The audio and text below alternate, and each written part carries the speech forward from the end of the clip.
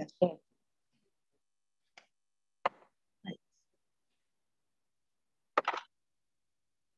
So good morning, ladies and gentlemen. You're very, very welcome to this EU UN private sector virtual training, the Spotlight Initiative. My name is Habiba Balogun. I'll introduce myself more fully later. But just to kick off, if you haven't already completed the pre-test, it's in the chat. Just look in the chat or look in the Q&A box. You will see the link to the pre-test. That's the first thing we'd like all of you to do. Please complete the pre-test. And then I'm going to proceed right away with the briefing for how this webinar is going, how we're going to interact together with this webinar today. Once again, good morning on this Saturday morning. Delighted to be spending this time with you virtually.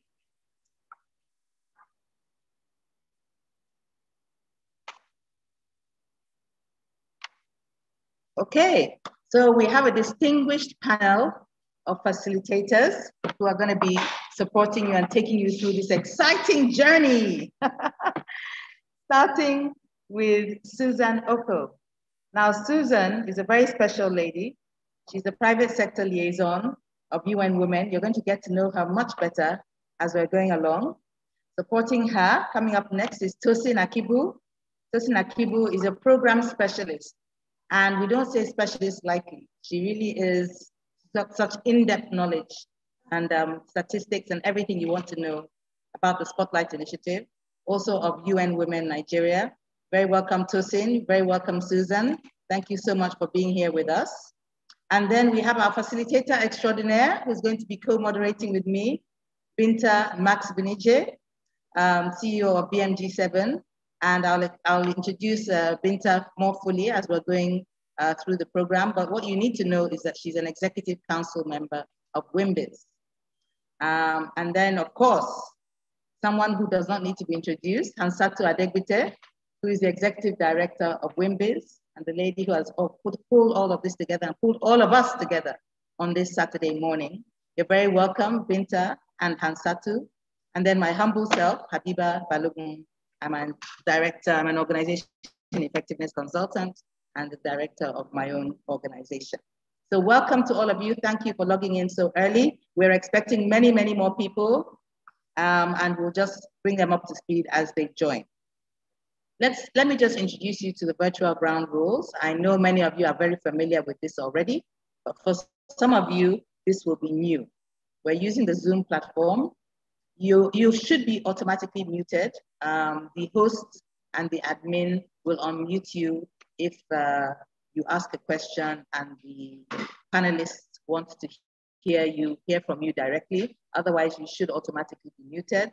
Please remember, if you are unmuted, to turn your mute button back on um, when you have finished speaking. This is a networking event. So um, we were going to ask um, all panelists and all presenters to please show their faces when they're speaking we want you to recognize them. And uh, if we if we elevate you to a panelist as well, please turn your, your camera on. You can just click on start video in Zoom so that we can see your face. Now, this is going to be very, very interactive. We're expecting a lot of participants.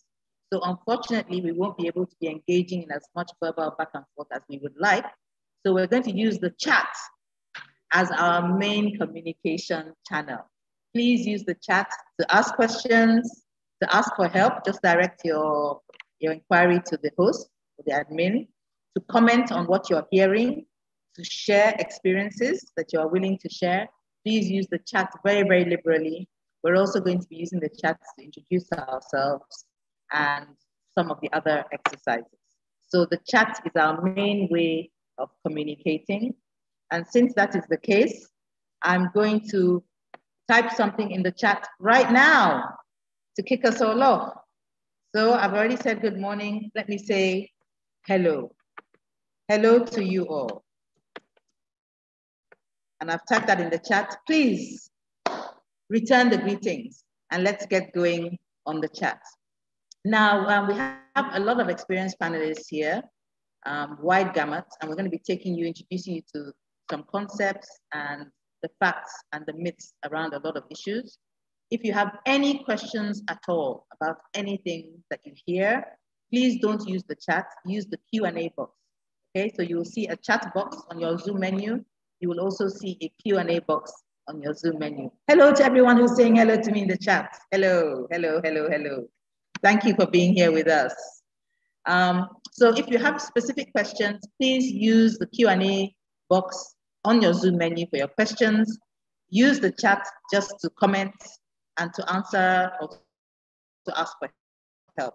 For questions, please use the Q&A box. All the panelists will be monitoring the chat, the Q&A box.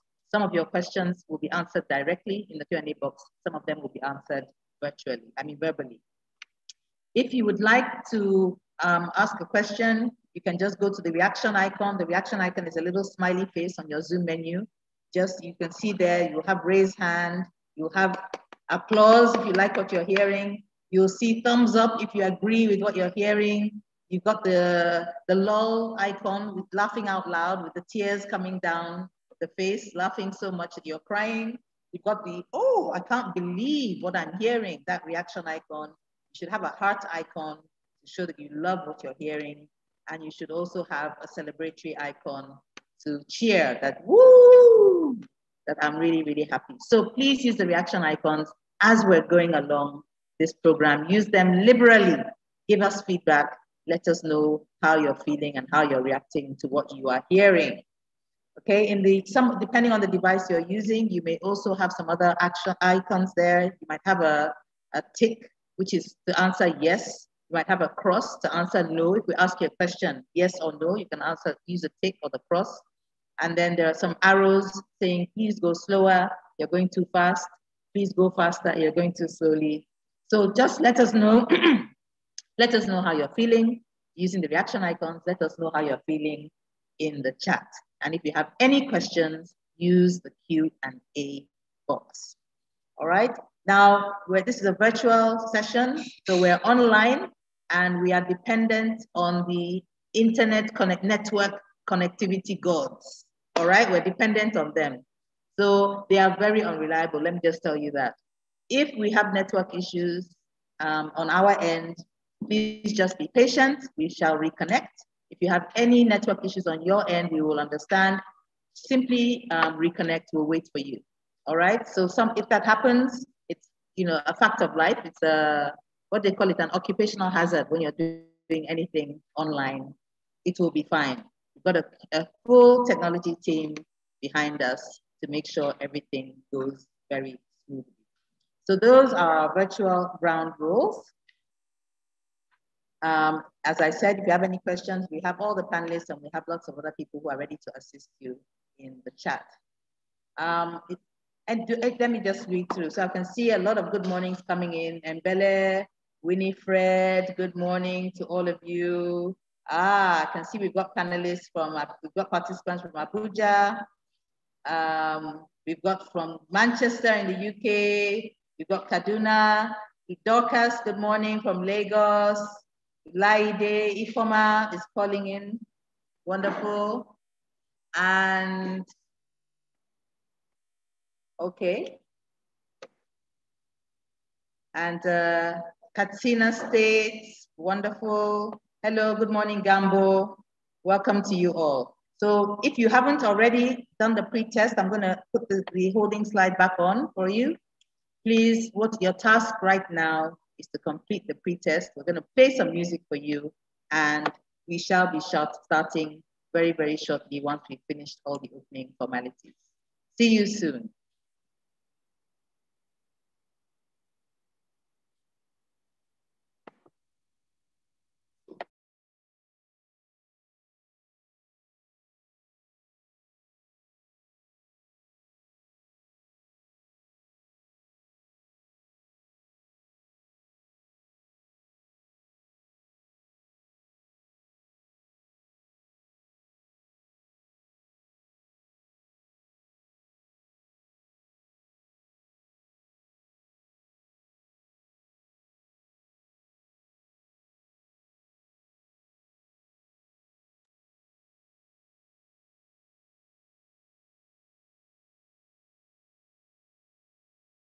You,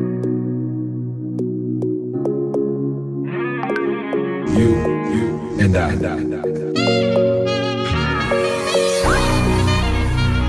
Yeah. All I get are great baby. Let's hop in my Maserati.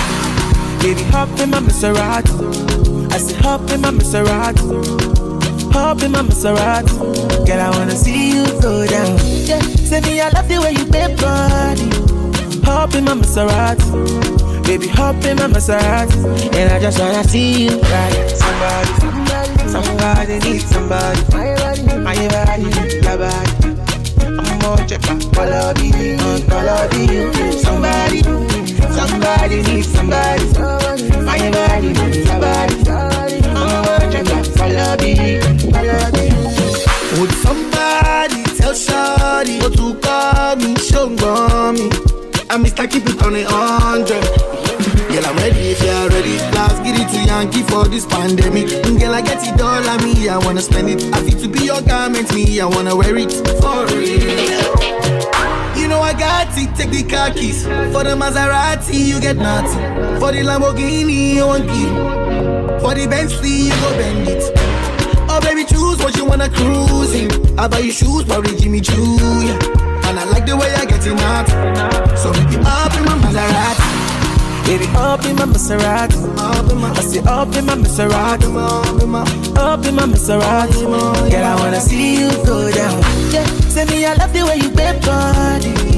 Up in my Maserati. Baby, up in my Maserati. And I just wanna see you ride. Somebody, somebody needs somebody. Body, your body. I'm be. Somebody, somebody somebody.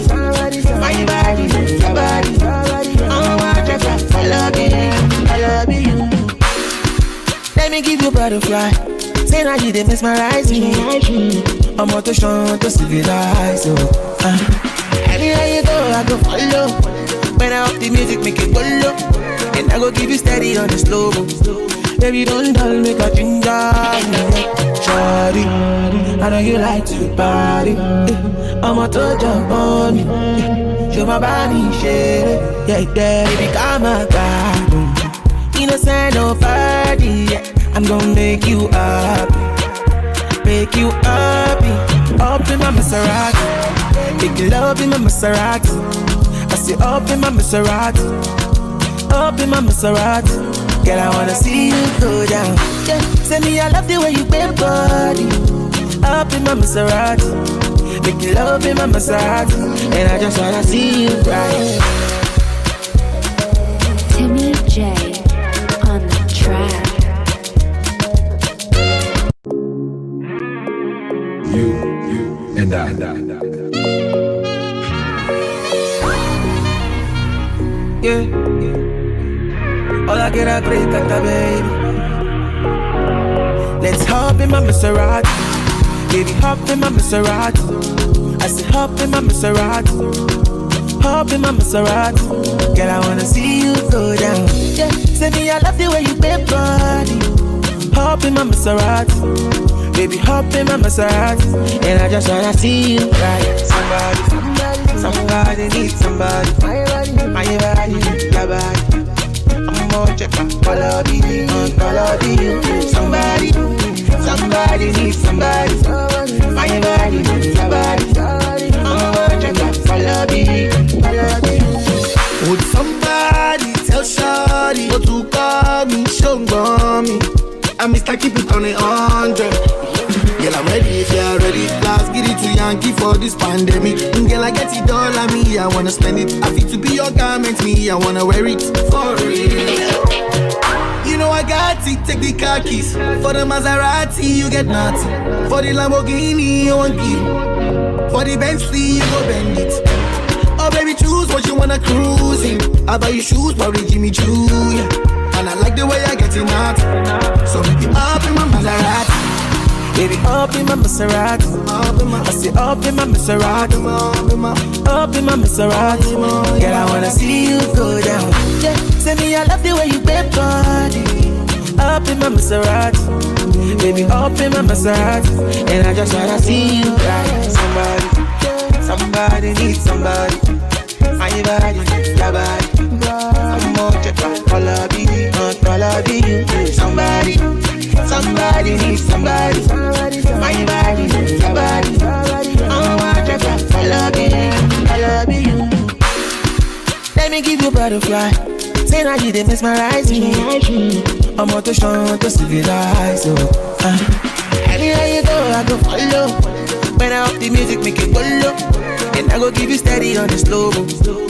Baby, don't dull, make a ginger. Shawty, I know you like to party. Eh, I'ma jump on me. Yeah. Show my body, shit. Yeah, yeah, baby, come on, God. Innocent, nobody. Yeah. I'm gonna make you happy. Make you happy. Up in my Maserati. Make you love in my Maserati. I say up in my Maserati. Up in my Maserati. Girl, I wanna see you go down. Yeah, say me, I love the way you bend body. Up in my Maserati. Make you love in my Maserati. And I just wanna see you right. Timmy J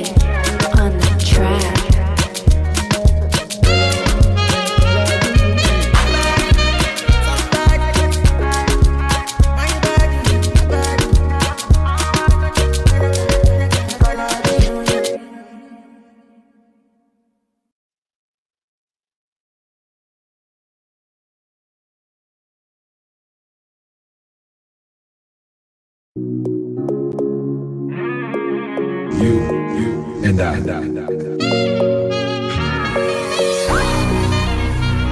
Yeah. All I get a great tata baby. Let's hop in my Maserati. Baby, hop in my Maserati. I said hop in my Maserati. Hop in my Maserati. Girl, I wanna see you go down. Yeah. Say me, I love the way you bend body.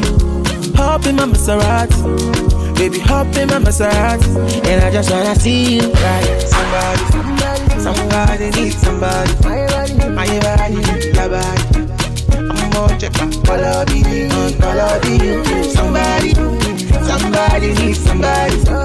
My body, your body. I'm gonna check my quality, quality. Would somebody tell Shawty what to call me, show me? I miss like keep it on a hundred. Girl, I'm ready if you're ready. Last get it to Yankee for this pandemic. Mm, Girl, I get it all on me. I wanna spend it. I feel to be your garment, me. I wanna wear it for real. You know I got it, take the car keys. For the Maserati, you get nothing. For the Lamborghini, you want give. For the Bentley, you go bend it. Oh baby, choose what you wanna cruise in. I buy you shoes, probably Jimmy Choo, yeah. And I like the way I get it out. So Baby, up in my Maserati. I say up in my Maserati. up in my, Maserati. Girl, I wanna see you go down. Yeah, say me, I love the way you bend body. Up in my Maserati. Baby, up in my Maserati. And I just wanna see you right. Somebody, somebody needs somebody. My body, your body. I'm gonna check my quality, uh, quality. Somebody, somebody needs somebody. My body, your body. I'm gonna check my quality, quality. Let me give you butterfly. Say now you they mesmerize me. I'm out to show to civilize. Oh, uh. Anywhere you go, I go follow. When I up the music, make it go low. And I go give you steady on the slow. Baby, don't dull, make a ginger. Shawty, I know you like to party. I'ma jump on you. Show my body, shit. Yeah, yeah, baby, come on, God. Innocent, nobody. Yeah. I'm gonna make you happy. Make you happy. Up in my Maserati. Make you love in my Maserati. I say up in my Maserati. Up in my Maserati. Girl, I wanna see you go down. Yeah. Say me, I love the way you bend body. Up in my Maserati. Make you love in my Maserati. And I just wanna see you right. Timmy J on the track.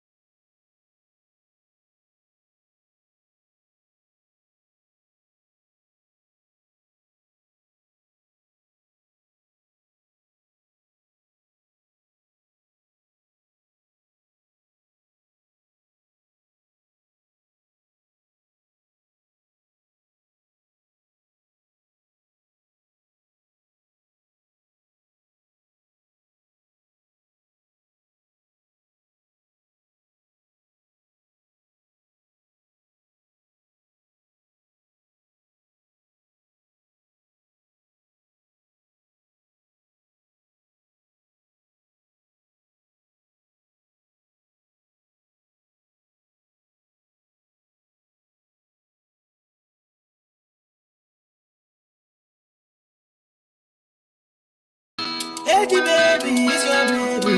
Boy.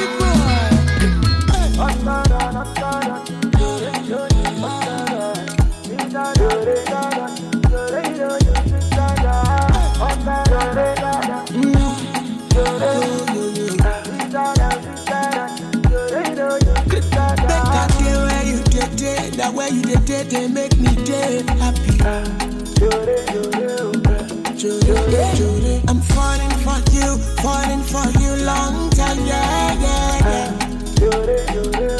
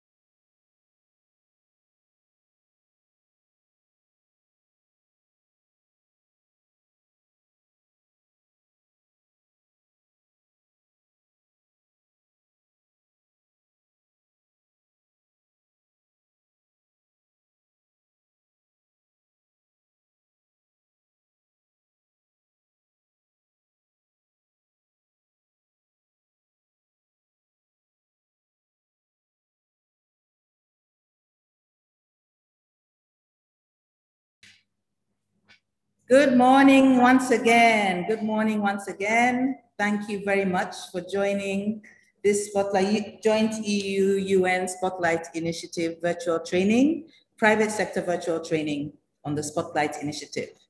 You're very, very welcome. We're about to start. It's going to start at 10 a.m. prompt. Let me introduce you to the facilitators once again. Susan Oko, who's a private sector liaison at UN Women. Tosin Akibu, program specialist at UN Women Nigeria.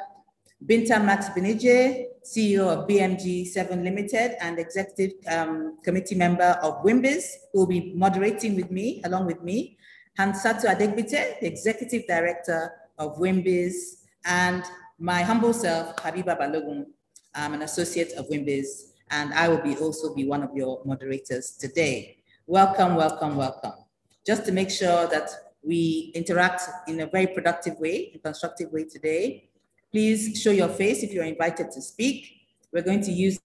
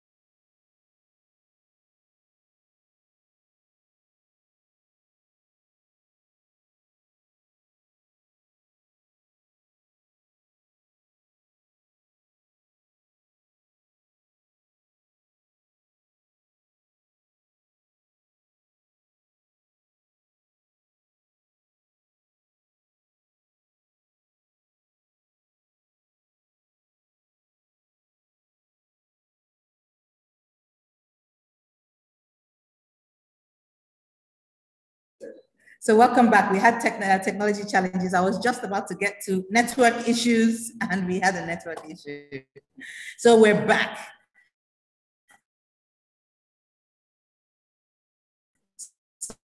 So we've experienced the network issues, if, you know, uh, unreliable internet. So let's be ready. If we log off, please be patient and we'll be expect you to reconnect as well. So I was saying that we're going to use the chat as our primary communication channel. However, if you have any questions at all for the panelists, please use the, the Q and A box. So depending on the device you're using right now, just tap on your screen, the Zoom menu will appear and you'll see Q&A and you'll see chat. For questions, please put your questions in the Q&A box. Some of the panelists are on standby to respond to your questions and we'll be going through them as we're going along. Okay, so comments in the chat box, questions in the Q&A box. You will also note the reaction icon on the menu. Uh, it's a smiley face on your Zoom menu. If you click on the reaction icons, you can you'll be able to give us reactions to what we're saying. You can clap. You can give us a thumbs up. You can show you can show us when you're laughing you find something funny, you can have the I'm shocked face, make a comment. You can also raise your hand in the chat box, and the whole team is here to support you. So we want to make this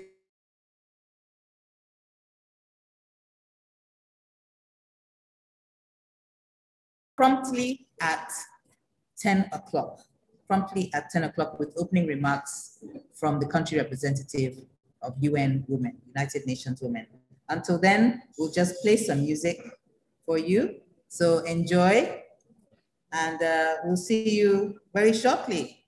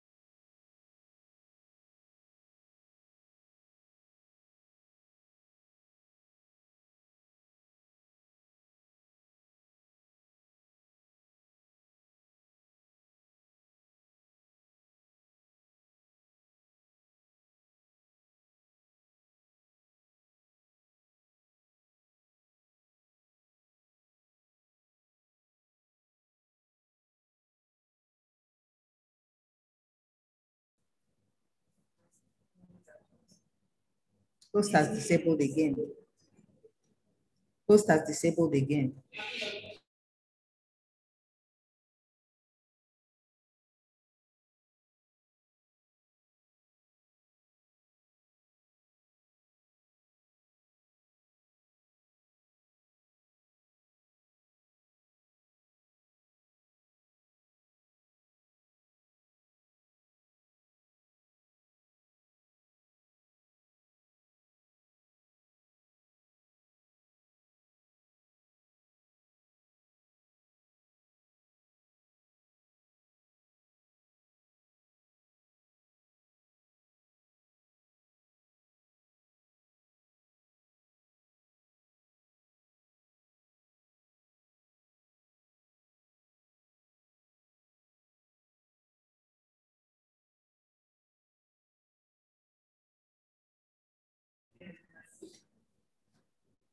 All right, ladies and gentlemen, welcome back and welcome once again to this program. We're going to kick the program off right away with some um, opening remarks from the UN Women Country Representative, Ms. Comfort Lamptey.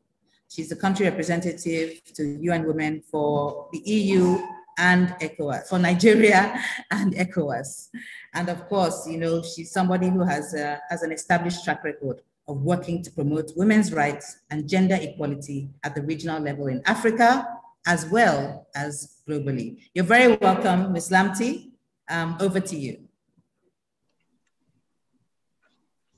Thank you very much. Uh, let me take this opportunity to um, send greetings to all present. I see we have uh, a full house and I want to also acknowledge our partners from the European Union who are here uh, with us for this session this morning. Let me also um, thank WIMBIZ for this very exciting partnership uh, with UN Women. Um, I know that our work with the private sector in Nigeria is one that is uh, expanding and we're very excited about this. Um, traditionally, as UN Women, we've tended to work with governments and uh, with civil society, and those still form a core part of our, our partnership uh, uh, agenda. But it's great um, that uh, in recent times, we have uh, recognized, and I think the private sector also has, the importance of working together, and particularly as we look at the sustainable development goals um, and how we're going to achieve that, we know that that requires a stronger partnership between government, civil society, the United Nations, and um, the private sector. Um, from our side, we, as UN Women some years back, worked with UN Global uh, Compact to develop the women's empowerment principles. And I know that this will be on the agenda for today, but the women's empowerment principles has been one of the um, key instruments that we have been um, using to try to engage the private sector to look at gender issues um, as part of supporting the development of, of, the countries in which we're working in. Now, why another reason why we also uh, feel the important need to, to extend and expand the partnership with the private sector is also because of the enormity of the uh, challenges, the gender related challenges that confront us, and especially here in Nigeria as well. Um, currently, Nigeria ranks as 152, number 152 out of 170, 87 countries um, in terms of uh, the available data on the UNDP Gender Equality Index. So um, quite uh, low down the, the, the, ranking, and we, we know that we have a lot of catching up to do in that uh, sense. Uh, we also know here that women are overrepresented in the informal sector. Women are underrepresented uh, in decision-making uh, positions. But I think we do have uh, something to learn from the private sector in that because I know that in Nigeria actually ranks quite high globally when we look at the number of women represented on boards.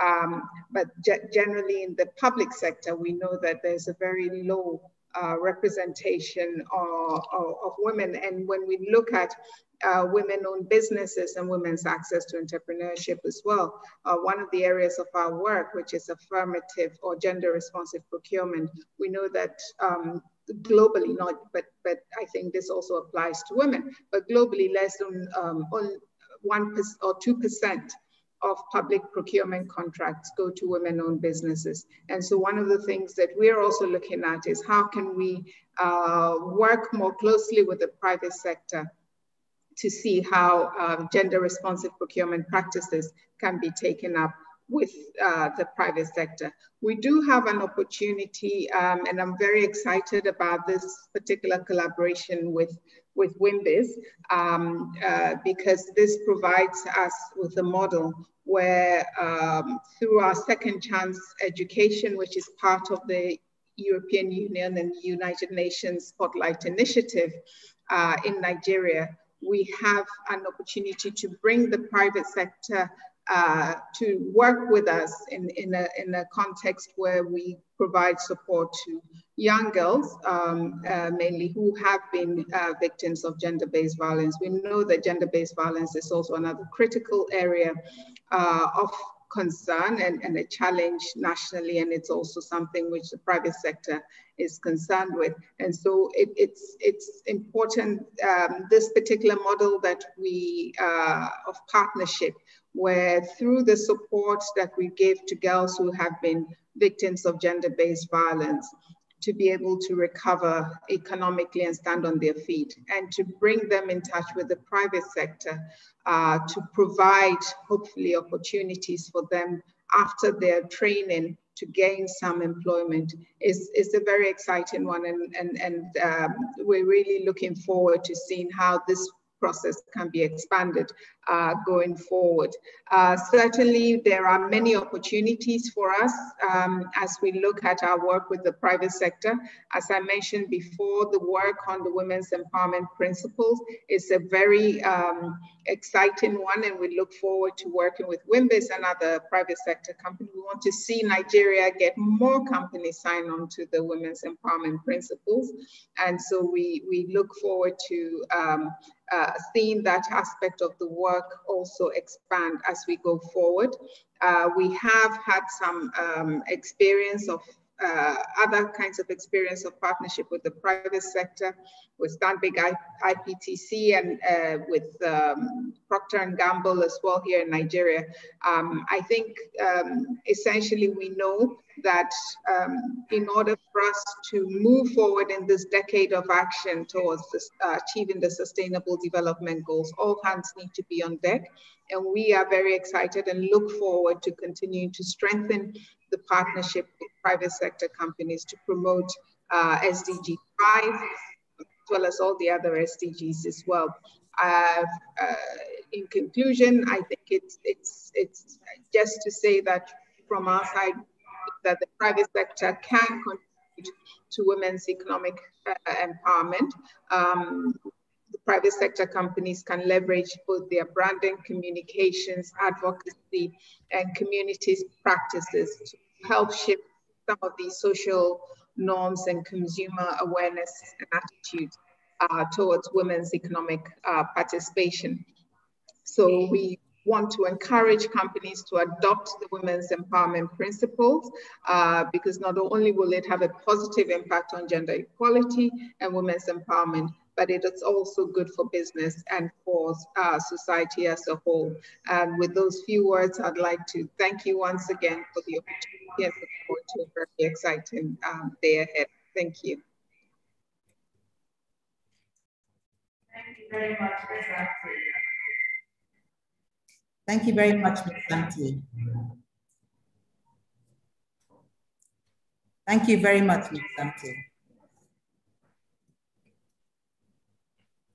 All right, so uh, this is a joint EU-UN Spotlight Initiative.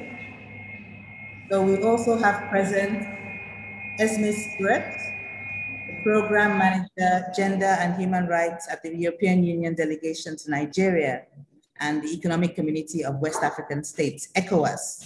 Esme, you're very welcome. Kindly deliver your goodwill message. Okay, can you hear me? Yes, we can. Okay, thank you very much. Uh, it's a great honor to be here today. I see, uh, I've been following the little bit this morning and I see that there's, we have entrepreneurs from across the country. Uh, okay, yeah, you can still hear me, right? Yes, we can. Okay, very good.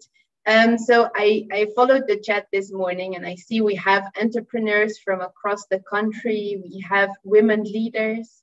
I saw a few HeForShe's who are also very welcome. And I also saw uh, people working in human uh, resources. So I'm very happy uh, to be here today and to have the opportunity to say a few words. Now, gender equality and women's rights are a top priority of the European Union. And that is the case in our internal policies in terms of human resources, for example, but it's also true in our approach to international cooperation. Because no matter what progress has been made in the past years and decades, there's still gender inequality that continues to hold women back. Um, Comfort Lamptey already mentioned a few of the issues we see that across the world, 35% uh, of women experience gender-based violence or have experienced gender-based violence. Uh, we see that 50% of women, at least in 2020, 50% of women or less had a job, uh, a paid job, compared to 76% of men. So there's a huge gap there. And of course, we also see that women uh, are very much underrepresented in national parliaments worldwide and in Nigeria as well. Now, the EU and UN Spotlight Initiative is our key flagship program on gender equality and women's empowerment. It's a global program that we have already launched in more than 25 countries across the world. And in Nigeria in particular, we work together with the UN, with Nigerian authorities, with civil society, communities of Nigerians at large, and also, as Comfort said, increasingly with the private sector. Now, we take a comprehensive approach in addressing gender-based violence, and that includes looking at economic empowerment of women, because we know that poverty is a risk factor associated with increased levels of gender-based violence, and economic empowerment is also key for the recovery of survivors who have experienced violence.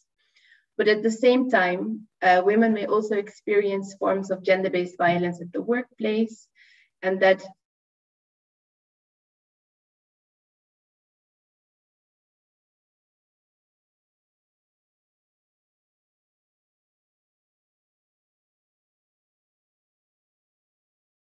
All right, as our speaker has just frozen momentarily, hopefully she'll be back soon. As I mentioned, Esme is, uh, it looks like Esme has dropped off. As I mentioned, Esme is from the UN, European Union delegation to Nigeria and ECOWAS, who are joint um, partners in this Spotlight initiative. So hopefully, ah, I, I see she's reconnected. Esme, can we hear you again? Ah, okay, I can see that she's gone. All right, so when Esme returns, maybe she'll have the opportunity to complete her opening remarks. But on this note, we're gonna kick off the program proper. And I'm going to invite the Executive Director of WIMBIZ, Hansatu Adegbite, to, who is our facilitator. Um, Hansatu is, uh, is very, very passionate about positively inspiring impacting and investing in lives. And she is the main uh, person behind this amazing initiative that has brought us all together and taken us all around Nigeria, impacting lives. Over to you, Hansatu.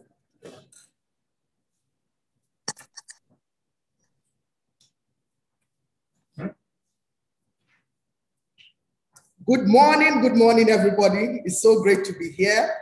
Uh, oh, Esme is back, but okay, I, I see she has uh, put off her video again. Um, it's great to be here. It's been a long time that we've been planning this, and uh, we really want to thank uh, the EU and the UN for the privilege to partner with them on this private sector training and initiative. Well, I'm not going to waste much of your, your time. We do have a lot of participants here. I've seen the numbers fluctuating from 300 and uh, 290 90 and so on and so forth. And I know people are dropping in and dropping out. But before we kick off, the first thing I want to uh, ask our audience is what are your expectations? You know, for every training we come into, there must be an expectation that you have. So I want us to quickly put in our training expectations in the chat box. Uh, quickly, why are you here? What is the expectation you have for this training? Uh, as you put that in the chat box, I want to see the chat box uh, bubbling with expectations. So our participants, I can see about 300 now. I want to see what are your expectations? Why are you here? There's a reason that we all came. Um, what you want to learn today. We have a full day of training.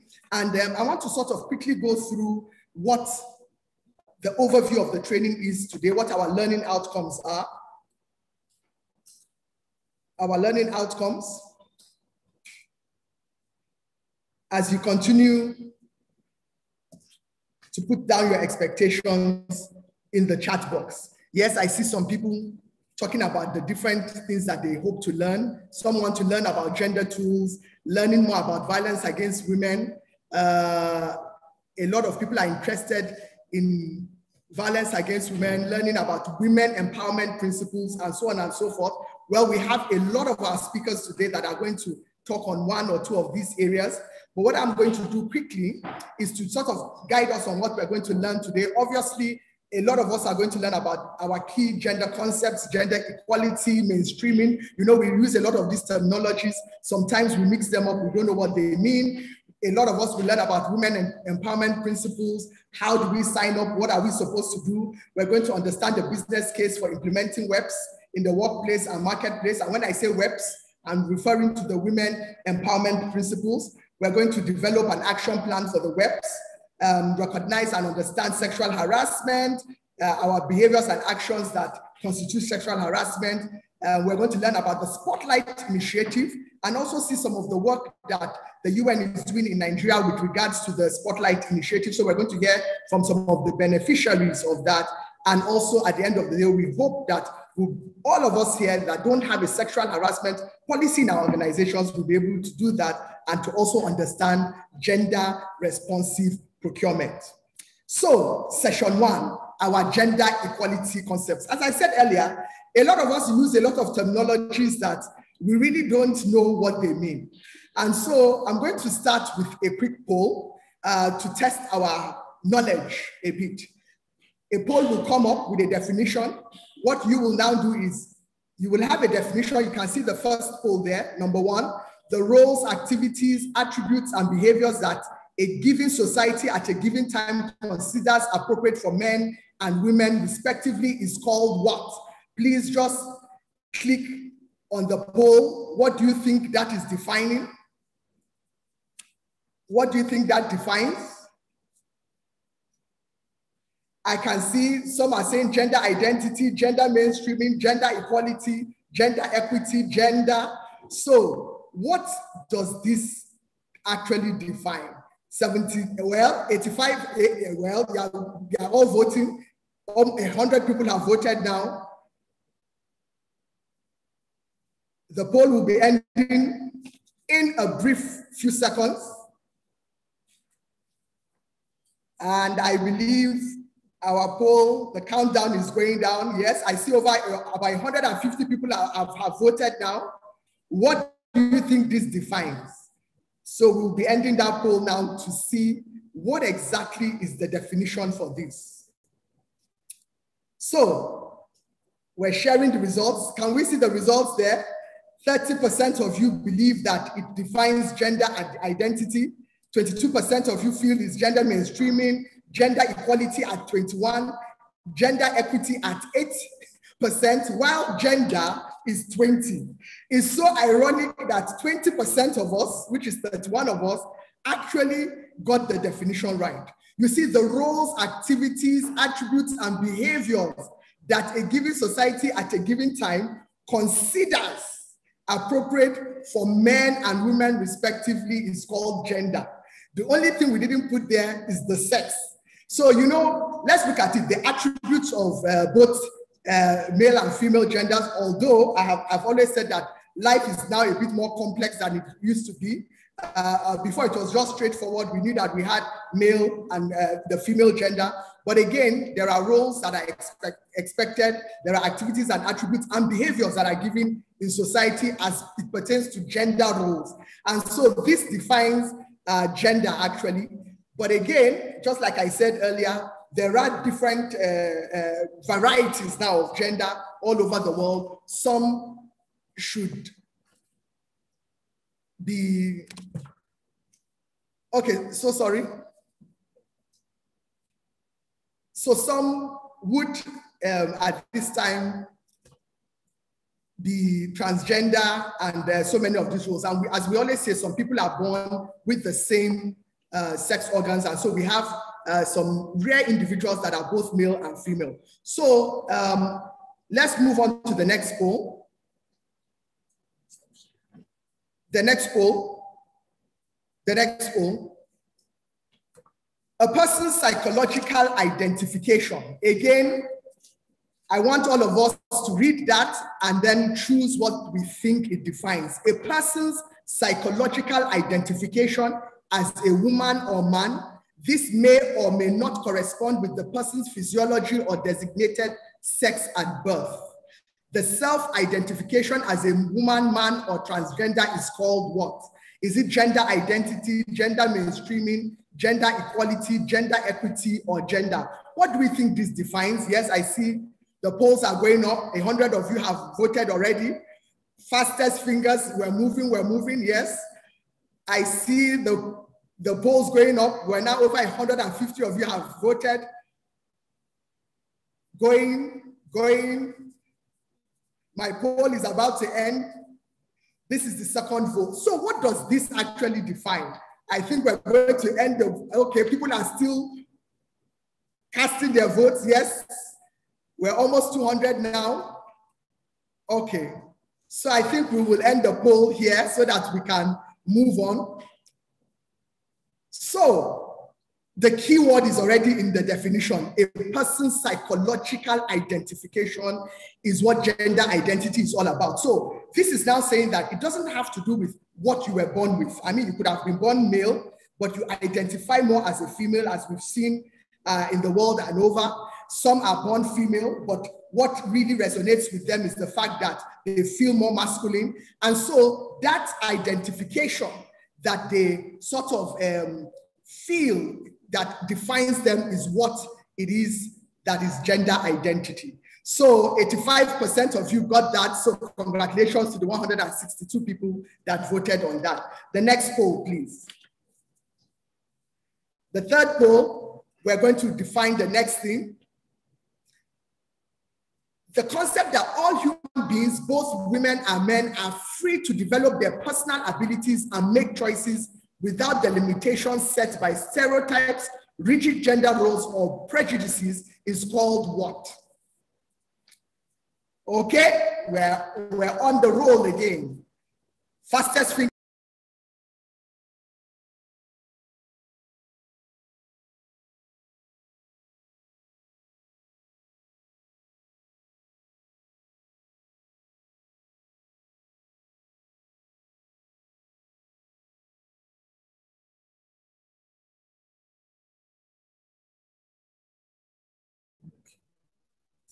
Okay.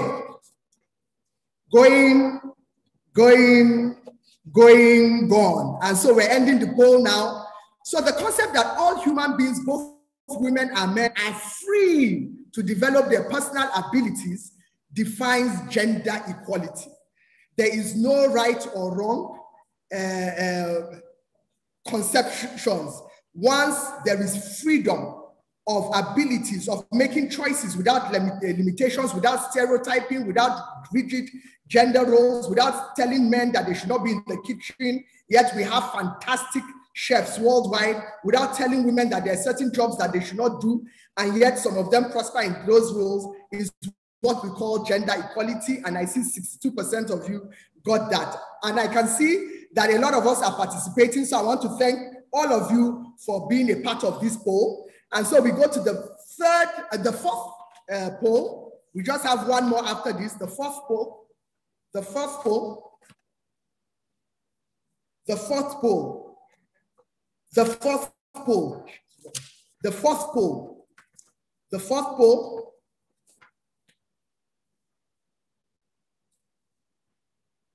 the process of being fair to women and men to ensure fairness strategies and measures must often be available to compensate for women's historical and social disadvantages that prevent women and men from otherwise operating on a level playing field is called what? Going, going, going, and gone. We can end the poll now that defines gender equity. Equity is about being fair to one another. That is what gender equity is all about. Thank you. And we go to the last one, the very last one, which is the fifth one. A strategy for integrating gender concerns in that. In fact, everybody is supposed to get this one because it's the only one that has not yet been defined a strategy for integrate, integrating gender concerns in the analysis, formulation, and monitoring of policies, programs, and projects. It is therefore a means to an end, not an end in itself, a process, not a goal. And that is called gender mainstreaming. We can end the poll, and I can see that a lot of us have gotten that right. We are on the same page. So I just want to thank all of you for participating in our poll. Those are the key uh, gender concepts. Thank you to everybody. Um, as we say in the private sector, there is a cost, a very high cost uh, to inequality. And um, this will be shared with you. But top on the list is I want us to all know that gender does cost all of us in the world a very, very high price. And that price is the price of, and that price is definitely the price of the cost to all of us. And today we say that it lies uh, by a World Bank uh, study, it lies at over 160 trillion, not million, trillion dollars. That is the cost of inequality within the context of uh, gender pay. Uh, we do know that uh, it is very important for the private sector to, uh, to embrace gender equality as a key and strategic role and responsibility to all of us just to ensure that we continue uh, to uh, make our economy prosperous because um, gender equality does help most of our organizations to continue to build on successes and higher returns on investment. So thank you very much uh, for listening. We will be taking a short exercise break and I'll be handing over to Habiba now. Great, thank you so much, Hansatu. Thank you. So gender equality concept. I I learned a lot during her presentation. I don't know about you. Okay, so let's move on. You know, when you're doing um, uh, virtual sessions, it's very, very important that periodically we stretch, we get up and stretch and make sure we're keeping ourselves physically active. So I'd like to invite everyone to stand up and let's shake out our hands and shake out our legs at the same time. Just shake it out very quickly. We're just gonna do this for two seconds before we invite our next speaker who is gonna take us and introduce us to the women's empowerment principles. Okay, so you can also roll your head roll your head and stretch your waist from side to side. All right, so perfect. So I'm going to quickly introduce our next speaker. And our next speaker is Susan Oko. She's a private sector liaison for UN Women, Nigeria. She's responsible for partnership management, liaison, and providing gender technical support services to private sector companies. Her experience cuts across financial inclusion, gender management, strategy formulation and research with demonstrated understanding of private sector, the private sector landscape including gender and inclusivity issues. You're going to hear from her. You'll see how passionate she is about the development sector. She's continuously seeking ways to lend her voice and skills to emerging trends in attaining the SDG goal of gender equality.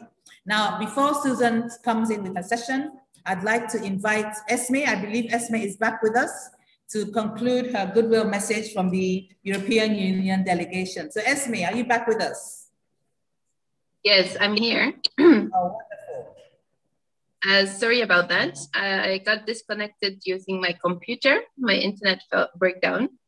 So uh, I'm now connected using my phone. I hope it will last till the end of my speech um, or message because I was about to um, say that, uh, or what I was saying, I don't know where exactly you lost me, but um, I was talking about the COVID pandemic and that to have a, a sustainable global recovery from the COVID 19 crisis, we really need to build fairer, inclusive, and more prosperous societies by uh, making sure that we include uh, gender equality as a key priority.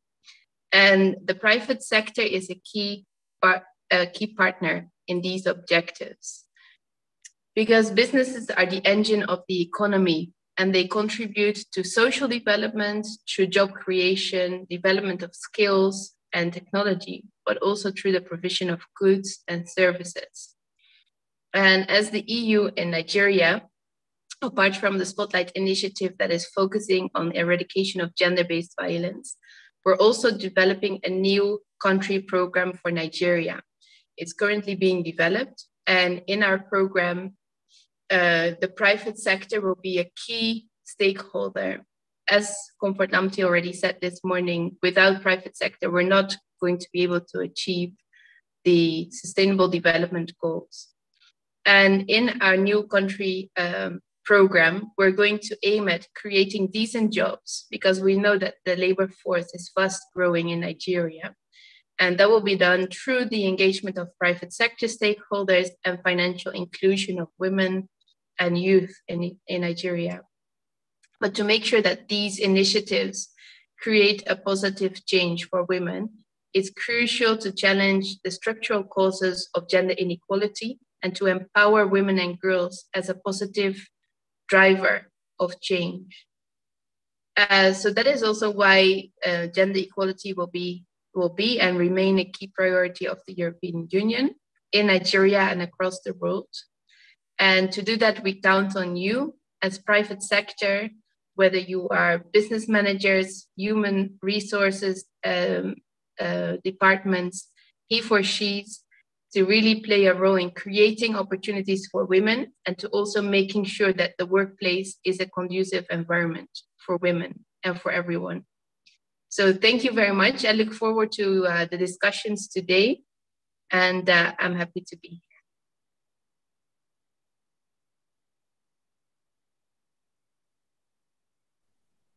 Thank you very much, Esme. And that was a wonderful session. Good morning, ladies and gentlemen. My name is Susan Oko, as I've been introduced by the moderator, and I'm the private sector liaison for UN Women. Um, in this session, what we'll be discussing is to go through the status of gender equality in the world, um, and also bring it home to Nigeria. And then we'll talk about what the UN Women Nigeria role is in terms of accelerating gender equality and what tools we can use um, to, to make this happen in the private sector by virtue of the WEPs, which you've been hearing about, and I'll talk a bit more in detail. Uh, the WEPs is you know, an acronym for the Women's Empowerment Principles. Um, I'll talk through the benefits, um, how you can be a part of the WEPs, and what that means for you. I'm just going to share my screen shortly, momentarily.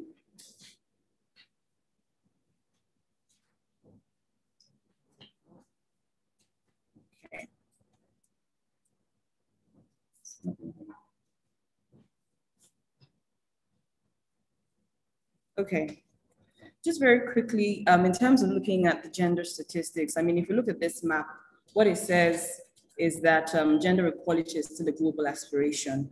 Um, this map is a visual representation of, you know, where we stand in terms of equality.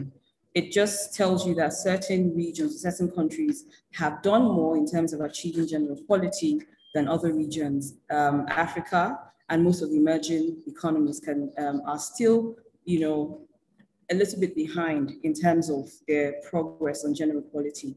Some of the statistics I'm going to be speaking to today are from the World Economic Forum.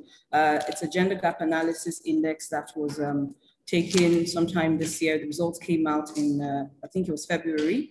And all of the results basically are benchmarked across four key parameters. It looks at, it looks at economic participation and attainment. It looks at educational attainment, um, health and survival, and political empowerment of women in each country. And based on the scoring and the indices, is able to rank countries on how their progress has been. Now, looking at the most recent um, global gender gap indices, it generally tells us that um, the world will not achieve gender equality for another 135 years, broadly speaking. And there are many reasons for that.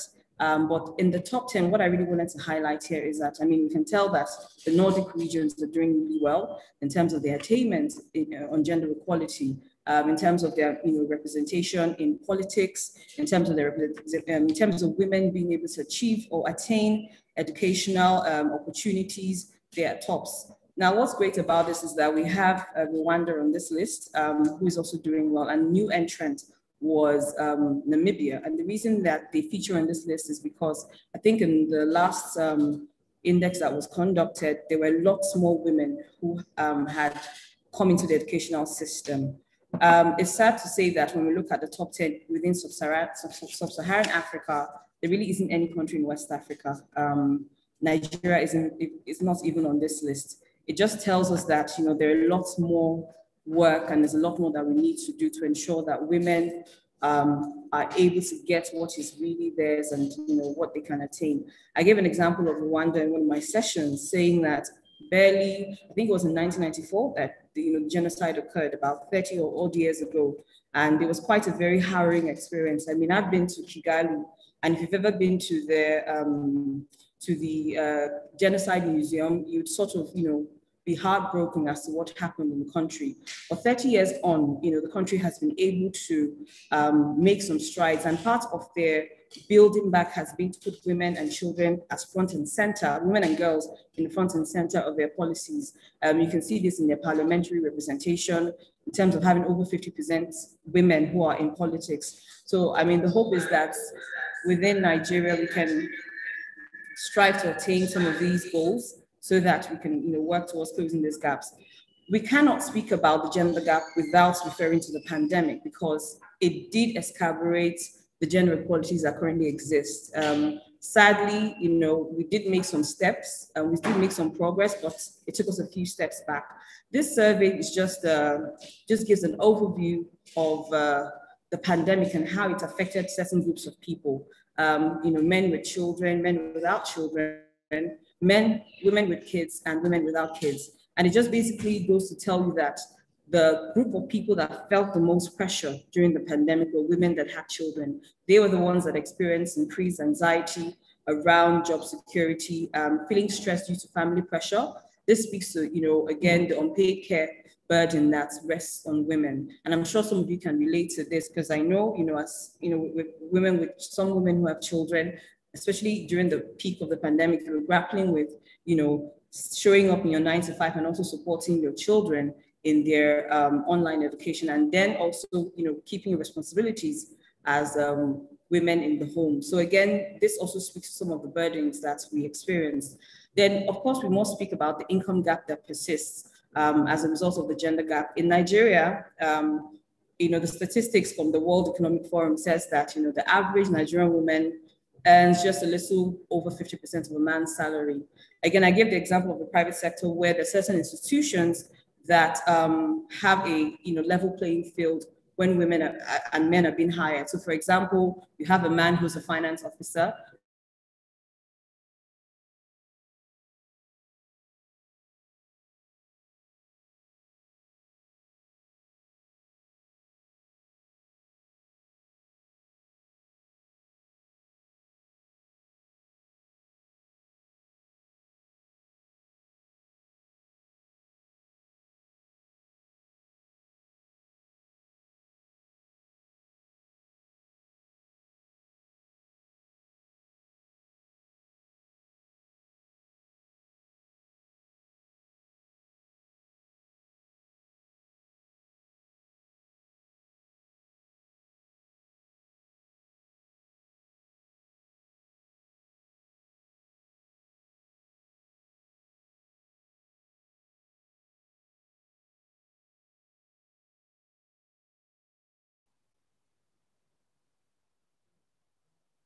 Susan will be back shortly. Uh, please just, just give uh, her a second to just sort out a little technical glitch.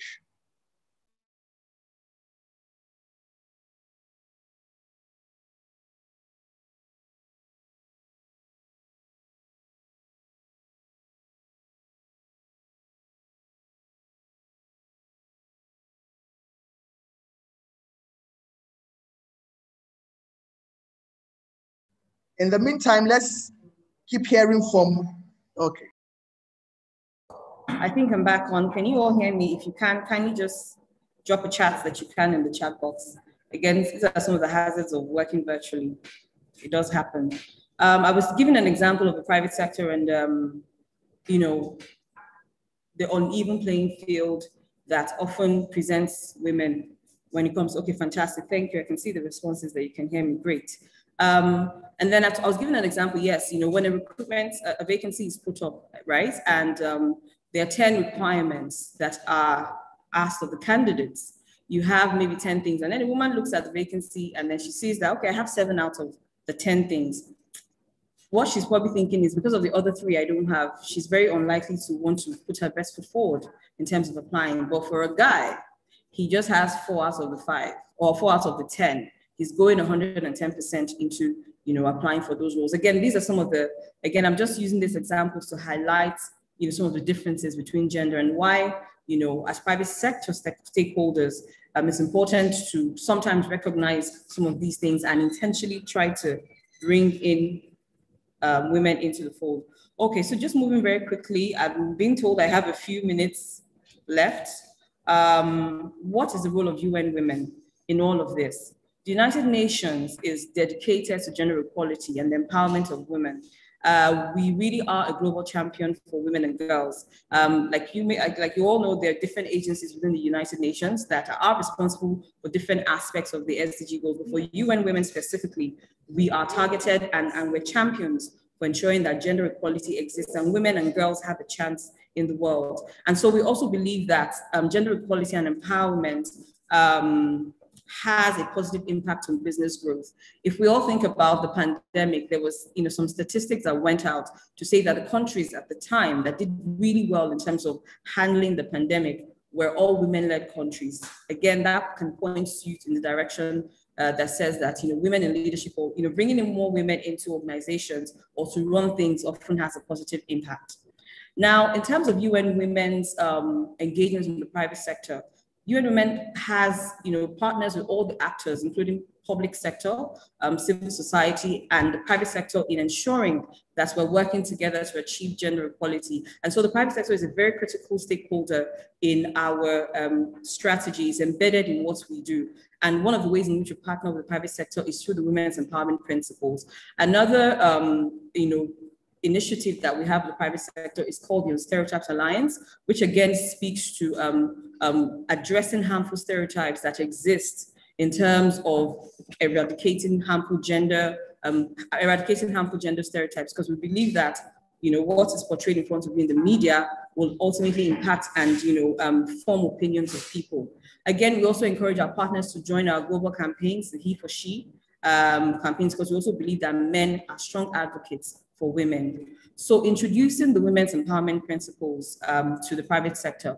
The women's empowerment principles are a set of seven principles that were established by UN Global Compacts, that's one of our sister agencies, and UN Women in 2010. Um, and we seek to offer guidance to businesses um, on how they can promote gender equality and women's empowerment within their workplace, marketplace, and community. I mean, I, you know, from my experience and interacting with certain private sector stakeholders, they want to support gender equality. They generally get the idea of it, but there's a bit of a disconnect as to how they can actually actively operationalize some of the gender equality principles so that they're not just talking the talk, but they're actually um, you know, doing and taking those steps towards ensuring that some of these things are embedded within their processes and operations. Well, good for you. You're part of this seminar and this um, workshop, and you know, it's part of what we'll be talking about today. Just to mention that the women's empowerment principles are established and informed by international labor and human rights standards. Um, and so they're also built around the sustainable development goals um, in the fact in, in, in, ensuring that you know the corporate sector has a role in driving this. In this case for us, we focus on SDG 5 and 8, which speaks to decent work and economic growth. Now, the women's empowerment principles, um, it cuts across different countries, um, not just in Nigeria. We have the women, the WEPs, we have WEP signatories in over 141 countries. And so far as we speak, we have over 4,000, almost 5,000 companies who have signed. Within Nigeria alone, we have 24 companies. Okay, this number is small, and this is part of the reason why we're actively increasing our engagements, you know, with the private sector so that you can sign up to the WEPs. Let me just emphasize now that being a member of the WEPs is a free, um, is free to join. There's no financial obligation. I will speak to that in subsequent slides. This slide just gives us a broad overview of some of the signatories we have currently. As you can see, there are diverse, um, there's diverse signatories from different sectors, financial services, um, from the from banks to the construction sector. So these are the current signatories we have, and we're hoping that once we're done with this session and subsequent engagements, we will have more um, private sector companies sign on to the WEPs and join us in this journey. I'm just going to play a quick video um, that speaks to the WEPs, and that will give a quick overview of what the Women's Empowerment Principles are about. Okay, let's increase the volume.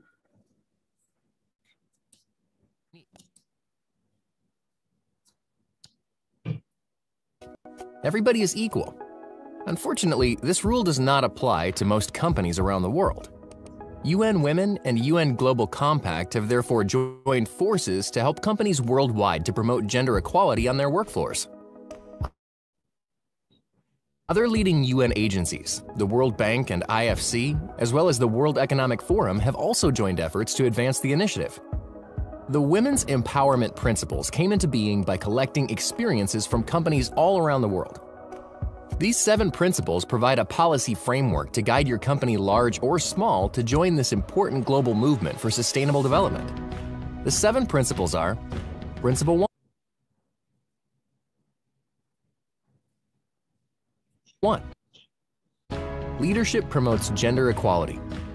Leaders can establish company goals that advance equality and can ensure these goals will be reached. Principle 2. Treat all women and men fairly at work respect and support human rights and non-discrimination, equal wages, benefits, access to childcare, and participating in decision-making at all levels across all business areas all contribute to respect and non-discrimination on the work floor. Principle 3. Ensure the health, safety, and well-being of all women and men workers. This goes for working with hazardous materials, respect, and time off for medical care, but also for a zero-tolerance policy towards sexual harassment and security for violence. Principle 4 Promote education, training, and professional development for women by the encouraging of women to enter non traditional jobs. All company supported education, training programs, and networking. Principle 5 Implement enterprise development, supply chain, and marketing practices that empower women. This means to respect women in the company's marketing materials and ensure that company products, services, and facilities are not used for human trafficking and or labor or sexual exploitation but also to expand business relationships with women entrepreneurs and asking business partners to respect the company's commitment. Principle 6 Promote equality through community initiatives and advocacy. Lead by example. Collaborate with business partners and promote women's leadership and the company's commitment to human rights. Principle 7 Measure and publicly report on progress to achieve gender equality by making the company policies public, establish benchmarks that quantify inclusion of women at all levels, and measure and report on progress, the company advocates gender equality. For further information and experiences from the business community, please check weprinciples.org. Equality equals business. Women's Empowerment Principles. All right. So that um, video is a brief overview um, of women's empowerment principles. And this is just it right in front of my screen. Like it's, you know, like, like the video said, um, there are seven key principles that we encourage companies to adopt within the WEPs, um, speaking to corporate leadership for gender equality, you know, encouraging that there's non-discrimination of both genders in the workplace, promoting, you know, employee health and safety, ensuring that there's education and training for women, enterprise and supply chain development, and ensuring equality through community advocacy, and most importantly, you know, making sure that what you're doing is measured and reported on. Just to mention very quickly that, you know, the WEP has a very comprehensive and holistic framework across a value chain that speaks to leadership, that speaks to the workplace, speaks to the marketplace and the community. Now, if you become a member of the WEPs, what do you stand to gain? There are lots of resources that are available to you. First and foremost, let me let me let me just quickly explain that um, joining the WEPs, um, the first thing that is we require of you is to go on the website. Let me just um, say, state the website. Website is www.weps.org. That is www.weps.org. Once you go on that website, we require you, um, we require in your organization, the CEO, that means we need the person at the highest authority to sign a statement of support. Um, I think I can get my colleague to go on the website so that you can actually see what it looks like. While she does that, um, I will keep speaking to it. We want the person at the highest level of authority to become a WEP signatory. Um, we get the CEO to sign. Okay, we get the CEO to sign. Okay, this is the website, like I said, it's www.weps.org. Okay, if we go to the join, click on the join link. Now, let me just explain, like I said, the WEPs is free to join. Um, we welcome all private sector companies. Um, we welcome companies that are, as long as you are registered within the Nigerian law, uh, you have your CAC documents, even if you're a startup, um, we welcome you to join the WEPs. What we require, however, is that we need the CEO, please stop scrolling, go back to the top. We need the person at the highest you know, uh, authority, at the highest point in the organization to sign what we call the statement of support. If you look at the second paragraph that starts with joining the WEPs network is straightforward. Download the CEO statement of support.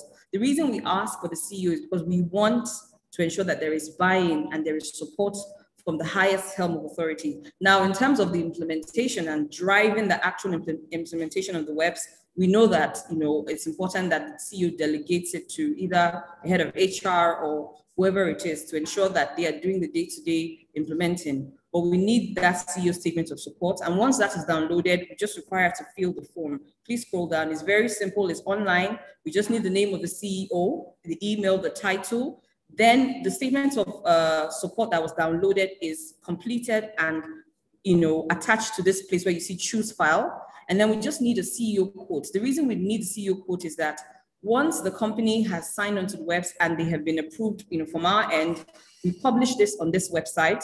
And we also will be looking to create an announcement card whereby all of our signatories um, are published within our social media platforms so that our stakeholders and our communities know the companies within you know, Nigeria that are now WEP signatories. Please scroll down. Of course, we'll request for the CEO's photo. The reason we ask for the primary contact is that we um, one, the person that we'll be liaising with day to day, please scroll down. Um, so very simple information, secondary contact all the way down to the end of the form, basic information, and at the very end of the form, um, you would click submit. Now you can see something that says action plan. So let me just mention, once this is submitted, it comes to us at UN Women. Of course, we must do our due diligence to make sure that your company is who you know you are, who you say you are.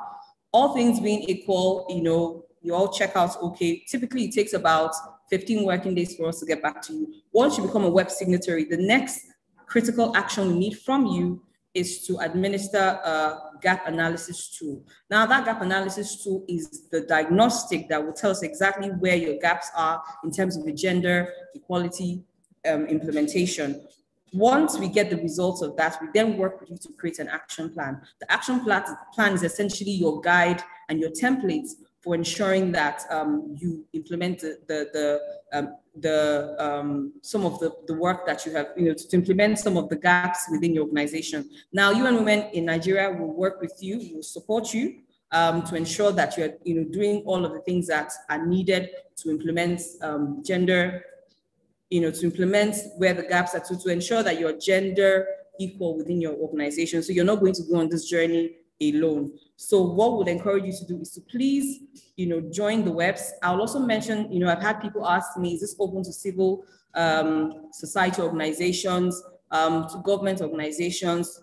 Um, the short answer to this is no. Even though we encourage you to, you know, look at the resources that are within the WEPs. Um, and the reason is because we have all sorts of interventions that cater to these actors, but we really are targeting the private sector because we know that we can get a lot more traction with private sector, you know, in terms of influencing their communities and the marketplace and the workplace to ensure that we're all working towards trying to strive and attain the 2030 agenda of gender equality.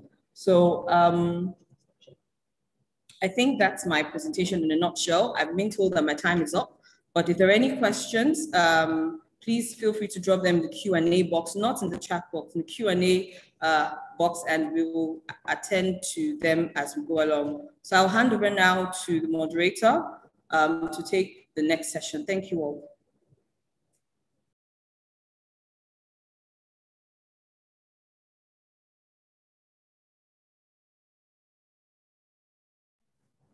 So welcome back, Susan. Uh, thank you so much, Susan. And we're back. It's, it was fantastic. Uh, uh, what Susan has taken us through, women's empowerment principles are really impactful. Even the process of you know going through the process of the women's empowerment principles will really enlighten you about the sort of things that you can do and the sort of impact that you will be having. Um, so please go ahead onto the website, um, learn, and use and get your CEO sign up. All right, so I'm going to introduce our presenter for the next session. Her name is Binta Max Gbinije. She's an executive committee member of WIMBIZ. She's a strategy and human resources consultant and a financial services executive, and also faculty for many middle management coaching and mentoring programs. And we're very fortunate to have her here with us now to take us to practicalize what Susan just explained in terms of the women's empowerment principles. Over to you, Binta.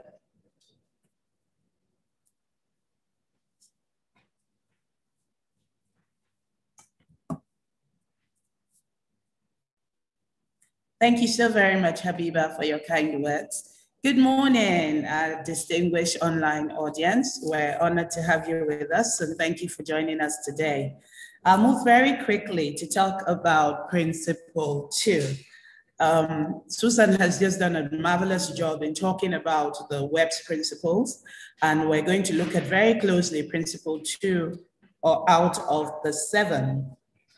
Um, principle two just simply urges that we treat all women and men equally at work. Um, we must respect and support human rights and ensure there is no discrimination whatsoever. And some key concepts that's important for us to grasp include equal opportunity and non-discrimination. I'll just talk very quickly about, and I'll just um, try to move the slide so you can see this as we, thank you, okay. Thank you, Abiba. Discrimination against women. I mean, this devolves obviously from the SDG principle, and it is quite clear. Zero tolerance against sexual harassment in the workplace. That is what we would want to see. Um, discrimination against women, I like the definition here, um, shall mean any distinction, exclusion, or restriction made on the basis of sex, which has the purpose of the effect or purpose of empowering or nullifying the recognition, enjoyment or exercise by women, irrespective of their marital status, on the basis of equality of men and women, of human rights and fundamental freedoms in the political, economic, social, cultural, civil, or any other field. I had to read all of that so we can understand how wide ranging this definition is. Um, but what does that simply mean in layman's terms? If you'll permit me, I just think it says disenfranchising me in any way whatsoever because of my gender, because my name is Binta, and because I'm a woman, totally unacceptable and untenable. Not allowing me enjoy what is rightfully due to me and by so doing, deprive me of all the accolades that shall come to me, of my rights and my freedoms in any area whatsoever, totally unacceptable. That's what this principle talks to. And then we go on to talk about direct discrimination and indirect discrimination. Again, long definitions that I won't bore you with. You will be, um, the, the, the team has graciously agreed to share the slides with you later on. So you will take your time and do a better homework than time will permit us to do today. But the one thing I'd like to just talk to very quickly is what is direct discrimination? What is indirect? Someone might wonder. I like the analogy that Tosin uses when she talks about a door. So a man and a woman want to come in through the door and the door is, you know, right size for the man and it is closed against the woman and she's left behind and you're told, stay out, don't come in. That is direct discrimination. So very clear, not, co not covert in any way, very overt and easy to distinguish. What will indirect discrimination be in that situation? When they allow the woman come into the room with the man, but they place the man at the front of the room and give him a high chair and tell the woman, you stand in the corner. And when it comes to time for tea, for instance, they give the man the tea in a very nice gold cup, but they give a paper cup, if they give a paper cup at all, to the woman who's standing in the corner. That's indirect discrimination. Because if she shouts at that point and says, Oh, they didn't let me know, but they will say, Oh, but you're in the room. However, you will agree that the conditions and how they have been treated are not the same. Okay. I'll move very quickly as well now this time and talk about equal remuneration. I like the ILO's definition. The ILO has gone on to define what equal remuneration should be. And it says that the term equal remuneration for men and women workers must be that they receive equal pay or for equal value for whatever remuneration. So whatever is given to the man must be given to the woman without discrimination based on sex. It infers, therefore, that where the current practice in many climes um, is that a man earns $1 for every 82 cents that a woman earns, that we must do something to change that narrative and stop that dead in its tracks. So in Naira terms, I did the maths in Naira and I thought, okay, assume the Naira today was 480 Naira, okay, exchange it for 480 Naira to the dollar. So for every 480 that an Aminu, a Babatokwe or Chukwudi earns, um, my sister Amina, Biola or Chidinma will only earn, um, if you do the math, 393 Naira, 60 kobo or thereabouts. And someone might say, wow, okay, there is that difference 87 naira, 60 kobo. But trust me, ladies and gentlemen, those little numbers add up in the long run. And so we're saying equal remuneration must be where it is at par. Whatever Aminu and Babatokwe or Chukwudi earn should be what an Amina, Abiola, or Chidinma will earn as well, okay? One important fact that makes this an imperative as well that we must note is the fact that it's been proven, research has shown it, there's empirical evidence to that effect, that when women are treated equally in the workplace, when they're given their just dues, discrimination is removed against women. It increases productivity by anything from 25 to almost 40%. Imagine what that could mean on the bottom line. Imagine what that could translate to in Naira and Kobo for your organizations. And that's why it's important. I mean, for me, it just makes great business sense, right? I'm sure you would agree. And after all, without taking anything from the men in the room or on the call, remember they say that what a man can do, a woman can do, and even better. Okay. Another thing I'd like us to take note of as a key concept when we're discussing principle two is the need for equal pay for work of equal value. And here I'll just talk very briefly to some interesting research that I, that I stumbled upon in doing my homework. It says 50% of women in Nigeria are largely in seven, uh, in seven occupations. And if we had the time, I'll ask that we hazard a guess as to what these occupations are but I'm sure you guessed right. The famous one, teaching, okay? Women are largely in teaching. Women are largely in clerical roles. Women are largely in sales, in healthcare. Think about it. Most of the nurses you see in the hospitals are largely female, right? It's only now that we see you know, the male nurse. And it's an oddity in many cases when you stumble upon one. For every female nurse that, uh, every male nurse, I beg your pardon, that you see, you probably will have seen nine before them, okay? So these are the sectors that they operate in largely. But what does that mean for us? Does it mean that because they're in those sectors, uh, women can't be in STEM, uh, women can't be astronauts, they can't be engineers, they can't be pilots? The answer is no, absolutely not. They certainly can be, and they can do anything that they want to be. So it's important that we ensure that whatever work a woman does and that a man does as well is rewarded or remunerated appropriately and accordingly and at par. I use the example, for instance, of Mike, Michael Pence, who was the, the last um, um, vice president before Kamala Harris. So now Kamala is in the White House the glass ceiling has been shattered. It's so great to know. So she's in the White House. And whatever it was that Michael Pence was doing is what Kamala Harris should be doing now, correct? So if that is so, shouldn't she earn exactly what Mike Pence has been earning? Shouldn't she receive the same benefits and remuneration that he was getting? The fact that he was the male vice president, does it take anything from the fact that she'll be doing the same work that he's doing now as a female?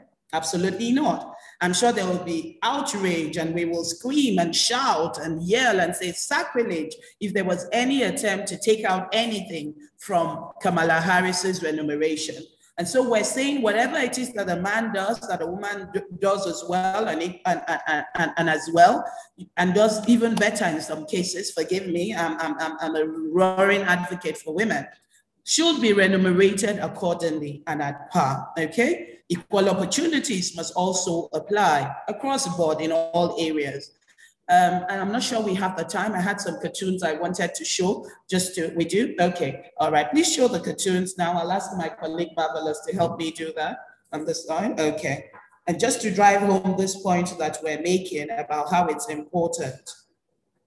Okay, thank you so very much. Okay, so if the cartoons are showing on your screen and you can see them, um, if you just even by looking at it, you can see how much higher the man towers above the woman because he's standing on more money. And I'm sure you'll agree that that's not a pretty picture from where we sit. There should be a lot more for the woman so that they can be at par.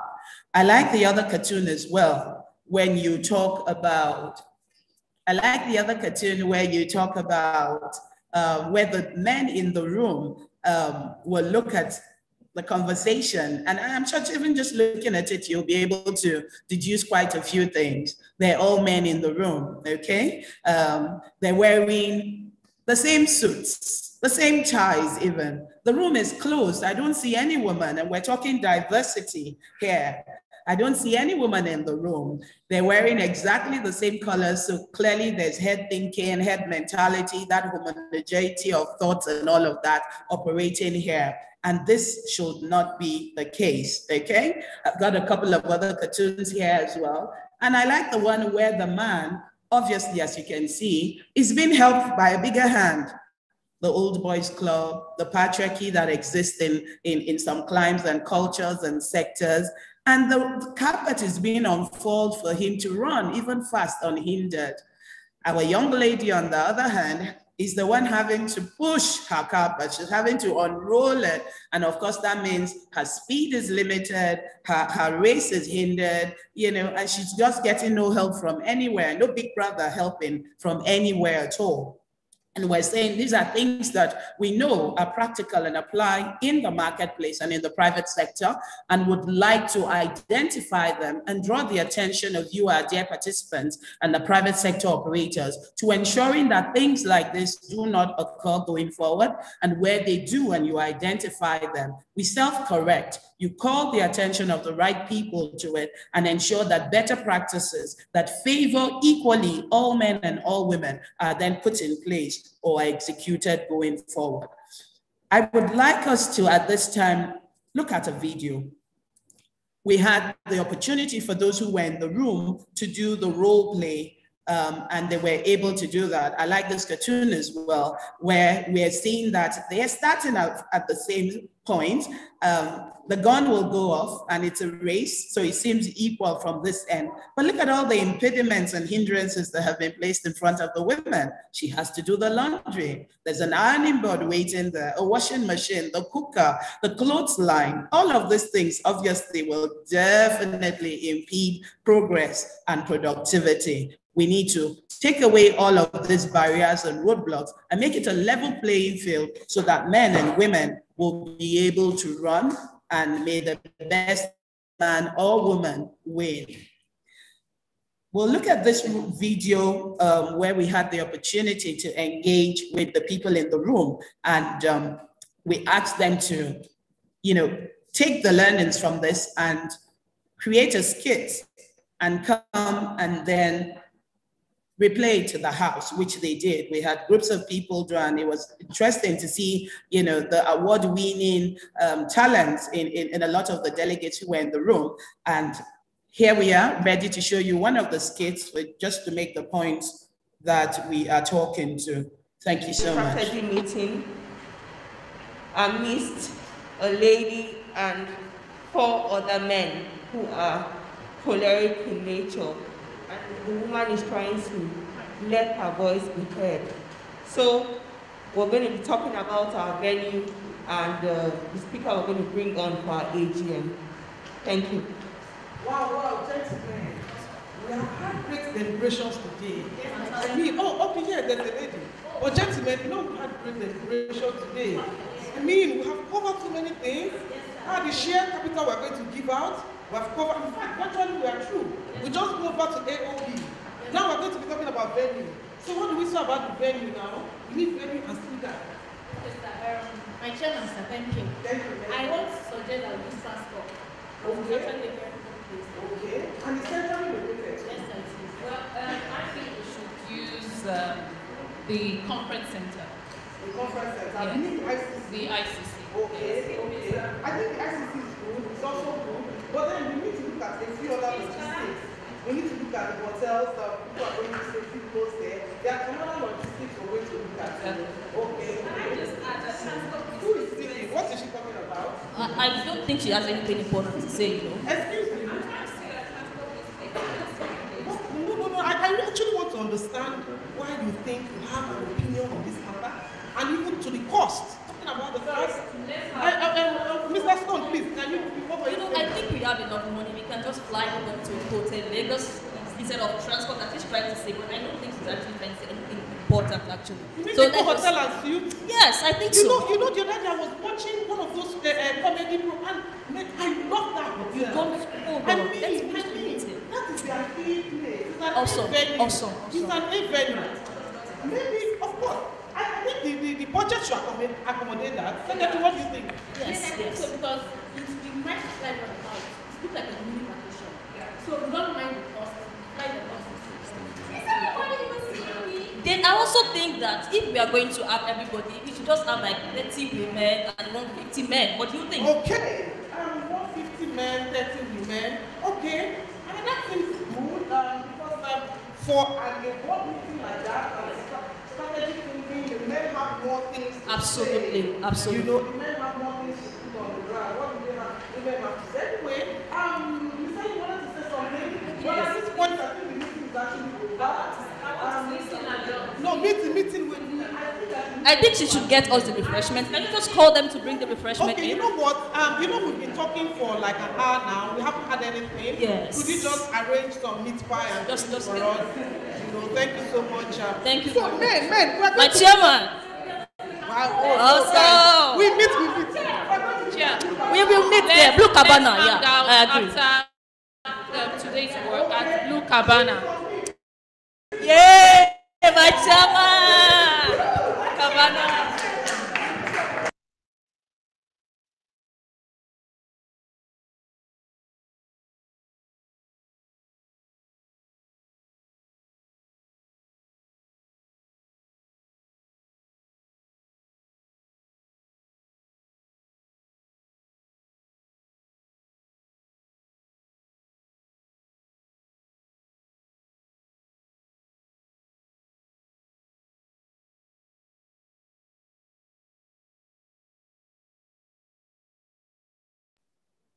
So there's a second video. Um, there were two different scenarios. So we're going to play the second video now.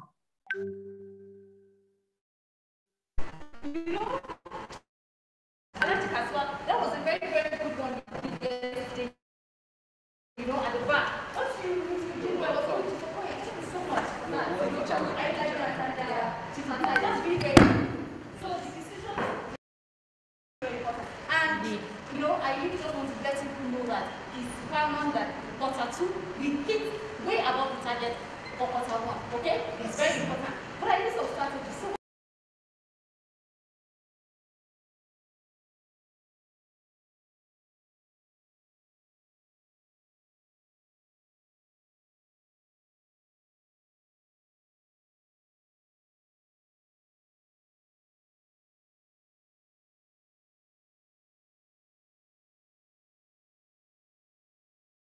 We love the engagement in the chat room. Let's keep it going, the discussions going. Um, I love that we're all being very participatory while we're getting the video on.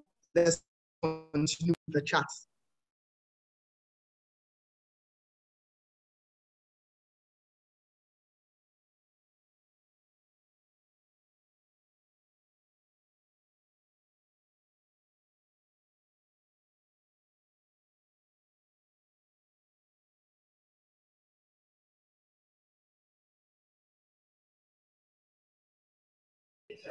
Okay, thank you so very much. We're back. Okay, all right. I would, um, you saw those two videos and we apologize for any technical issues. At, at some point we lost sound. I like that. Yes, Winifred says the first video explains it all. Thank you, Winifred. Absolutely. The drama is the reality of our times. Absolutely. And what we saw depicted in those two videos that we saw, that we watched, was the fact that suppression techniques apply in the workplace, private sector, public sector, everywhere we go, we see that happening, okay? One popular uh, suppression technique that's usually employed is when they say, or when they attempt to make the person seem invisible. The lady wanted, she had a bright idea, she had a great suggestion, and she was putting her hand up, but no one will give her any time of day. No one will hear the great idea that she had. They effectively shut her down, and of course, shut down the meeting thereafter. So she didn't get the chance to chip in any good ideas that she might have had. We see that happen. Someone wants to start talking, no one takes any notice, you shut the person down. Another suppression technique that's usually employed is that one of ridiculing the person. When the person says something, you degrade the person, okay? You degrade the person. You make fun of someone or of their ideas. You're wondering if women who are always so emotional, um, um, her hormones are raging again and she's emotional at this time. So pay her no mind. And, you know, they diss the person and refuse to give her the time of day as well um, or when a woman disagrees about something, you know, then those sexist remarks are thrown in the mix and those things are, are, are, come up in the air totally unacceptable. And we say these things must stop going forward. Another suppression technique very easy that you can identify is to keep someone out of the um, decision making progress or keep useful information away from them. You saw the cartoon that i showed where the chairman at the head of the room said now let's turn to the number five the secret agenda. So clearly the woman is disenfranchised Clearly, the woman has no idea about what the agenda is, and that there is even a secret agenda tells us all that we need to know. Decisions are made in bars or meetings are held at 2 a.m. when, you know, women are usually at home looking after their family. And that's when the boys gather at the bar and they make those critical decisions. Unacceptable in the workplace private sector, public sector, wherever they abound, we must do what we need to do and ensure that we change that narrative. Another suppression technique that's very easy and people are quick to use as well is where they criticize the person, regardless of what he or she actually does. You'd actually find a reason to punish someone. And when you complain, they'll say, well, then maybe you need to leave the job.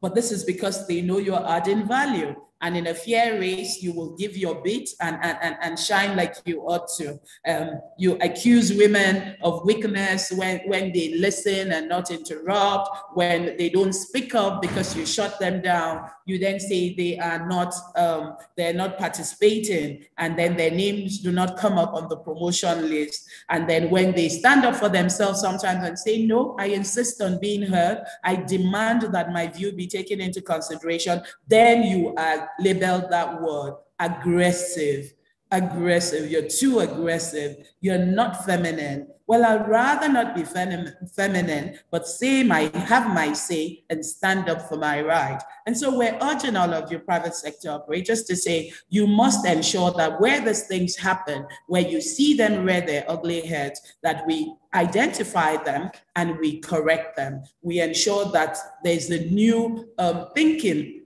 around it all and that people do the right things wherever they exist. Blaming and shaming, that's a very popular one as well. And, um, you know, women are told that they're sexually harassed in the workplace because she dressed in a certain way. We shouldn't dictate how women should dress. And it shouldn't be, you know, the victim here should not be shamed because she, she chose to exercise her right to dress in a, in a certain way.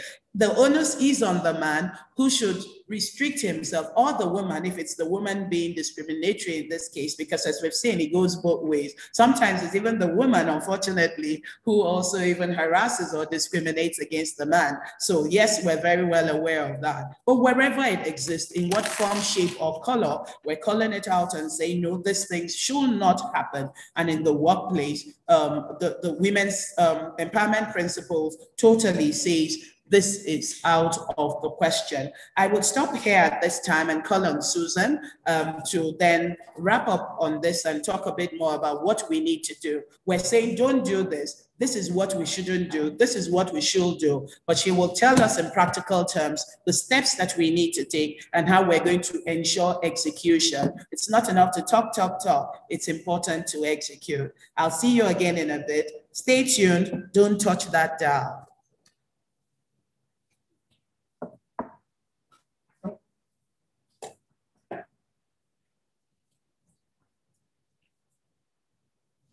All right, thank you so much, Binta, for that wonderful session. Now, we talked about your journey of becoming a WEP signatory. So you've decided you want to become a WEP signatory, that is great. Once we onboard you and we confirm that you don't have any, you know, the due diligence is fine, like I mentioned, one of the next things we require is for you to take that gap analysis tool. The gap analysis tool is a set of questions that are tied um, are tailored within the WEP principles, all the seven principles, and asks you specific questions that help us diagnose where the gaps are, gender gaps are in your institution. Once we get that result, next thing we do is to help you, work with you, and support you to create an action plan. So really an action plan is a set of, um, if you think about it in work terms, they're almost like KPIs that you can be measured on that have a list of indicators that you track over a period of time.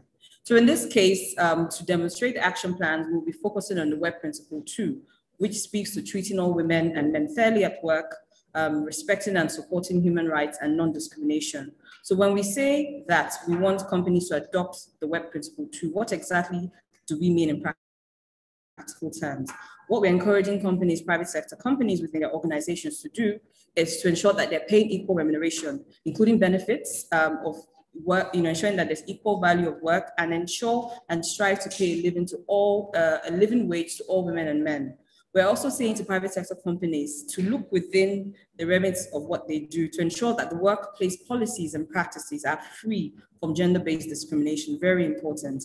We're also emphasizing the fact that companies should implement gender sensitive recruitment and retention practices and proactively recruit and appoint women to managerial and executive positions. One of the statistics um, that um, was sort of highlighted when I was you know, doing my presentation was the fact that we have a very low representation, or Nigeria has less than 50% representation in terms of women in senior management and board level.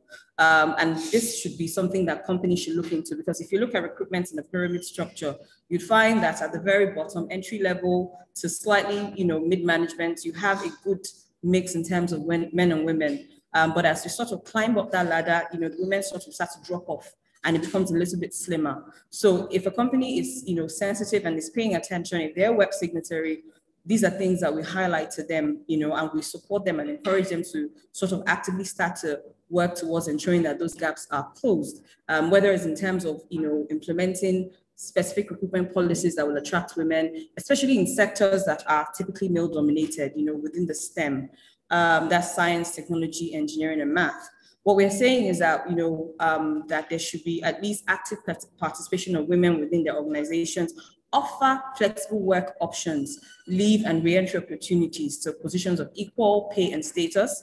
And then of course, very important, support access to child and dependent care by providing services resources and information to both men and women. This is really important, especially for women who are in childbearing you know, age. Someone sent a Q&A box and saying, what can companies do to support young women?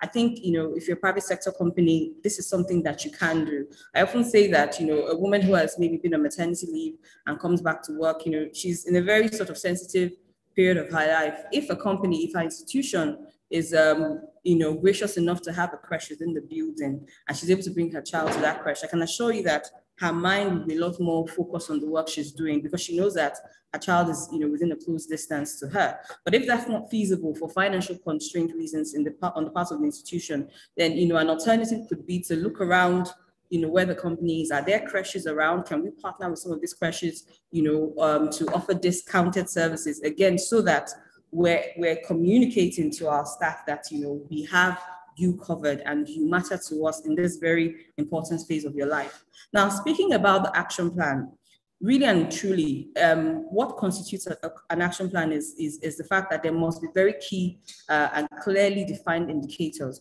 What exactly are you looking to achieve? I'm not there yet, uh, marvelous. You know, what exactly are you looking to achieve? You must, you know, articulate that. Meaning, you know, if you're saying we want to, um, for example, increase the number of women within our STEM, within, you know, our IT sector, whatever it is, it must be clearly articulated. And then after articulating your indicator, you must have activities that you will carry out to drive that indicator. So it's not something arbitrary, it's something that is actually clearly articulated and will be tracked, you know, over a period of time. Then you must you know, ensure that you have a budget for this.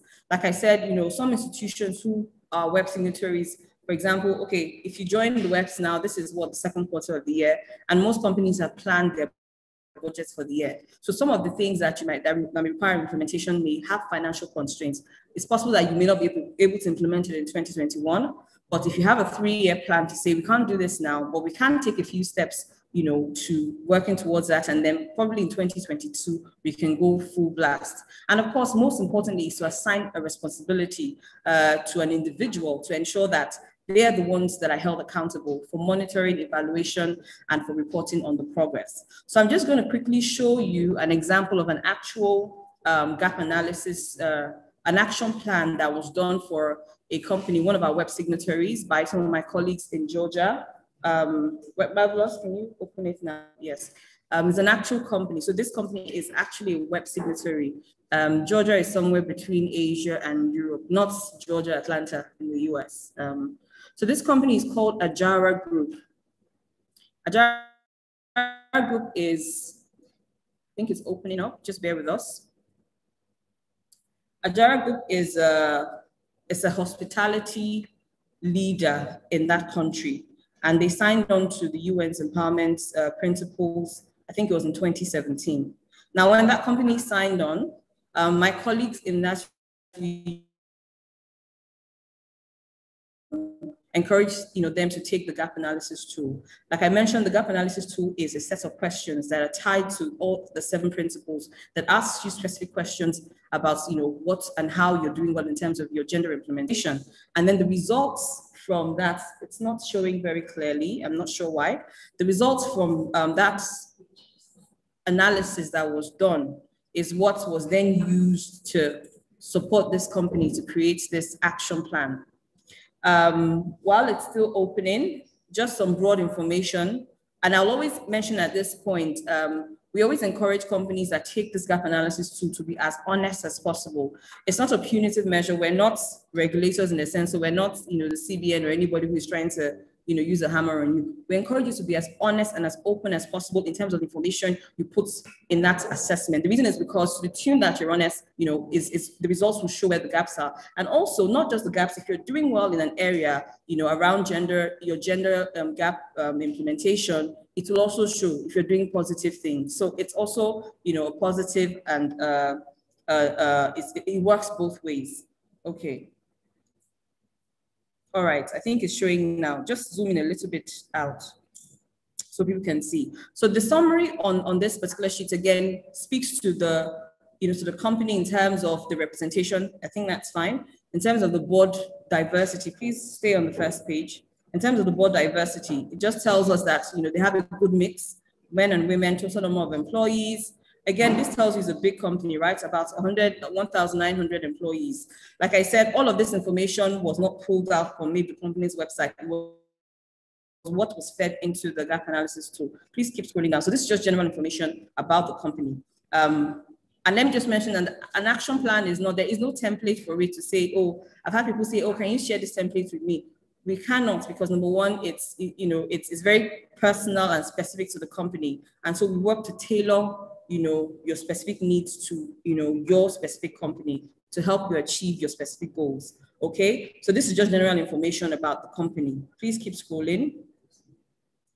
Um, now, the next bit that is coming up just gives a broad overview of some of their, you know, CSR projects that they've embarked on, you know, since um, they joined um, they became WEP signatories. I said they joined in 2017. So this just highlights. Now, let me also mention one of the good things about this action tool is that it helps in terms of reporting. So for example, if you're looking to attract investment opportunities and your investors are very interested in your, um, you know, your sustainability implementation, how well are you doing? Because as you know, investors these days look beyond financials, right? They want to ensure that companies are aligned with their goals, whether it's in terms of gender equality, whether it's in terms of, you know, sustainability goals on the environment and all the other factors. This obviously speaks to, you know, gender. This is a good tool to say, look, beyond, you know, in our reporting or our yearly reporting, these are some of the things that we've done. And the good thing about this is that it helps you really articulate um, in a way that probably you may not have thought of in terms of capturing some of your impacts in that area. So keep, keep, keep scrolling down, please. Again, this is a lot of detailed information, about 18 pages. I'm not going to go through each one. Keep scrolling down, please, Marvelous. Okay, so I just wanted to show you, so we're focusing on principle two. Please scroll up slightly. Now, the principle two um, basically speaks to the company, says around equal opportunities, inclusion, and non-discrimination, how is the company doing? So, you know, looking at it, it shows that company has an active policy in terms of, you know, prohibiting gender-based violence. So that's great in terms of in employment promotions and giving access to various other benefits. So on paper, it doesn't look bad at all. But what this has also thrown up from the um, gap analysis tool is that the company does not actually have a written document that outlines gender sensitive recruitment procedures.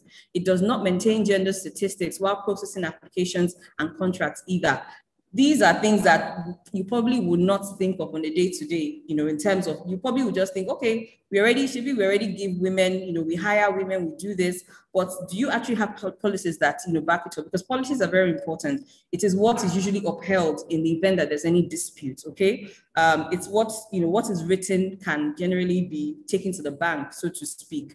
So again, these are some of the things that this um, gap analysis tool highlighted about this company. It also said the company does not have a written internal policy that establishes minimal quotas for women's employment at various levels. If you recall at the beginning, you know, in terms of showing the gender diversity in the company, it showed that they had, you know, a good mix of men and women, you know, 50, I think 50 to 40% or thereabout. It wasn't so bad. But, you know, what that means is that um, they're doing it without realizing, but there wasn't really an internal policy which means that if a different person, you know, a different CEO comes in, um, it can change.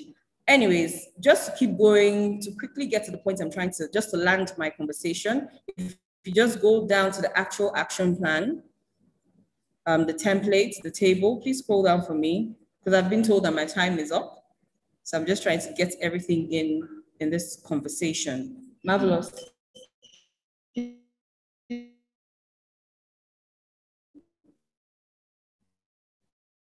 Like I mentioned, the action plan is pretty much like a kit, but it just helps in terms of analysis and it helps in terms of tracking and reporting to ensure that you know there are responsibilities, um, there's a timeline, there's a baseline, um, so that you know where you're starting from uh, and you know what you want to attain by what time and who's responsible for what. Okay, we're not able to project this at this time. Okay, are we? It looks like it's coming up. Great, fantastic. If you take us to principle two, to the very top, what we see on this table is very detailed. Um, it shows us an output, activity, performance indicator, the baseline, and then the timeline for implementation.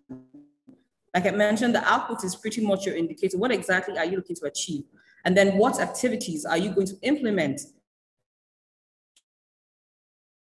And you know, your indicator is, is, is attained. For example, an indicator can be, we want to ensure that all our staff are, um, we want to ensure that all our staff um, are are trained on gender discrimination. What do we need to do? It means that we need to conduct some tests or we need to you know, conduct trainings, I beg your pardon, to bring everyone up to speed um, to ensure that there are no excuses to say we don't know what the policies are. Now, what will be the indicator to show that this has actually been done? Because it has to be something measurable and tangible. It will be the percentage in, number of employees that have taken, um, you know, you have a timeline. It may not be something that you do in one year, you can spread it out, you know, in years or in quarters or even, you know, in, in half years. You know, for the first six months and another six months. And very importantly, you must, you know, assign someone a responsibility, someone whose responsibility to be. So just to also wrap this up by saying, um, the UN Women supports, you know, will support our WEP signatories to put together a, an action plan, and then we'll engage them periodically to know how they're doing in terms of the implementation. And of course, we encourage them to report on their progress and their operationalization. This is something that is reported and, you know, hosted on the WEP's website so that all you know, um, all signatories, everyone, your stakeholders can access it. You can point them in that direction. We'll also look to creating a community of practice where we bring together our web signatories um, to share with them periodically, um, monthly, um, in terms of best practice um, on their um, oper operationalization and implementation journeys, as well as bringing you know together WEP signatories from other countries to come and speak. So it's a good opportunity to network with um, um, other companies within your industry who are WEP signatories. So I think I'll wrap up at this time. If there are any questions um, specifically to what I've spoken to on the WEPs, please feel free to drop it in the Q&A box and I will address it. Thank you all.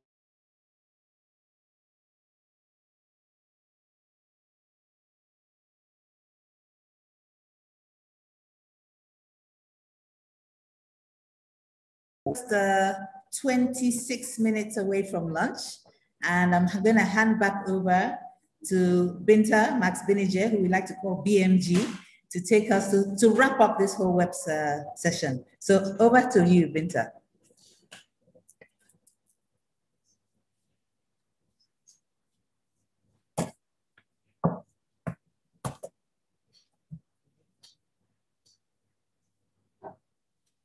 Thank you so very much, Habiba. Hi, everyone. Good to be back again. And now we're going to talk about the WEP principle five. And it's the principle that talks to enterprise development, supply chain, and marketing practices that empower women. Why is this important? Someone might ask. Very simple reason. Women make up 40% of the entrepreneurs in Nigeria, for instance, or let me back up and start from um, the fact that um, small and medium enterprises, and I'm sure a lot of you are aware, play a major role in, in most economies, um, particularly in developing countries like Nigeria, for instance. Um, the SMEs account for, for many businesses worldwide and in developing countries. Um, they help support job creation. They ensure global economic de um, development in more ways than one.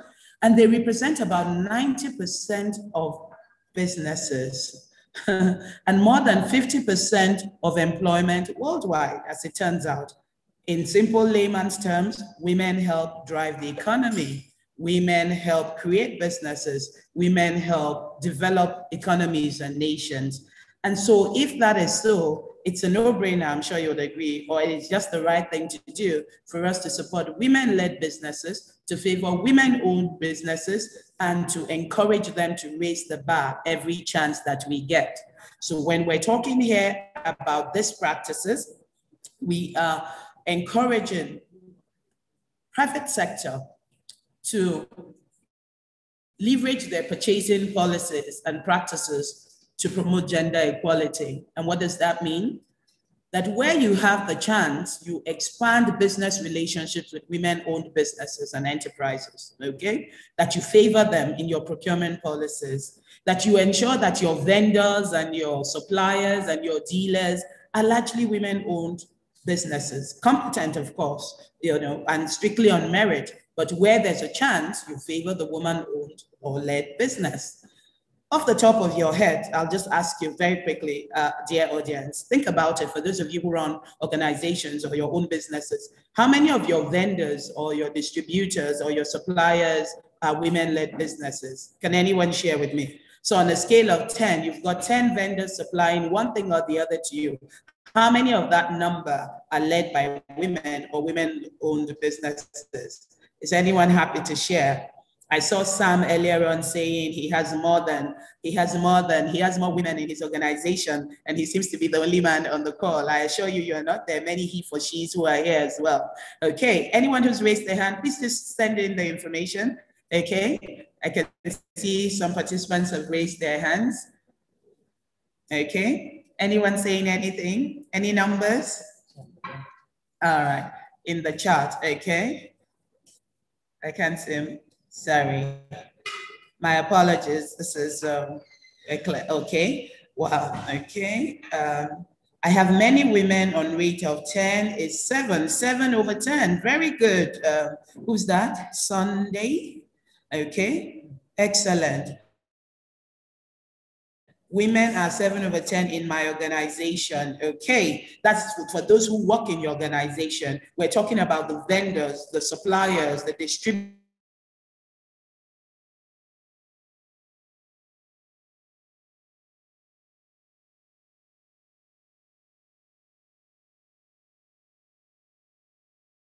okay? And let's also support gender sensitive solutions to credit, for instance, and remove lending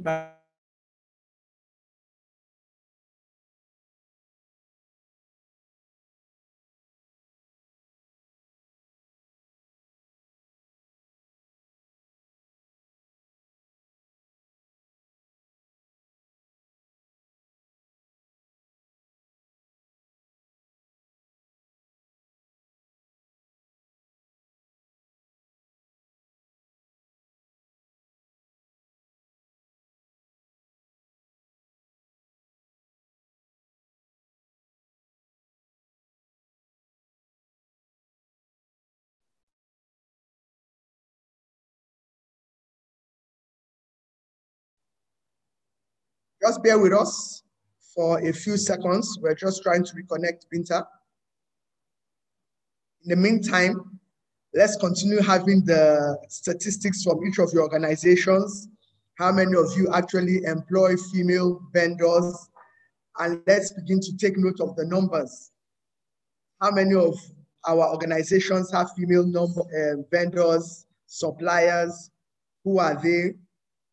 Um, what services are they rendering? And you'll be surprised that as you begin to highlight it, you will now see that the numbers sometimes may not be equal. I think Binta is back on.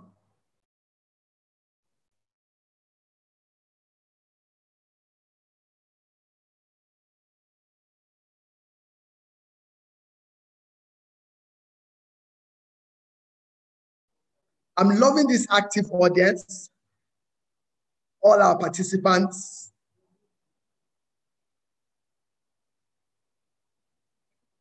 All our participants were still chatting on and on.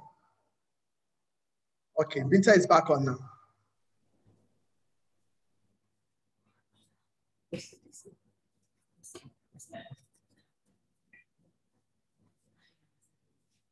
Okay. All right. Thank you so very much. Again, my apologies, but these things can be helped no matter how hard you try. I was talking about the enterprise um, development and supply chain marketing practices that we must adopt going forward. And um, I'll jump very quickly now to supply chain. And what exactly are we saying there? Essentially that the steps that we can take, even as private sector operators, in ensuring that the practices that uh, identified with our company or even our stakeholders, our vendors and our suppliers are ones that we can be proud of. So some of us might say, oh, he supplies to my business or she supplies to my business. I therefore don't care what she does, you know, outside of this transactional relationship that I've got with her. But I beg to disagree with that position because the onus is on you to ensure that the companies that you're dealing with, the vendors, your stakeholders, your suppliers, also promote good practices, that they do not, for instance, engage in child trafficking, um, prostitution of underage children, um, you know, unhealthy um, working practices in companies and factories, and, and, and, I mean, the, the list is endless as to what it could be.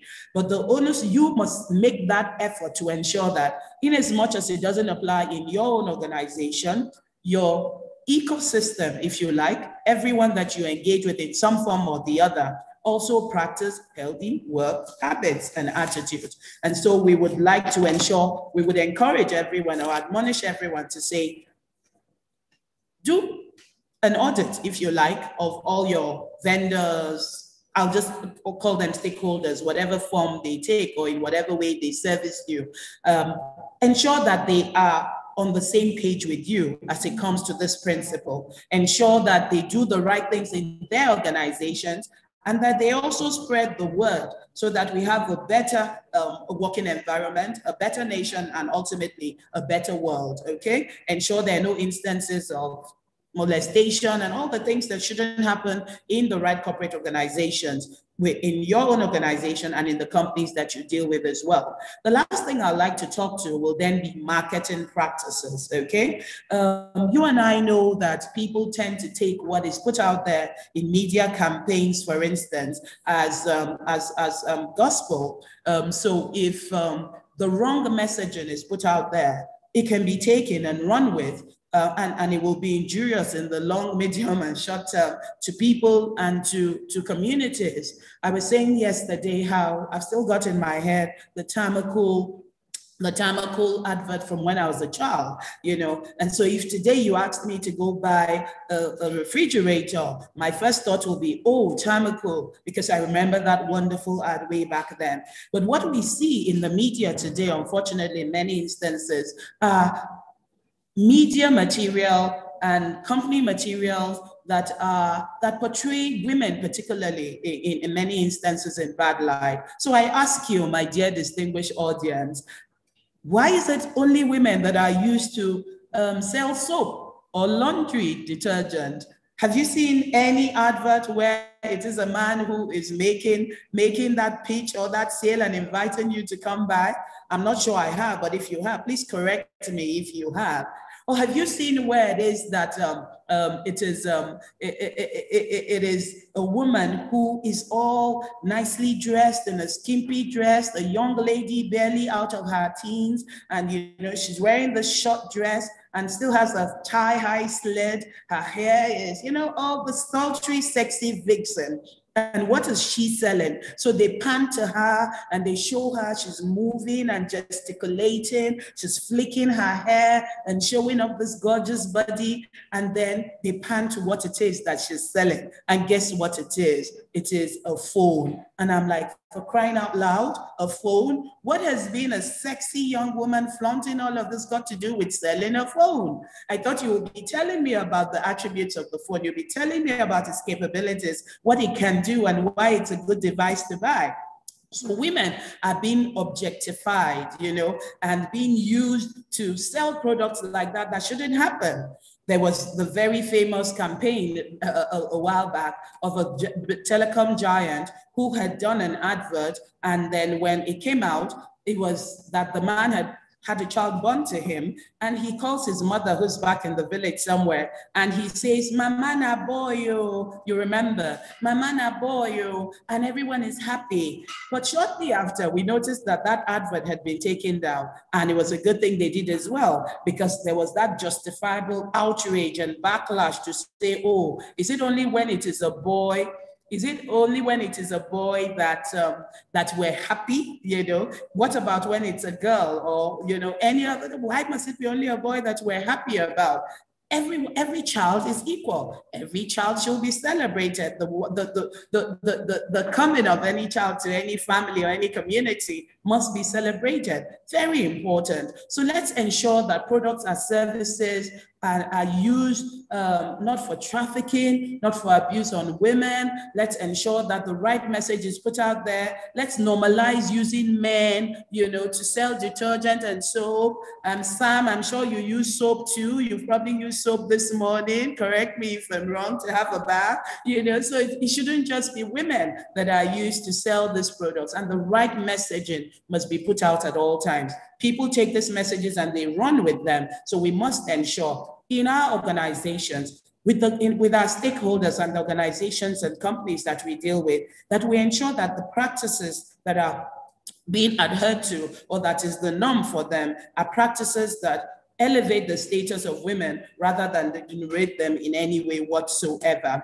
And a few companies who have done this the world over, and just very quickly, um, without dwelling on that too much, I'm rounding this up now, is just to give you a couple of ideas because someone might say, okay, how do I do that in my little private sector um, organization or in my community, um, that ecosystem in which I operate? A few great ideas here. A company in Argentina specializing in home decor partnered with nonprofit organizations and they looked out for the particularly vulnerable women in the labor market and they're engaging them and ensuring that they're helping them in their supply chain process. In Brazil, you know, large multinational companies, particularly on the back of that black swan event, the pandemic that hit the world in 2020, have stepped up and are helping them with purchasing their products and services. The largest bank in Costa Rica, I particularly like this one, took the intentional and definitive step of asking all their suppliers. Imagine the largest bank in Costa Rica.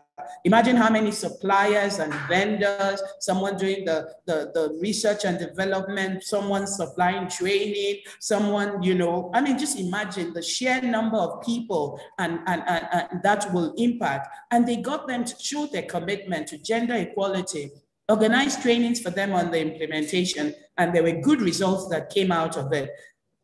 Excellent idea and something to be emulated. And of course, the fact that we're also focusing on women. Now, a good point, or something I must note about this is that all of these companies and all of these instances I have given are WEP signatories, people who have signed up to the women empowerment principles and who are putting their mouth and their money where their mouth or their pen is. And so would like to encourage you as well to sign on as well and be a WEP um, um, um, supporter a WEP advocate, not just for yourself and in your own organization, but throughout your ecosystem and wherever it is you operate. Thank you so very much for your time and for listening. We look forward to seeing you signing up as WEP uh, um, partners and hearing the good news from your own end soon as well. Thank you for listening.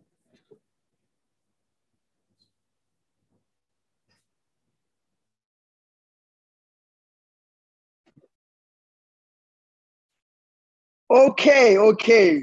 So it's been such an eventful time. Um, we are just learning and moving, well, learning on the chat box, learning from the facilitators.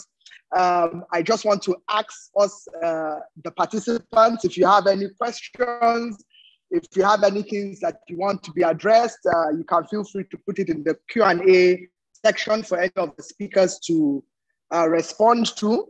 Uh, I can see all the comments. Thank you, Binta, for a very rich, educating, and motivational uh, delivery, well articulated, very insightful, excellent job. Uh, you're all enjoying the presentation. Well, I just want to let you know that we will be going on a short lunch break very soon. But notwithstanding, there are, there are a lot of things waiting for you on the other side of the lunch break. So don't leave us. Yeah, keep the comments coming. Thank you, uh, Binta, for a beautiful presentation. Uh, it's very important for me to also mention that, I mean, there are a lot of delightful things coming up, a debate. Uh, we're traveling from this room to Sokoto for to, uh, to Adamawa. So just don't, don't leave us. A lot is still uh, uh going to uh, happen immediately after the lunch break. So please make sure you come back. The lunch break will be for 30 minutes. Um, I can see some of the questions coming up. Binta, people are just celebrating and thanking you for that. Uh, a lot of you are sharing some information. Oh, you need data, data. Okay. Um, just like I have been saying in the chat group, we will share the information, we will share the slides, we'll even share resources on this training uh, after uh, that, after the training. But I have a caveat. You must fill the post uh, test surveys. You fill the test surveys, we get your feedback, you receive all the resources and materials. So please make sure you stay till the end. And I will also mention that we do have certificates, but again, you must fill your surveys so that we have that. Okay, very good. People are already talking about how this will improve their organization. True, there, there is a stigma in the North. Yes, we see that. I mean, the chats are just rolling very fast. Okay, for those that have only one woman supplying as a vendor, I know that these numbers are going to increase. Uh, okay, so we have various people that have uh, answered some of your questions in the Q&A box. So please, if there are questions, put them in the Q&A box. There are people responding to that. All our facilitators are there responding to all your various questions. And then for those that have comments, you have comments, you are keeping the conversation going, let that be in the general chat room. Yes, a lot of stigma. I see that. I see that. We, I agree with you. We cannot rest today. We will not rest today. We are moving forward. In fact, you, you just need to keep at it, my, my, my brothers and sisters. Don't move. Thank you very much. Your company CSR projects, yes, to be advocate, uh, to be directed to gender-based issues. Uh, you will hear a lot more about that during the Spotlight Initiative. So you must um, remain logged on because so much is happening. In fact, you people are chatting so fast that I'm just trying to keep up. Binta's examples and illustrations were on point. Absolutely so. Bro, bravo, dear Binta. I'm with them. How do you register with WIMBIZ? There will be somebody that will uh, answer that in the chat box. I, I will mention that various uh, websites will be put in the various uh, chat boxes for more information depending on what you want. Remember, if you want more information on the WEPs, it's www.weps.org. Information on uh, Spotlight, there is a website with regards to that that will be posted. If you want information on WIMBIZ, uh, people will also give you uh, information that um, will answer some of your questions. Auditing of vendors to be on the same page is a great lesson to you. Thank you very much for that, Chimeze. Um, Justina, I'm seeing all your comments. Sylvia, yes, a lot of young women who have financial power that can drive support for SMEs. Absolutely, absolutely. Uh, uh, in fact, I, I, have to just give Binta a round of applause because all the thank yous are, are, are outstanding. So uh, once again, we're going on break now. We will be back at 12.30. Remember, it's a lunch break. We want you to stretch. Those of you that have asked for tea. We have virtual hot tea, virtual hot pounded yam, virtual hot rice, jollof rice. So make sure you enjoy all the virtual rich feast that we have for you. Log back on at 12.30 and please just so that we're going to explore the sexual harassment uh, uh, policies, uh, initiative, gone through that in the far north for some of you that have not mentioned the north. Um, we're going to hear from NIM Foundation. You just can't afford not to come back. So go on break. We're being considerate. I don't want you to be hungry and be wondering, but uh, just know that we're going to end the entire session at 3.30 today, but we come back after lunch at 12.30 prompt. Remember, we don't do African time. You come and you may miss the train, you may miss the, the flight we would have taken off. So please um, take the time out now, enjoy all the virtual food, and also the physical food. Take your breaks, your bathroom breaks, and let's be back at 12.30. In the meantime, we will play some videos from some of our partners. And once again, I do want to um, thank the joint EU and UN Spotlight Initiative for giving all of us the opportunity to be here today. So please remember that we're back at 12.30 and enjoy your break. Thank you.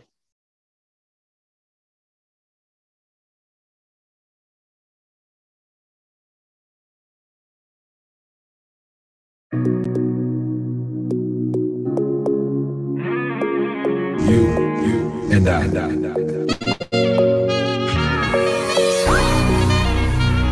Yeah. All I get a great at baby. Hop in my Maserati. Baby, hop in my Maserati. I said hop in my Maserati. Hop in my Maserati. Girl, I wanna see.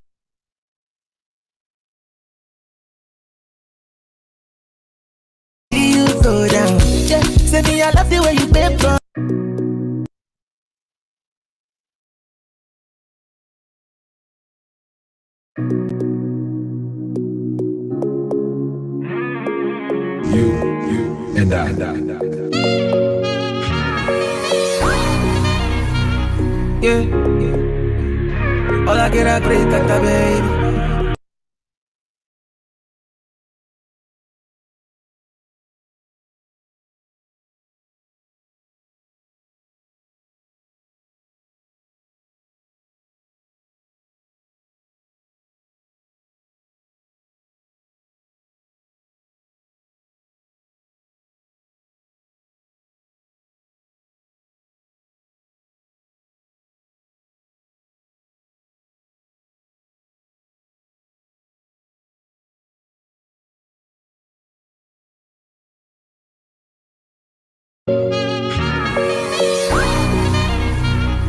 Yeah. All I get a great at baby. Let's hop in my Maserati. Baby, hop in my Maserati. I said hop in my Maserati. Hop in my Maserati. Girl, I wanna see you go down. Yeah. Say me I love the way you bend body. Hop in my Maserati. Baby, hop in my Maserati. And I just wanna see you ride. Somebody, somebody, somebody needs somebody. I'm gonna check my color, be color, be Somebody, somebody needs somebody. Your body. I'm gonna check my color, be Would somebody tell Shawty what to call me? Show me. I miss like keep it on a hundred. Girl, I'm ready if you're ready. Last get it to Yankee for this pandemic. Mm, Girl, I get it all on me. I wanna spend it. I feel to be your garment, me. I wanna wear it for real. You know I got. Take the car keys. For the Maserati, you get nothing. For the Lamborghini, you want give. For the Bentley, you go bend it. Oh baby, choose what you wanna cruise in. I buy you shoes, probably Jimmy Choo, yeah. And I like the way I get it out. So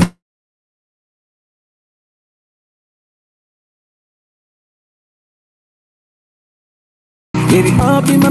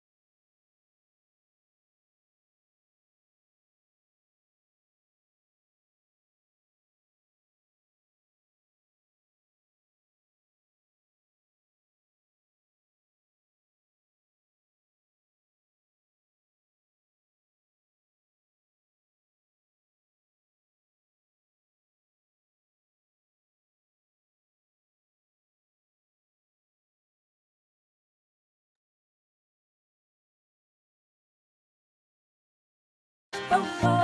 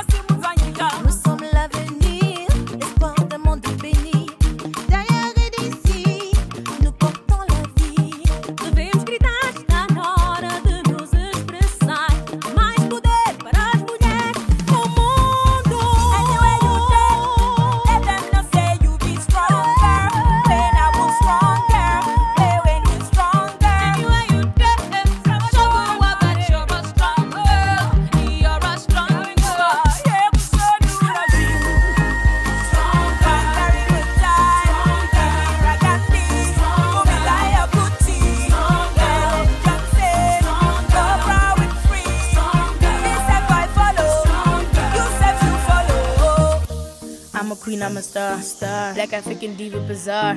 Us women was shining like stars. Start from the bottom and rise to the top. You're wonderful, loving, and strong. Nothing is stronger than a woman's worth. worth. I'm the piece of the puzzle that's missing, baby. I compete in the earth. Ah. Call me Sheba, but just call me Mary Makeba. See, we run the world. Show some love to a strong girl. girl.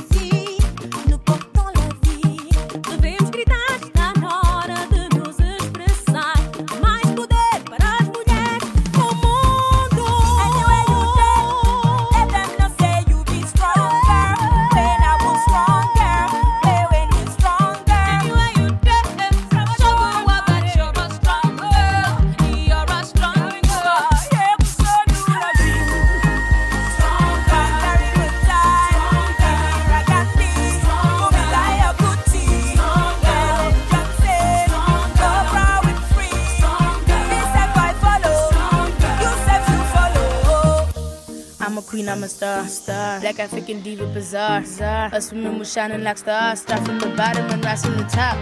You're wonderful, loving, and strong. Nothing is stronger than a woman's worth. worth. I'm the piece of the puzzle that's missing, baby. I completed in the earth. Call me Sheba, but just and me get back. See, we run the world. Show some love to a strong girl. Oh,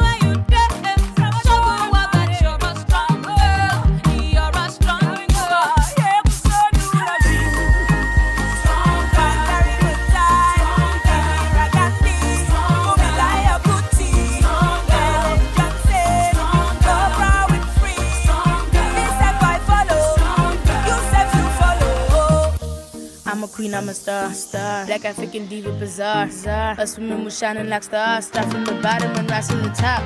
You're wonderful, loving, and strong. Nothing is stronger than a woman's worth. worth.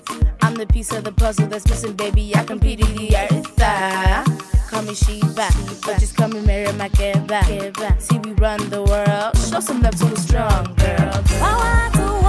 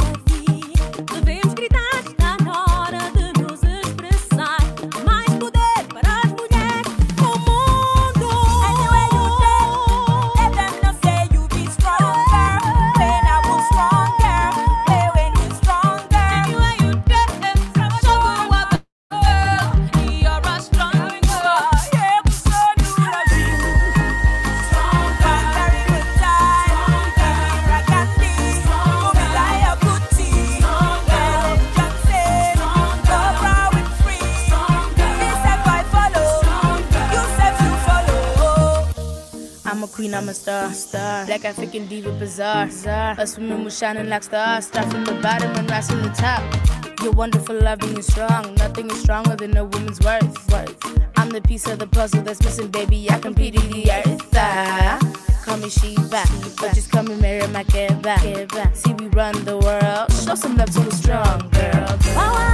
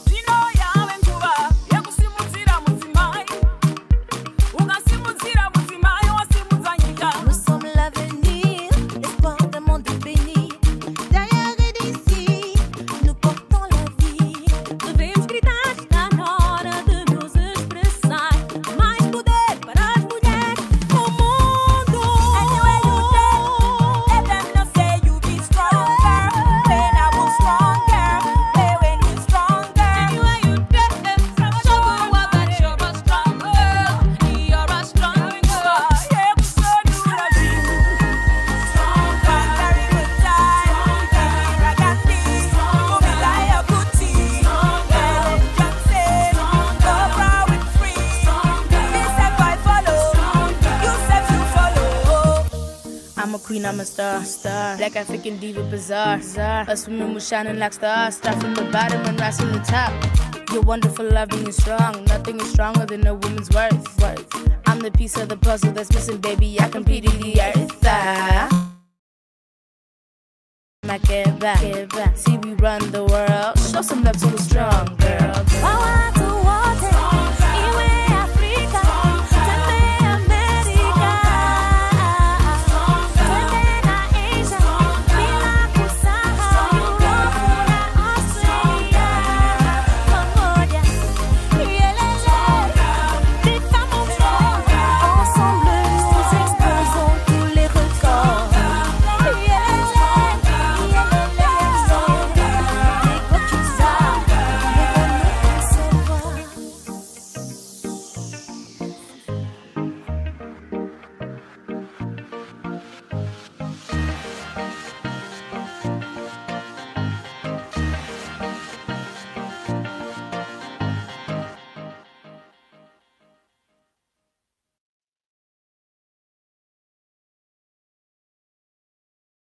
Oh, oh.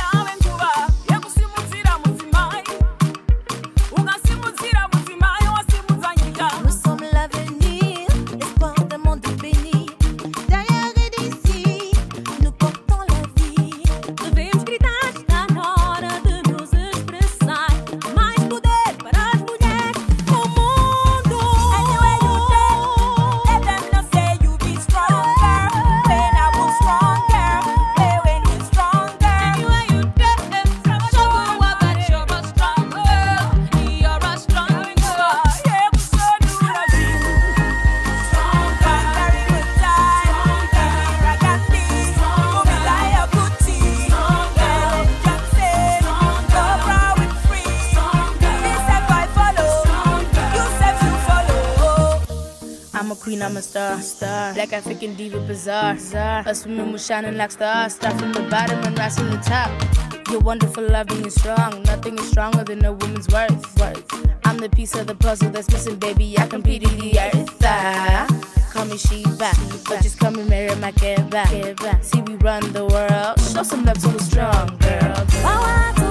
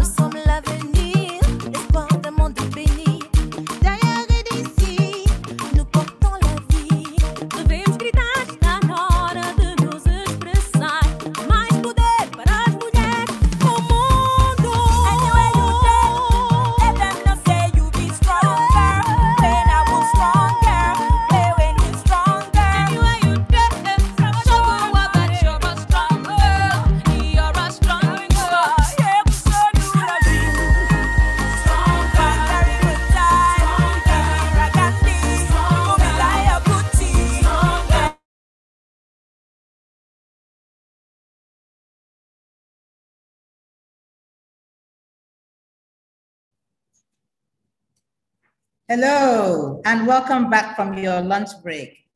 Thank you for rejoining us very, very promptly. And we shall proceed right away with the second half of today's session, this today's exciting session. So I'm delighted to introduce once again Tosin Akibu. Tosin Akibu is a program specialist for UN Women Nigeria. She's a trainer, mentor, storyteller, social inclusion enthusiast, and speaker on gender-related topic. And when we say she's a specialist, she really is. So you'll see that for yourself. Let me hand over to Tosin right now. Tosin, over to you.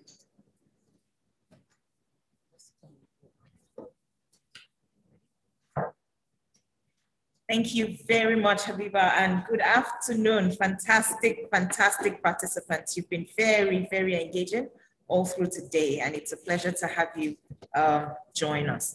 I'd like to start um, this afternoon by giving you a background from the Deputy Secretary General of the United Nations, our very own Hajia Amina Mohammed, who said that the prevention is a central component of our new EU UN Spotlight Initiative, a large-scale global initiative to finally end all violence against women and girls.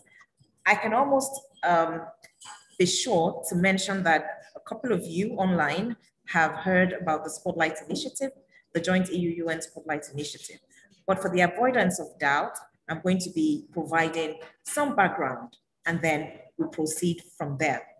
Now, what is the Spotlight Initiative? The Spotlight Initiative is a global multi-year partnership between the European Union and the United Nations to eliminate all forms of violence against women and girls.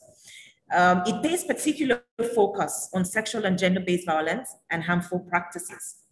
Um, it brings attention to the issue of gender-based violence, moving it into the spotlight um, and placing it at the center of efforts to achieve gender equality and women's empowerment.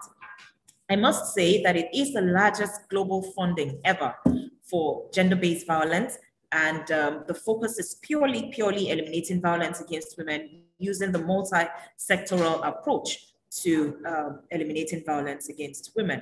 I've mentioned that it's a UN multi-stakeholder trust fund and it is currently being implemented by UNDP, UNFPA, UN Women, um, supported also by UNICEF and UNESCO in Nigeria.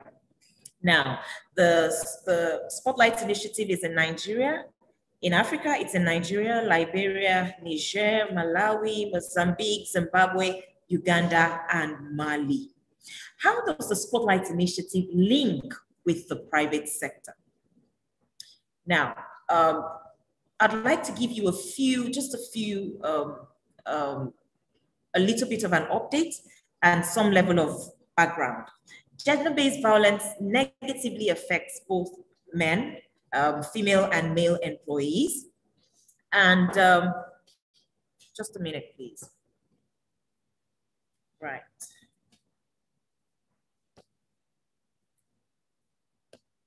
Fantastic.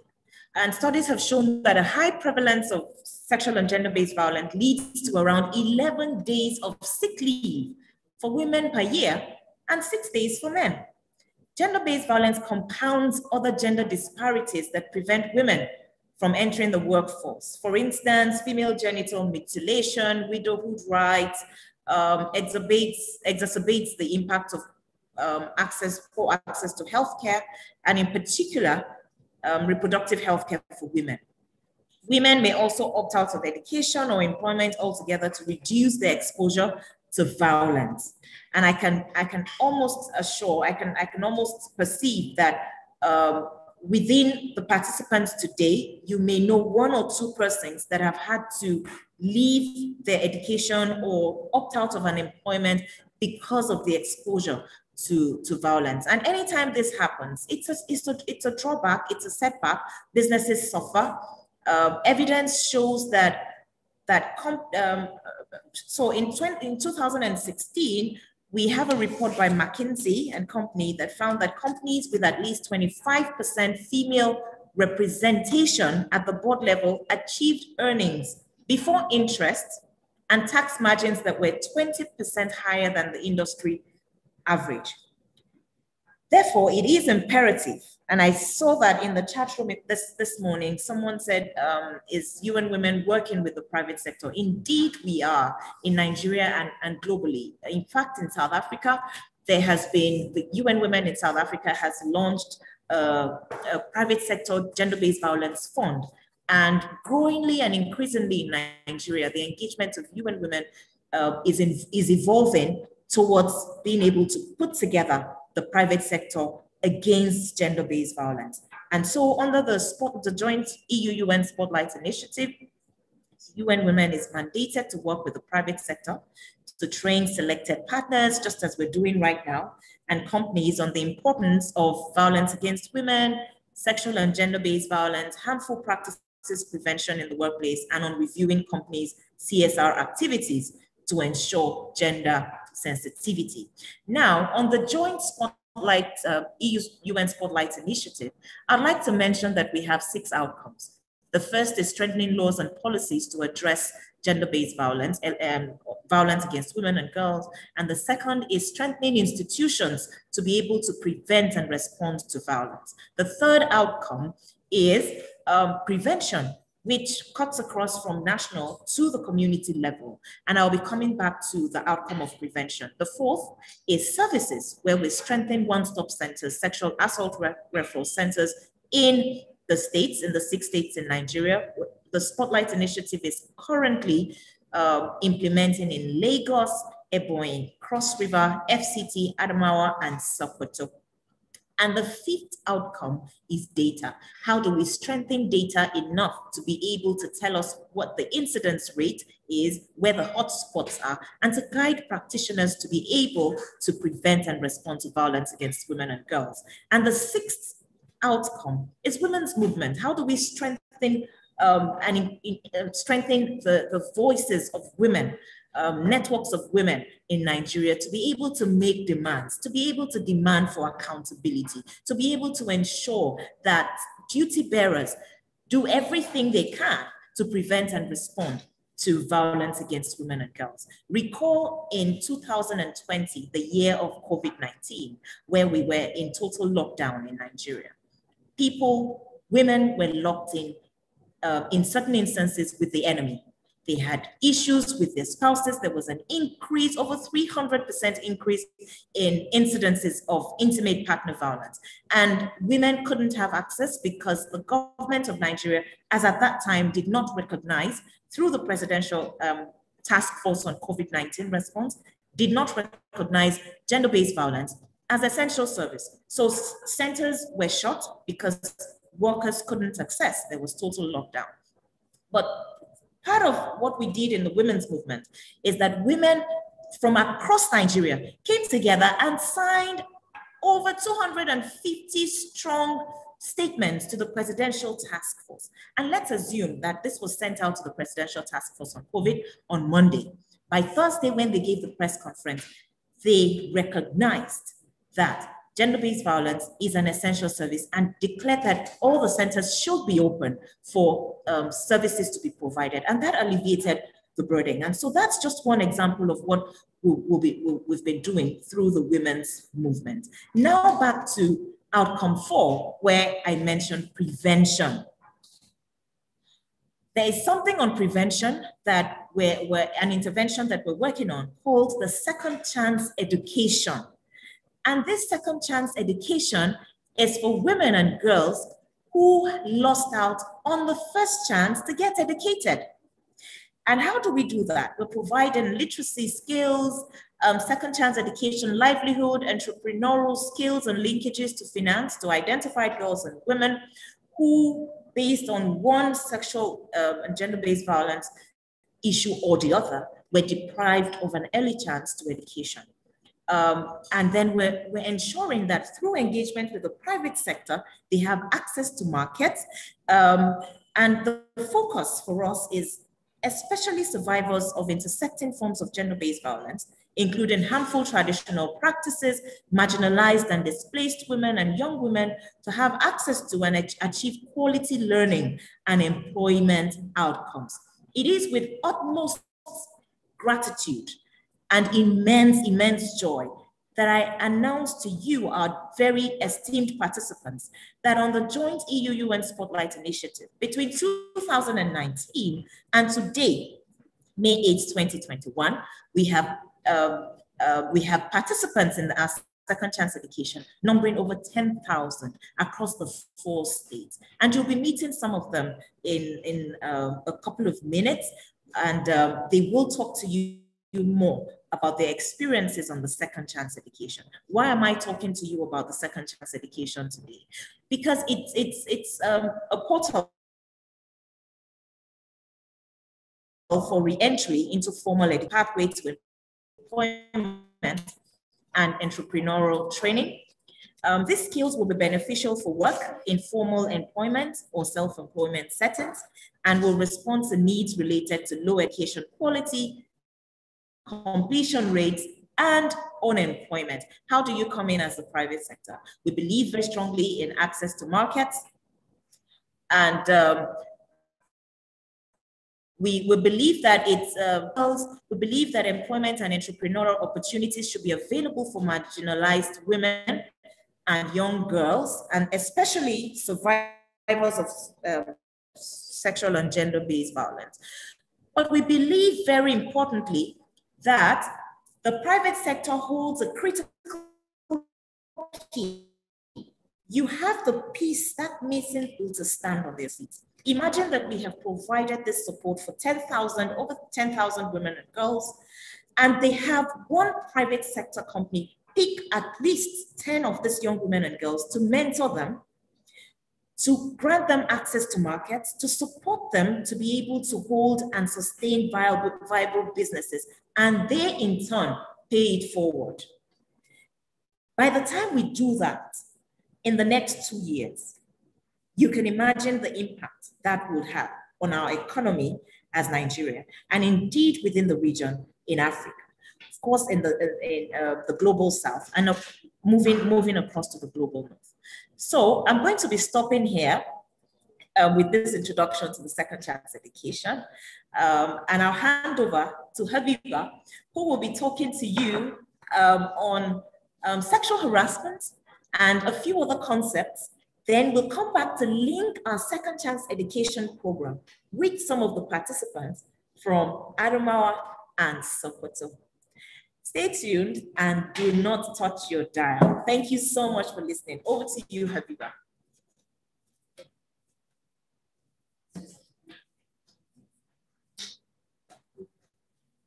Thank you so much for that, Tosin.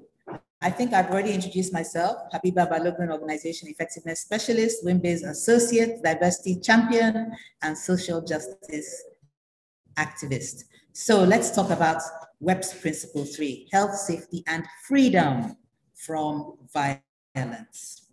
So freedom from violence, let's make sure we're talking about the same thing. The first thing is that many people, when they think of violence, they think only of physical violence, but violence the concept of violence it goes way beyond physical violence. When we talk about domestic violence, the thing to realize is that every human being on earth is exactly that, a human being. You're a human being first, before you're a man, and before you're a woman.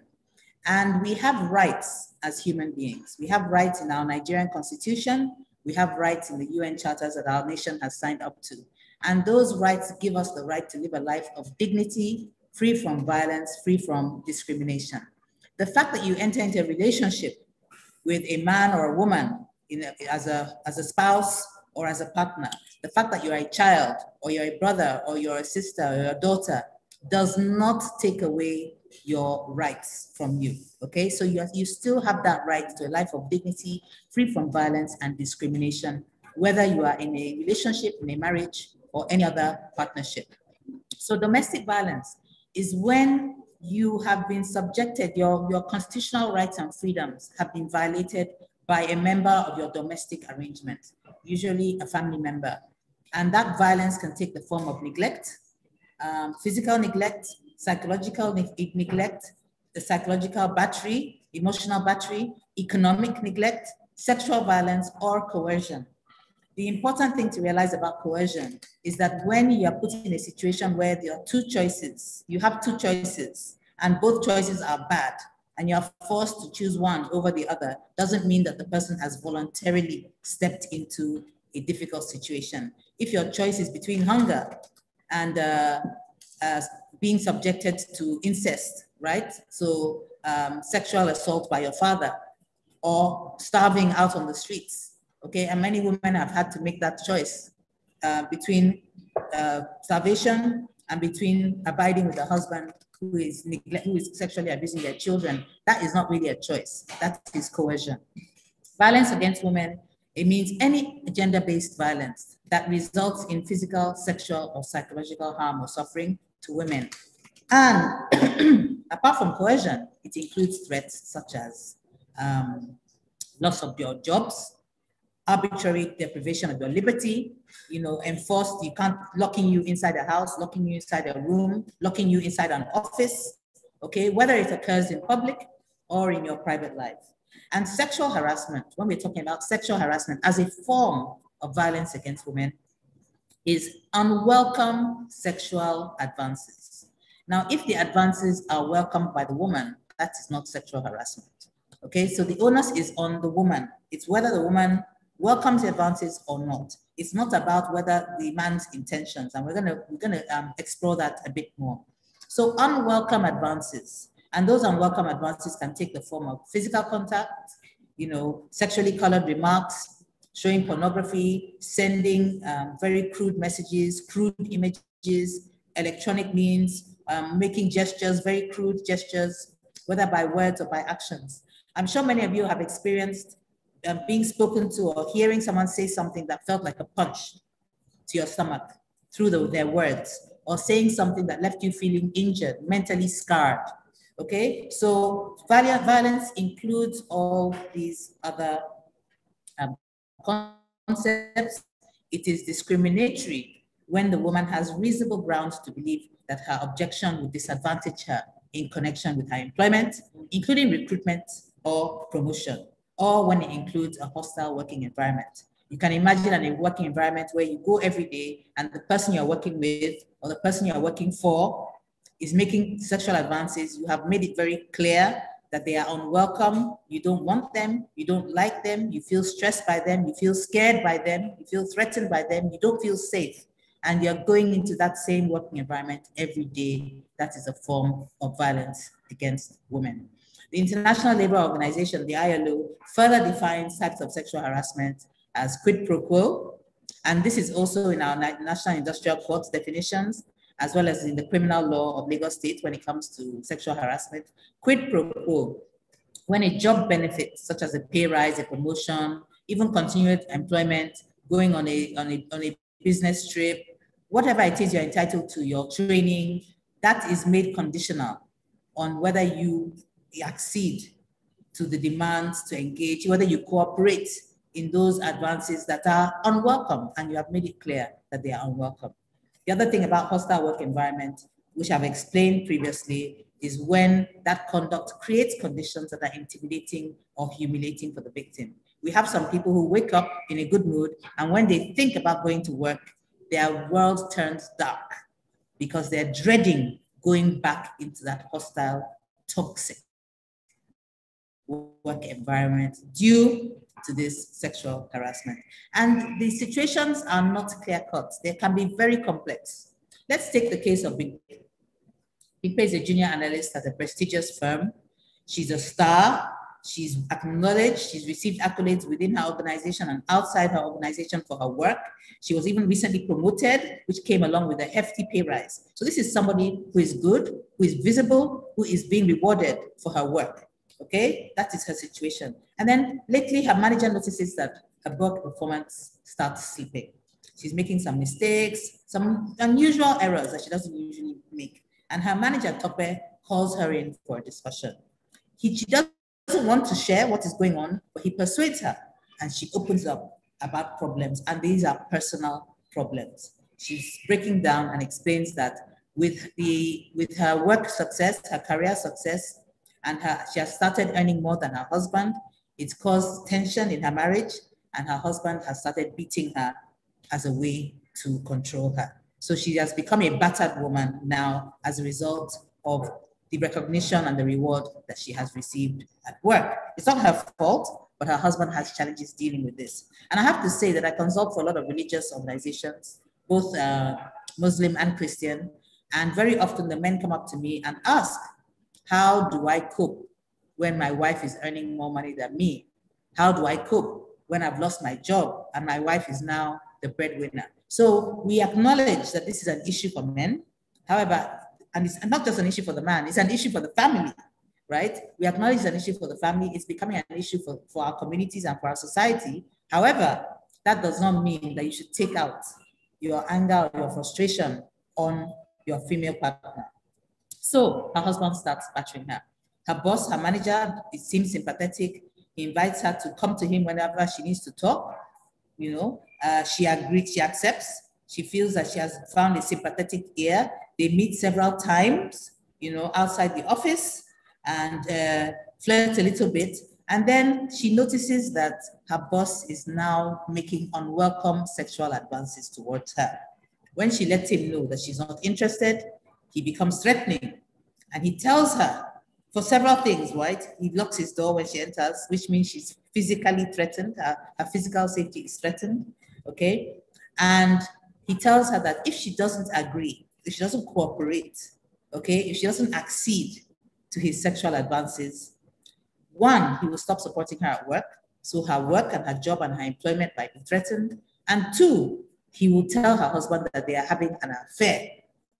He's actually blackmailing her. Her work is threatened and her family is threatened. What would you do in that situation? I ask you, one, what are some things that Bigbe could have done differently? And two, when she finds herself innocently, inadvertently, in this situation where she's being blackmailed and she has two choices, right?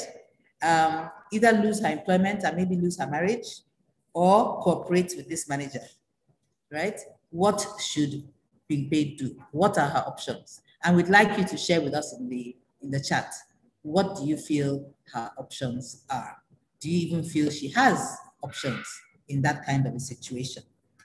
And I can see some of you are saying there are very, very many big pays, very sadly. Yes, there are. This is a this is not a this is a real life story that's been brought up. So Kenechukwu is saying Bigbe should talk to her HR manager. Yes, that is that is uh, that is one probable thing to do. But I can tell you that if it's an MSME, the HR manager very often is not empowered to do something, you know, um, to a manager. So sometimes, yes, ideally you should go to an HR manager. If you're fortunate, you work in a big organization, that is definitely something you should do. Um, Moede is saying she should get a mentor. Yeah, if she had had a mentor, maybe she should have had somebody she could talk to instead of opening up to her manager, her personal issues with her manager. Maybe she could have taken them up with her mentor. Someone is saying get a legal counselor. You know, someone is saying establish boundaries. Um, I'm seeing lots of things, CSOs, a lot of organizations you can talk to. Okay, Leah is saying prayers. Absolutely. Maybe you should pray and meditate and think what is my way out? What is a possible solution uh, that can get me safely out of this situation while so I can keep my job? I don't have to accede to my boss and um, I can also keep my marriage. Um, Sylvia is saying discuss with senior women. Yes, definitely. That's same line of getting mentorship. That would be good. And Neo, you saying talk to her husband. Yeah, she needs to talk to her husband. She should tell her husband, or she, and you're saying find a trusted friend. Somebody is saying get professional help, seek an external counselor. So there's a lot of wisdom I've, I've asked you this question and a lot of wisdom is coming out. So several things, you know, one, once she finds herself in a situation of being a battered woman, that's the first problem that she should have addressed. And many of you of your suggestions that you brought forward are great suggestions of how she should address the changing dynamic in her marriage. Um, definitely she shouldn't accept being battered in her home. We're not saying she should leave her home. You can fight for a good and respectful marriage while remaining in your marriage. So whatever she has to do, whoever she needs to talk to, whoever she needs to get to talk to her husband, you know, whatever she needs to do to stop that battery in the first place is something she should definitely have done. Then seek a mentor, seek a trusted confidant, um, uh, go to HR if that is a viable option for her. And maybe her, her manager is not the ultimate boss. Maybe she should go and talk to the ultimate boss and say, look, see what is happening. Talk to her, her husband and say, this situation you put me in has opened me up to exploitation at work. So it's very dicey. I'm seeing the comment from Ruth, it's very dicey to discuss your personal issues at work and setting boundaries is critical. So this is just one of the scenarios that women face um, in the workplace. And thank you all for your contributions. So sexual harassment encompasses many things. So there's physical, which is what most people think about, sexual assault, attempted rape, um, finding a way to touch you, kiss you, pat your arm, pat your thigh, um, stand too close to you, physically block you in the as you are walking past them, you know, unwelcome over familiar over familiar touches. Okay, and then there's verbal, and I can tell you that the majority of sexual harassment in Nigeria, and in fact across the world, when you look at research, is verbal harassment. It can be spreading gossip and lies, you know, saying that you've slept with somebody when you have not. Um, unwanted pressure, unrelenting pressure. I worked with somebody who was who was under that sort of pressure for three years straight from her immediate boss. He didn't give up. He didn't decide she doesn't want, she doesn't agree, so I should give up. He kept on pressuring her until eventually he was moved on to somewhere else. Sexual comments, talking very crudely about what you do in the bedroom, about what you might do with your boyfriend or girlfriend or your spouse in the bedroom, what they, they would like to do with you in the bedroom, all kinds of inappropriate discussions and things that will make you feel uncomfortable and things that might make you feel threatened. And then and there's a nonverbal harassment, which can sometimes be like a punch in the belly when you see certain expressions on their face, when you see certain gestures. And we're going to show you some examples of that, you know, that really are an assault on you and make you feel terrible. So it takes many forms. Um, so, and in, all the forms are damaging in their own way. Okay, so my, okay. So there are several myths about uh, sexual harassment. I'm going to take you through eight of them, and then we're going to listen to a debate about it. The first one is that sexual harassment is rare. This is contrary to all anecdotal and factual evidence. Sexual harassment is extremely widespread. So for those people who feel it's not a big deal, it is a big deal. Almost more people have experienced it than have not experienced it. In Nigeria, it's about one in two people have experienced or witnessed sexual harassment. The seriousness of sexual harassment has been exaggerated. Oh, it's just flirting, it's just chasing, you can't talk to anybody anymore, right? Yeah, you know, that is not that is not the case. Remember, sexual harassment is unwelcome sexual advances. You can flirt with somebody who's ready to flirt with you. You can go out with somebody who's ready to go out with you. You can have a romance and get married to somebody who likes you. Sexual harassment is always unwelcome and it can have a devastating impact on victims. We cannot, I cannot overemphasize the devastating impact on victims. In fact, very often the perpetrators are surprised at how badly the victims are impacted. Okay, um, their psychological well-being, mental health, self-blaming, insomnia, self-esteem completely evaporates. Their, um, their, their emotions become violent, anger, they fall into depressions, they have physical headaches, their high blood pressure, their blood pressure goes up, they are fatigued, the loss of energy, change in size.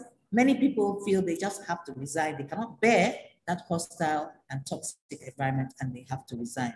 So it is a serious issue. It is not exaggerated.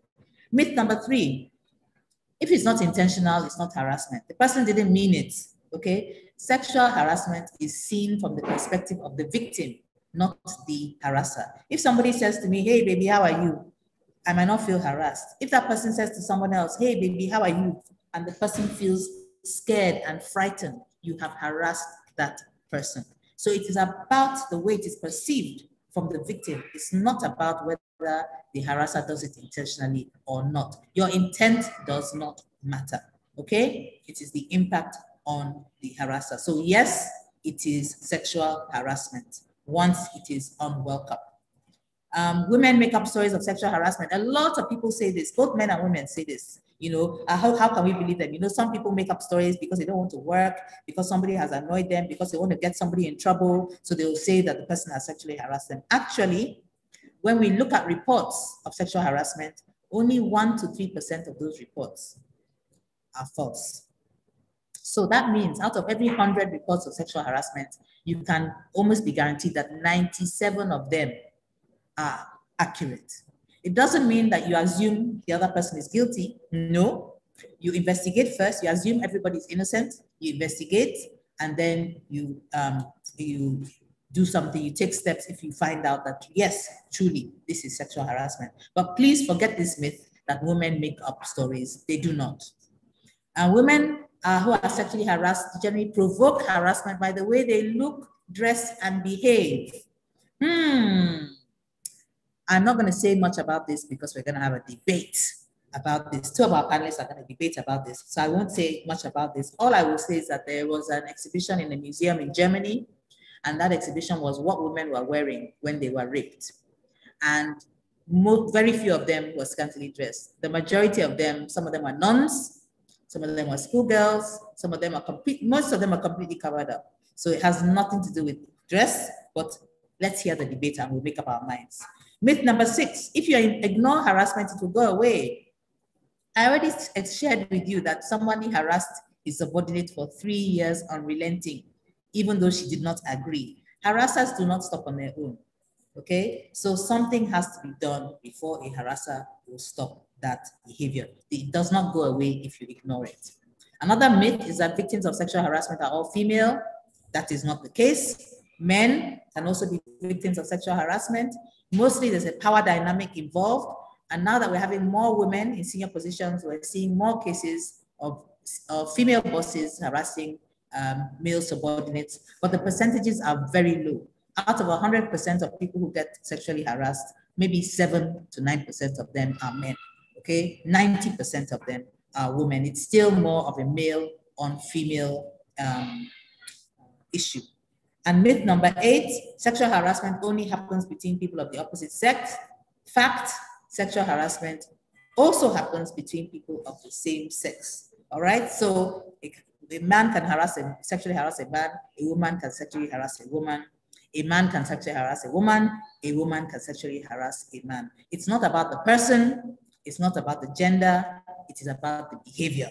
That is what we're talking about. All right, so we're going to have a debate now, and I'm going to invite uh, two of our panelists, Tosin Akibu and Hansatu Adegbite, to engage in a debate about myth number five. Tosin is going to speak against the myth, and Hansatu is going to speak for the myth. Let, now, this is just a demonstration. And the reason we're doing this is that when you engage people on gender issues, especially around any of these eight myths that I've shared with you, you should expect a counter argument. You should expect denial. You should expect dismissal. You should expect a debate. All right. So part of preparing to be a gender advocate is being prepared to respond when you get pushback around any of these myths. So I'm going to stop sharing shortly and I'm going to invite Tosin and Hansatu, uh, please spotlight both of them to engage in a five minute debate about myth number five. Women who are sexually harassed generally provoke harassment by the way they look, dress, and behave. Over to you, ladies. The debate starts now. Thank you very much, Habiba. Good afternoon, um, honorable judges, accurate timekeeper, and my very esteemed uh, participants.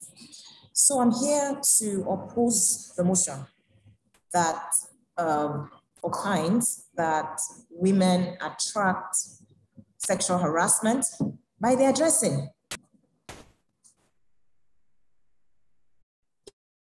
It is completely absurd. Do you want to tell me that even babies do not dress well? Do you want to tell me that um, women who are covered, women in purdah, are not sexually, sexually harassed? They are harassed. The blame, the onus is on the harasser to stop harassing. Please, there is no excuse for, for harassing someone. There is no reason, no reason under this beautiful sun that allows for you to look at somebody and say, because you dress. A woman has the fundamental human right to dress the way she wants. Nobody says men should not um, do hip, hip, um, hipster dressing, that they will hang their trousers. So why is it that you say it is because of the way a woman is dressed that she should be harassed? I do not agree. It is unacceptable. We will not take it. I submit my motion, honorable judges, accurate timekeeper, and my very, very fantastic, fantastic, fantastic participants. Over to you, Hansatu. Ah, thank you, Habiba. it's good to hear from you. I am here to agree that yes, women who are sexually harassed generally provoke that harassment. After all, you cannot give sugar to an ant and expect the ant to walk away. It is only natural that every ant is attracted to sugar. You bring meat to a lion and tell the lion not to eat it is an impossibility. They say trouble, they sleep, younger can wake up.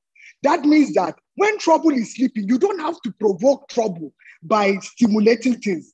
I heard when uh, Habiba was mentioning that, yes, some people cover themselves. I mean, no, Habiba, actually, she said some people cover themselves and they are still raped. Yes, because even sometimes your dressing, over covering will lead to uh, stimulating, you know, small forms of curiosity. So too much over covering too is stimulating curiosity. People want to touch. I will allow uh, Tosi to close her mouth when I say that you need to dress how you want to be addressed. There is no need for you to provoke things. That is why there are certain people that when you see their dressing, you already know how to address them. So I am here to now say that actions do speak louder than words. You cannot be misleading people with your advances and expect no reaction. Or you take them to the plateau and pull back and say, that is not what I meant. You have already acted in a way that you have provoked people. They are at the plateau. There is no way they will not go into the finish line. You can't lead people on, bring them to the boiling point, and then you change your mind. Many times the accused cannot prove what has happened in the back end. We only see what has happened as a result. So I am here to say yes, we must be careful with our dressing, with our actions, and the way we behave so that we help those that cannot help themselves.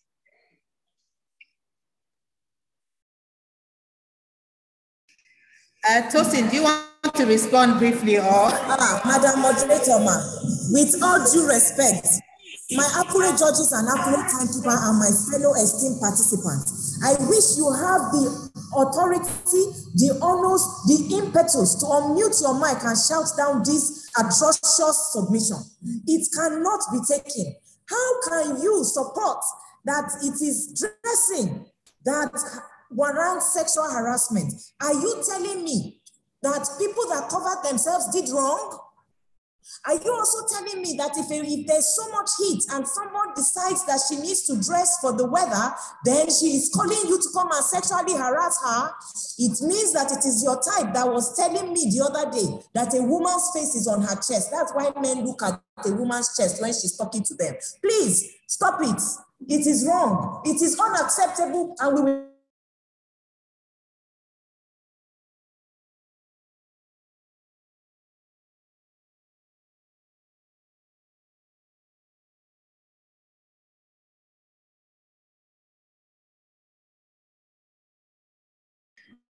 My humble So you can of- see, right? There are there's always more than one um oh my god, more than one perspective to any issue.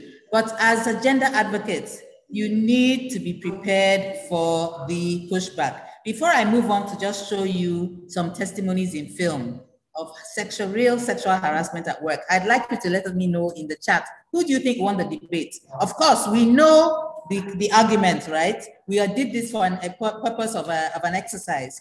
We know that it doesn't matter how you're dressed, it doesn't matter how much you're covered up or whether you're walking around naked. It's not sexual harassment and rape has nothing to do with how the woman is dressed. That, that one is factual. There's no debate. But in the question of the debate between Tosin and Hansatu, who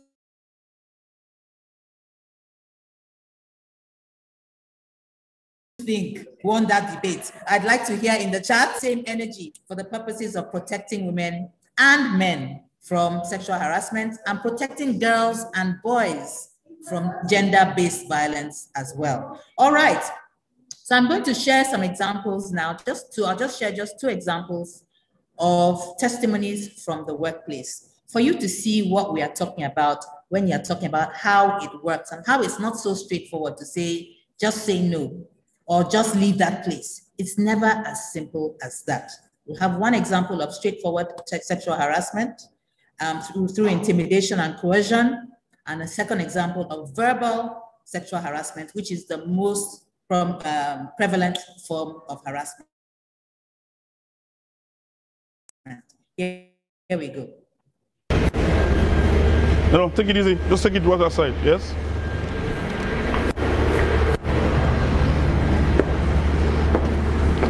Aisha, how are you? I'm fine, sir. Um, listen, I'm going for a meeting now, but when I come back this night, um, can find time to talk about your salary increment. Okay? um, we need to discuss that this night before I travel to the capital tomorrow morning. So meet me at the hotel for 8 p.m. Shall I All try right? again? Let me escape. All right, they said for some reason the video is showing. Let me not, let me try one more time, okay?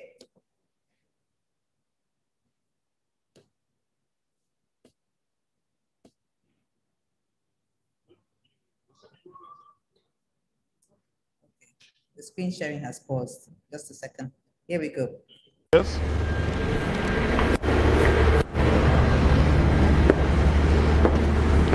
Aisha, how are you? Sir. Um, listen, I'm going for a meeting now, but when I come back this night, um, can find time to talk about your salary increment. Okay? Um, we need to discuss that this night before I travel to the capital tomorrow morning. So meet me at the hotel for 8 p.m. All right? Sir, I, I, I mean, excuse me, sir. I'm sorry, sir. I don't think I'll be comfortable meeting you in a hotel. I mean, sir, can't we just discuss it in the office? I'll wait for you after your meeting. There's, there's time. I'll, I'll wait. What are you saying? Are you saying that you don't trust me? No, no, No, no, no, no. Are you saying that I cannot ask you to meet me at my own convenience? No. What is wrong with you? Who the hell do you think you are? I'm. If you know what's good for you, you better meet me at that hotel for 8 p.m. Otherwise, don't bother coming here tomorrow morning. You understand me? Nonsense. Oh, what option does she have? Let me hear in the chat. What options does she realistically have? And while you're doing that, let's go on to the second one. Here we go. So we're going to book our flight here. Good afternoon, sir. Good Afternoon. Chai! Anita! Come, come, come, come, come. So you have big bum bum like this. Eh? See your curves. Ah, what, what's wrong with her? It's not as if maybe I even. I didn't. What did the observers do? There was a man there, he's talking to a man. The woman who walked ass. past saw everything. Did you see it? What was I felt it in my heart. observers in all of that? So as you can see, it's not that straightforward. It's not that straightforward. Um, I'm seeing many of you in the chat. Some of you are saying she should resign. Why should she lose her job? Because her boss is interested in maybe a one night, just a fling with her. Why should she lose her job? You don't know what her situation is. Maybe she's the only person working, sending, paying, looking after her parents, her junior siblings. Why should she have to resign because of that? Because she's not interested in that. So you shouldn't have to lose because somebody else, any stranger can look at you and decide that they want you. Is it because of that your life should be destroyed, your employment should be destroyed, everything you've worked hard for, sweated for, you should just walk away from it? Okay? Somebody else, Rukaya, is saying she shouldn't show up at the hotel because going to the hotel in the first place sends a signal. Yes, Rukaya, definitely she should not go to the hotel. I can tell you that in many instances, when you call the bluff of sexual harassers, so he tells you to come to the hotel and you don't go, and he sees you in the office the next morning, he might just abuse you. What's wrong with you, stupid girl? You don't even know how to, whatever, whatever. And life continues until the next attempt. Someone else said she should talk to HR. Yes, she should report to HR if she can. Um, she should report to a boss. She should speak to another woman. She should get a mentor. Okay, she should go, go, go, not go alone. I don't think she should go with three huge men and beat anyone up, but she could go with somebody else to the hotel. Okay, if she feels she has to go to the hotel. Um, and when we go to the second example with the enablers, the observers are the enablers. Observers, you have a huge role to play in preventing sexual harassment in the workplace. You, in, in fact, you have a responsibility as observers to prevent sexual harassment. When you see inappropriate things happen, don't be quiet. When you are quiet, you are condoning. That means you are agreeing with what is going on.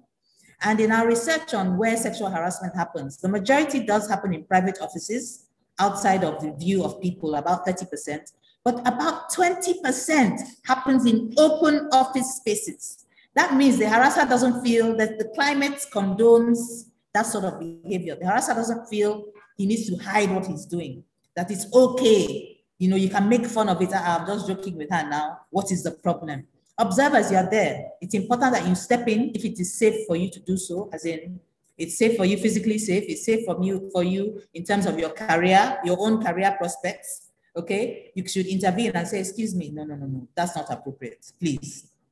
If it's not safe, as an observer, you could go and report to HR. Look, I saw something that's going on. I think you need to. We need to do some awareness about sexual harassment in our office. Do we have a policy? Okay, if it's if you you can go to the person afterwards and say, "Look, I saw what happened. Do you want to report? If you want to report, I'm ready to be a witness." Okay, but you need to do something. Hostile work environments are not caused by just one person. Other people condone the behavior. So please, as observers, definitely don't laugh at inappropriate behavior, whether it's verbal, you saw the verbal, you saw the gestures. That woman was quite a self-confident woman, so she eyed him up and down, right? But for other people, it, they will feel dirty. You know, you feel dirty you feel terrible that somebody is looking at you, speaking at you, that speaking to you that way, making those sort of crude gestures about you, imagining you in an intimate setting like that, and communicating it openly to other people. And this is where the HeForShe comes in as well, because his male colleague could have told him, no, no, no, no, come on.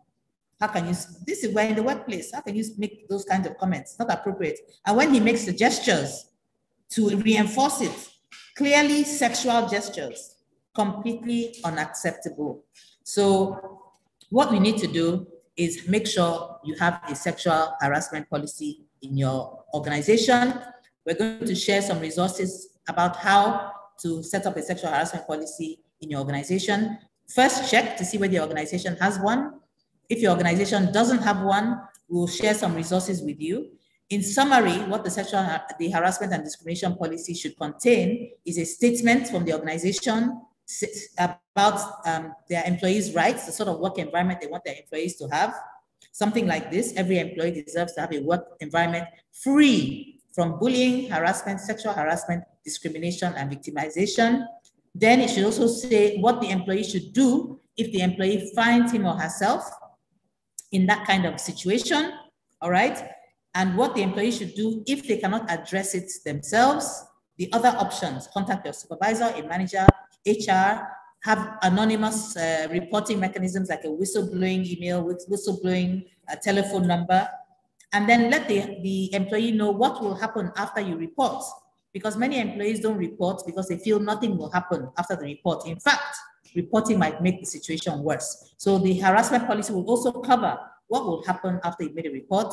The organization will conduct a fair and discreet investigation and take appropriate corrective action the point of these policies is not to sack people. Okay, the point of these policies is to stop the behavior. Somebody is harassed, sexually harassing somebody or discriminating against somebody, the organization will step in to make sure that behavior stops.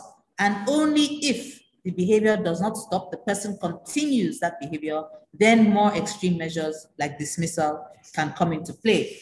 And then the policy should also state what is the responsibility of managers, supervisors, human resources, and any other department set up for that purpose to make sure that action is taken to address the situation to prevent further harassment and discrimination in your organization. So this is really the content of your sexual harassment policy or any uh, harassment and discrimination policy. We will have examples, we will share examples with you of sexual harassment policies specifically, not just uh, harassment and discrimination. Please make sure that your organization has one, no matter how small. Okay, run your organization properly, even if there are only two or three of you. And when it grows, it will continue to grow and continue doing things properly. You have a good and conducive work environment. Your employees will be happy. They will deliver for you. They will go above, above and beyond for you, and you will be productive and you will be um, profitable and you will be successful in achieving your objectives. Organizations are made up of people. Sexual harassment, harassment, discrimination, retaliation, victimization, all of these things are having a negative impact on your organization's bottom line. And that is what you've been set up to succeed. You're working hard to succeed. Don't let these sort of inappropriate behaviors be prevalent in your workplace because they are sabotaging all your hard work and efforts. Thank you very much to all of you for your, all your comments on this issue. And I'm going to move on now to our next session. We're going handing back to Tosin, and Tosin is going to take us on second chance education and socioeconomic support for women and girls in Adamawa State and Sokoto through the Spotlight Initiative. Tosin, over to you.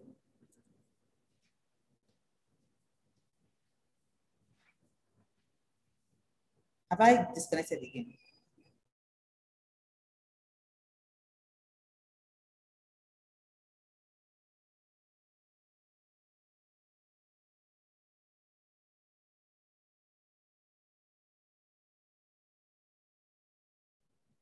Thank you very much, Habiba, and um, to our participants for very, very energized uh, contributions. So my job here is very simple.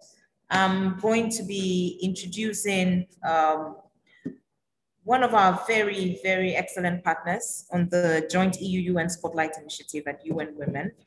Their name is NEEM Foundation, and they're the ones conducting the Second Chance Education Program, as I mentioned earlier, um, in Adamawa and Sokoto. Over the last couple of days, we have interacted with some of the girls and the young women that they came with. And today, the um, program manager, Mustafa Al Hassan, is here. He's going to run through a few of the slides for you, and then we will be introduced to the young women to talk to you about their experience. So please join me. Welcome, Mustafa Al Hassan. Thank you.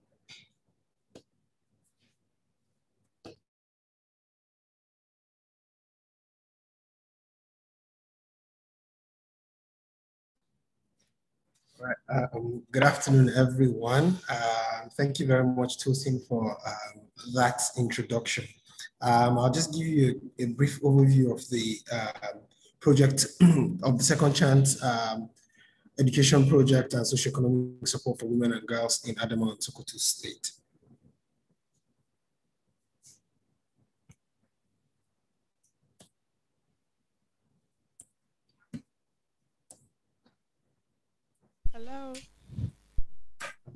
So sorry, I think we're having a little um, technical issue.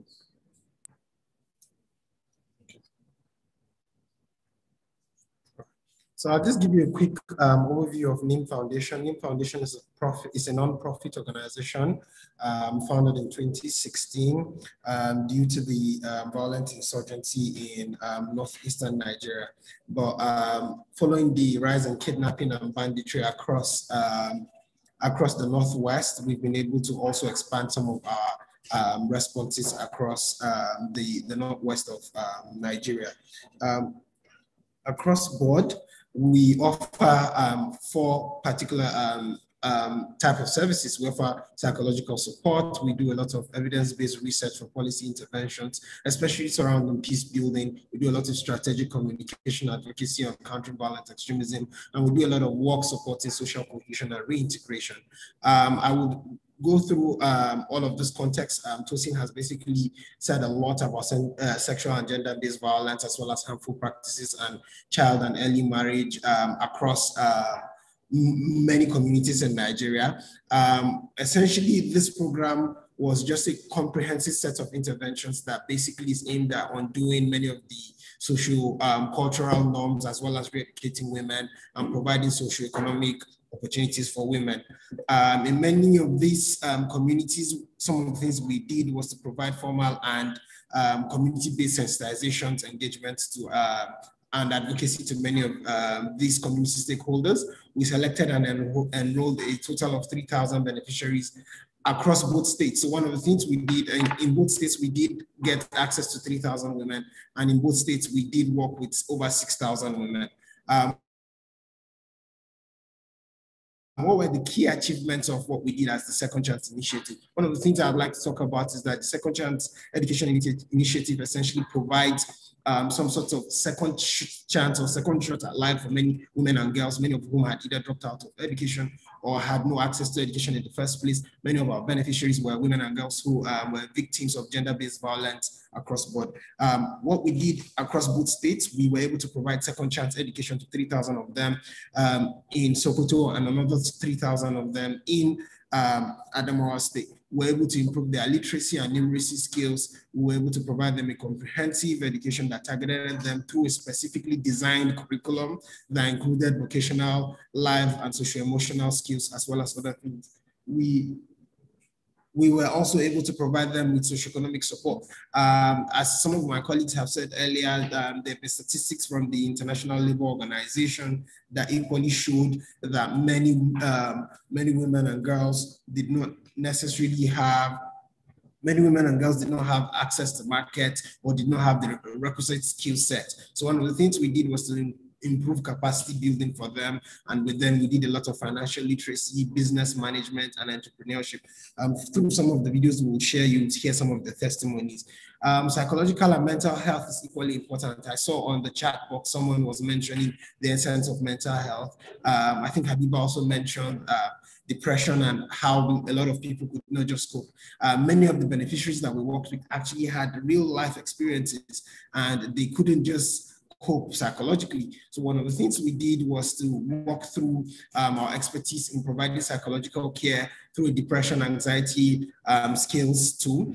And um, we provided group counseling and support to over 6,000 of these women, and we engaged them in social emotional learning as well as expressive therapy through arts, music, and dance. Um, one of the beneficiaries, while on the um, training here over this week, where they were even, even able to um, contribute to um, some of the items that they designed from some of their expressive therapy materials, they did donate that to WIMBIZ. We were able to establish cooperatives. I think Tosin did mention um, that during the lockdown, there was a height of, um, of, of gender-based violence across, across board. And one of the things that this EU Spotlight initiative did was for us, when we started, we were trying to set up financial support groups as women for, for many of these women. But these financial support groups over time transcended across board to begin to address many other issues that many of these women um, actually faced. We're able to establish partnerships. You, as you can tell, doing this type of project of this magnitude and scale will obviously require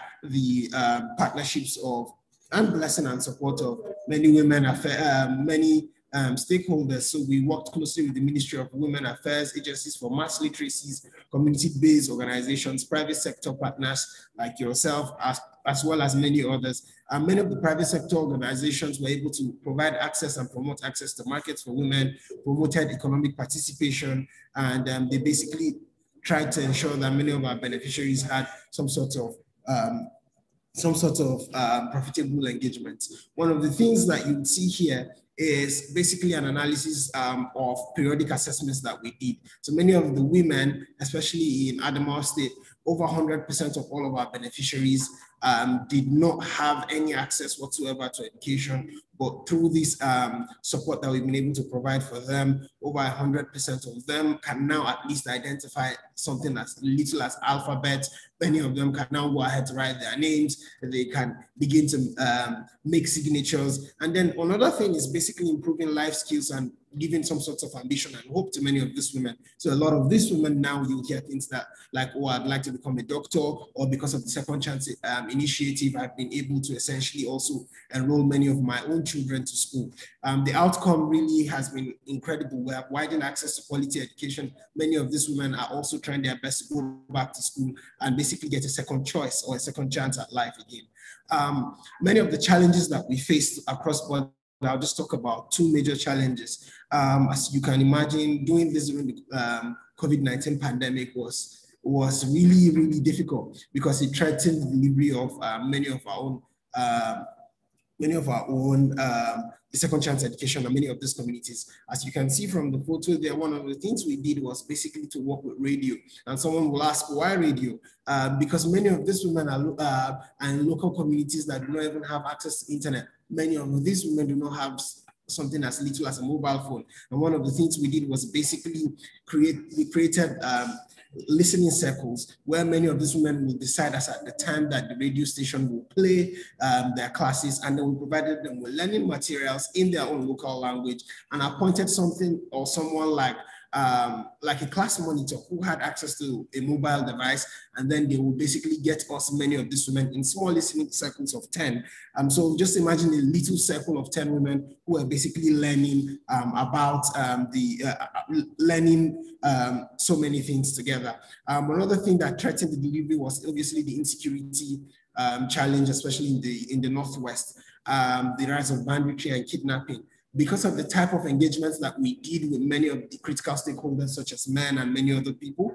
Um, in Sokoto, for instance, we had men who were volunteering um, their, their motorbikes and basically saying that they will take their wives to safe spaces where they can learn from, um, from us. Um, so scaling up our approach and potential opportunities, especially for um, private sector, um, private sector. One of the things that we would love to see is an increased duration of second chance education, improving access to markets. Many of you do have access to markets. Many of you know many places that we can continue um, these initiatives for these women. We would love to continue providing psychological support uh, and emotional support for many of these women. As you know, it's a continuous process. I think I'll stop here so that you basically see a video from many of the um, of the um, girls who were who were at um, the second chance um, training here. Sorry. Okay. All right. So this is the video. Yeah. Hello. My name is Msewe Bello Osman from Sokoto Neem Foundation.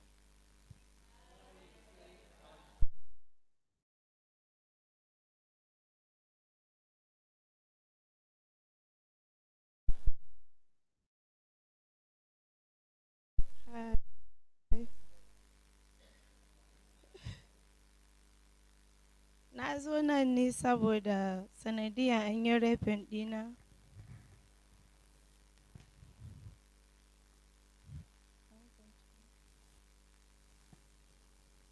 Ina samun matsala ne gida bayan mun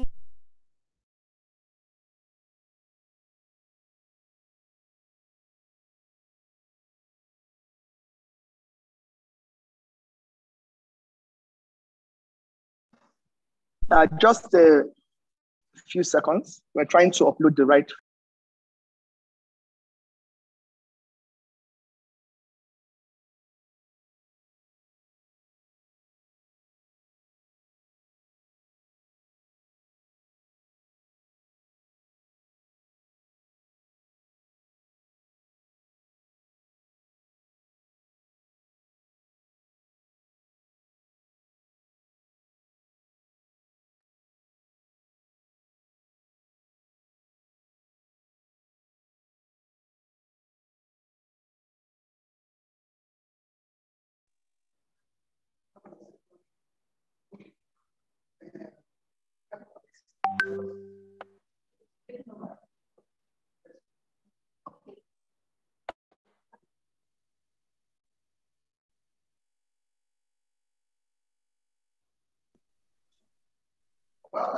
While that is going on, uh, let's all note that very soon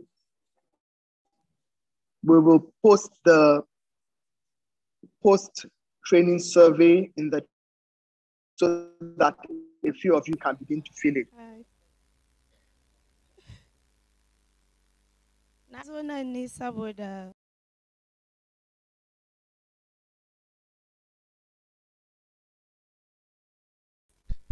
Ina samun matsala ne gida. Bayan sosai aka kai ni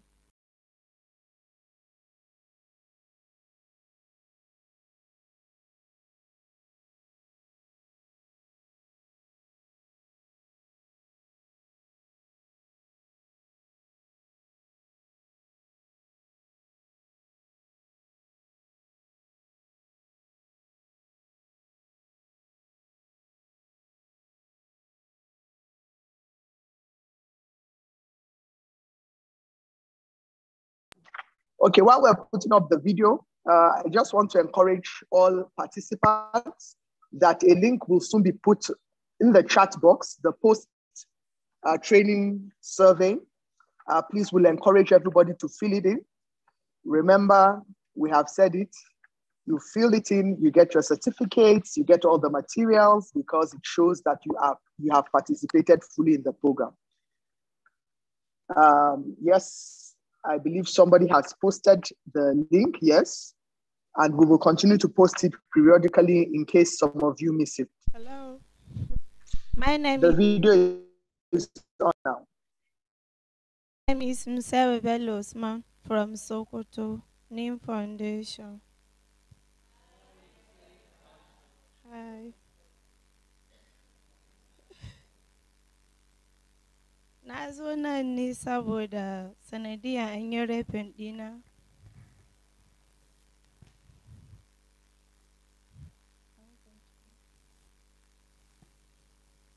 Ina samun matsala ne gida bayan mun gama cases ɗina da wanda ya rufe ɗina. So Okay, basically, um, this is Nusaiba, um, one of our beneficiaries on the uh, EU Spotlight uh, initiative, and she's basically giving her testimony. ba na jin daɗin zama and gida. she introduced herself in English. kuka. Ba a bari na in yanda nake so a gida. An hana ni zuwa makaranta. To tun da na je can sun bani karatu. Na iya sannan sun koya min sana'a ɗinkin tela. Na iya. Saba's also talking about how um, through the Spotlight initiative, she's gaba bas- ina so basically been able to, to write. Um, she mentioned that she's a survivor. She's been able to read and write now, and um, Okay, she has this no is ambition Nuseba to be Bello Usman. She's 19 years old. She was raped repeatedly and also abducted. Uh, It's just the translation. we identified her and we are providing support. Psychologically, she's going through a healing process. With the care plan we have developed for her, she's improving.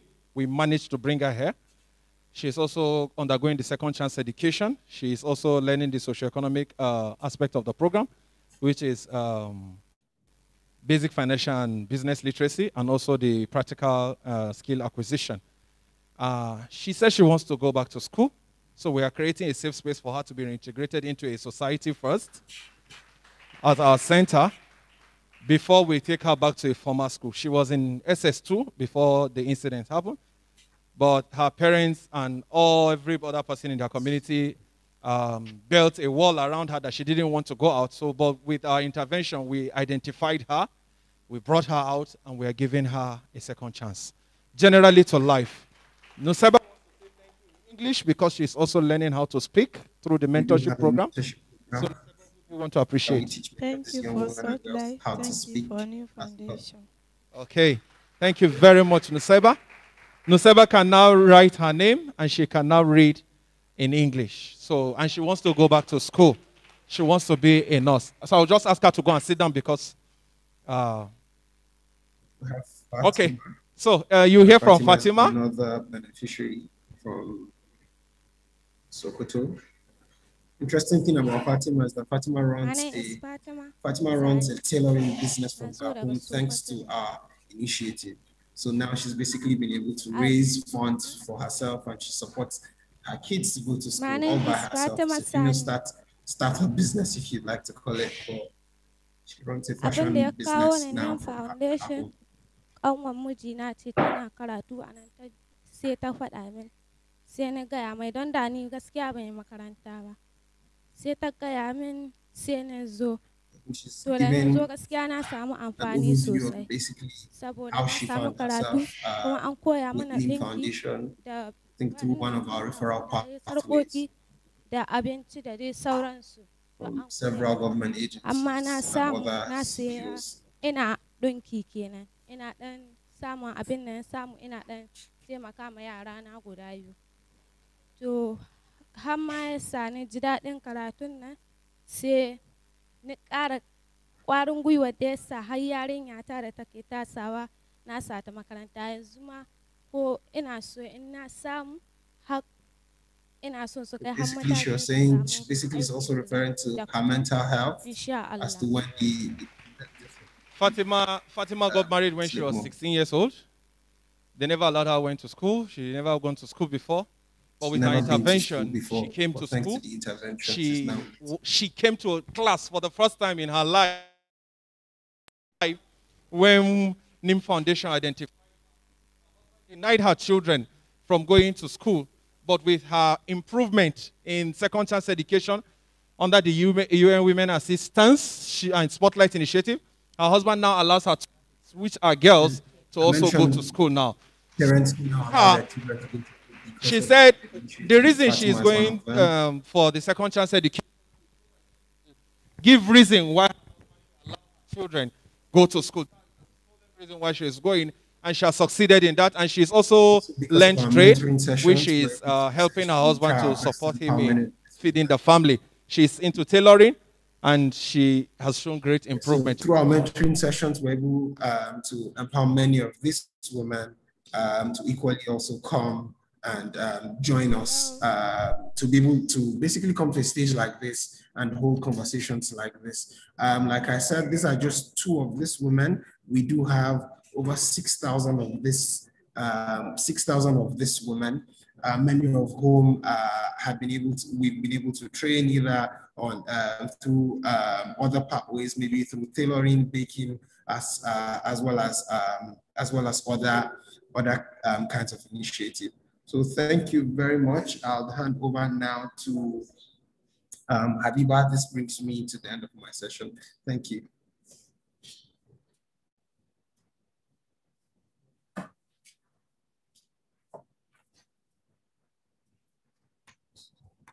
Thank you very much, Mustafa and Neem Foundation. Uh, um, the Spotlight Initiative, it's amazing, managed to reach 10,000 beneficiaries. You can see what has happened in just two states, 3,000 beneficiaries each. Um, and the, the testimonies from the ladies, I know the, the volume was not very high, um, but it's just transforming their lives. Somebody who'd never been to school and wasn't even allowed to go to school by her husband through this initiative her husband is now helping her attend uh, the sessions and has, has allowed her, her, her children, her daughters, to also go to school. And so many other stories of how lives and communities and families have been transformed. So at this point, it's now opening to the interactive session. I'm going to hand over to Hansatu, all our panelists, in fact. Hansatu Adegbite, the Executive Director of WIMBIZ, uh, Binta Max Gbinije, Executive Council Member of WIMBIZ, uh, Tosin Akibu, Program Specialist from UN Women, uh, Susan Oko, um, Program Manager from UN Women, to take your questions. And of course, I'll also be available if uh, there are any questions directed towards me. We're here to take your questions and respond to them. You can still use the chat. Um, we'll be looking for the questions, particularly in the question in the Q&A box. So please make sure you use the Q&A box if you have a specific question and, uh, and then we'll be advised about the process of getting certificates for this training and what the next steps are. So let me hand over to Hansatu and to Binta. Over to you.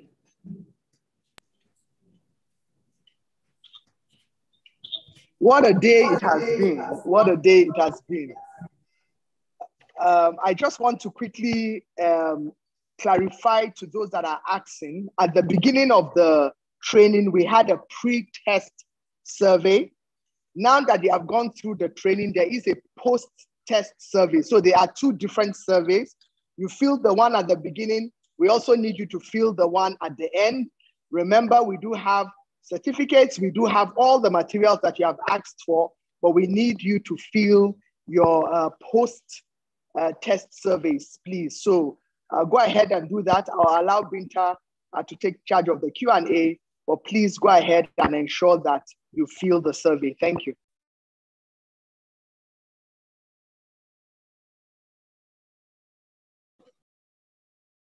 Thank you, Habiba and Hansatu. I'd just like to encourage everyone to please go ahead and fill those forms. Those forms are important. Um, Hansatu is a lovely woman, but she can be very mean and detailed about following protocols. So for those of you who want to get your certificate, you must ensure that you fill those forms. Otherwise, she won't be sending your certificates to you. So if I were you, I'll do the needful very quickly. We're going to the Q&A box and would like to see if there are any questions directed at anyone in particular. And then we will attempt to answer them all if we have the time. Um, how can the issue of gender-based be tackled at the grassroots, especially the communities in Abuja? According to our data and research, we found out that are cases, cases of gender-based violence in Abuja rural communities are on the high now. If you'll permit me, I'll throw this question to Tosin. Um, would you attempt to answer that for us? the question on how can the issue of gender-based, I'm not sure what that person, it's an anonymous question, but it says, how can the issue of gender-based be tackled at the grassroots? Oh, you have already, oh, excellent. Okay, so that's been answered. Um, what programs are available to nonprofits and what platforms support women-focused initiatives? This is a question from Joy Michael. Susan, would you like to talk to us from your experience?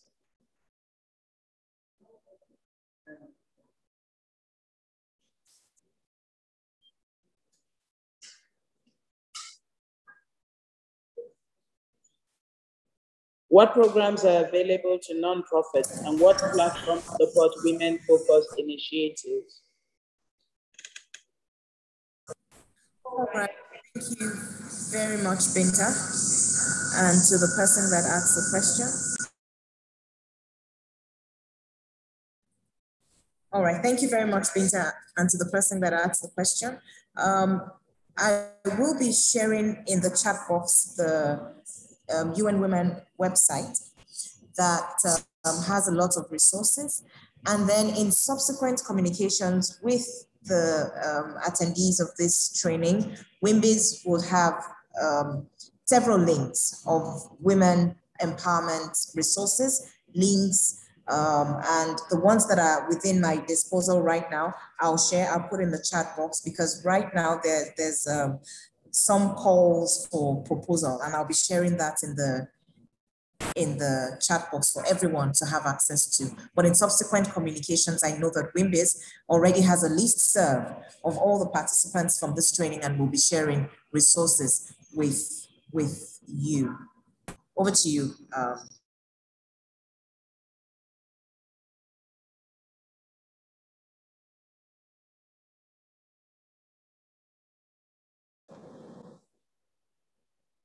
Thank you so very much, um, Tosin.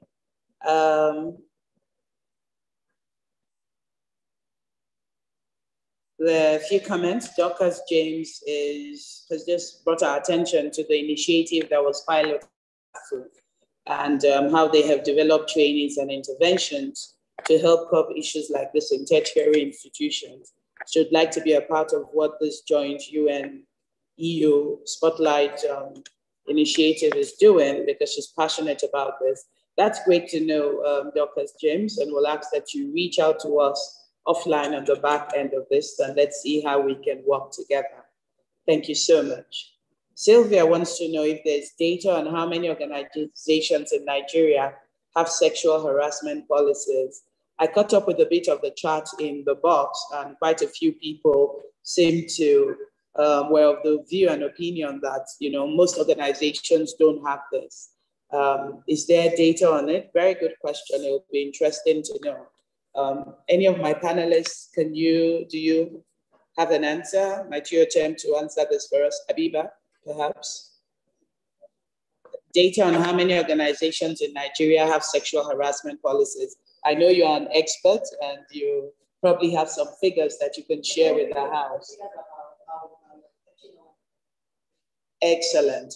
Habiba will try, will share some figures with us as we go along. Thank you, Habiba. She's been doing this for over 15 years and is an expert. Thank you. Um, if anyone wants to know if she can get any materials to help with drafting a policy for addition in the existing HR policy. Anyone want to answer that, panelists?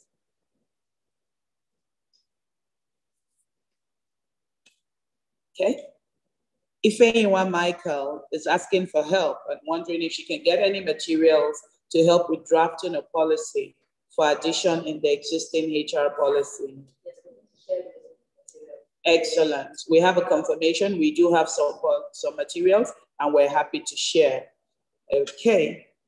Um, what's the next step after this training? Oh, I'm glad to answer that one. And it's to say very enthusiastically, go to the website, log on to the WEP's platform, become a WEP partner, sign on your organization, get your CEO to sign on, ensure that you're executing all that you've learned today um, on this training in your organizations and within your ecosystem as well, your stakeholders and everyone you meet on the road.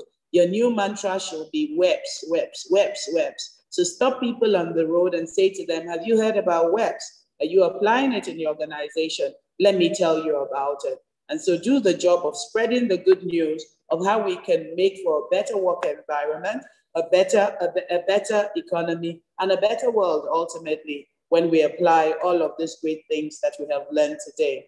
Hansatu is also responding to a question. Okay, uncovers. All right. Thank you so much. But any one of the panelists, please feel free to jump in if I missed out anything on that response to what's the next step. Um, does anyone have more practical steps they can take? Okay, I'll just uh, jump jump on that. Thank you so much, Binta. Just to add that, um, okay, just to add that after this training, um, we'll encourage everyone to please complete the post-training um, um, um, survey. Um, like Hansatu said earlier, it's just to test your knowledge before this session and then after. So once you know we have your confirmation, we will share with you um, all of the materials from this training, um, all the trainings on the WEPs, the presentations essentially, including frequently asked questions on becoming a WEPs um, member. And that way it gives you some clarity on areas that you can actually implement immediately, in addition to some of the things that Binta has already added. Thank you.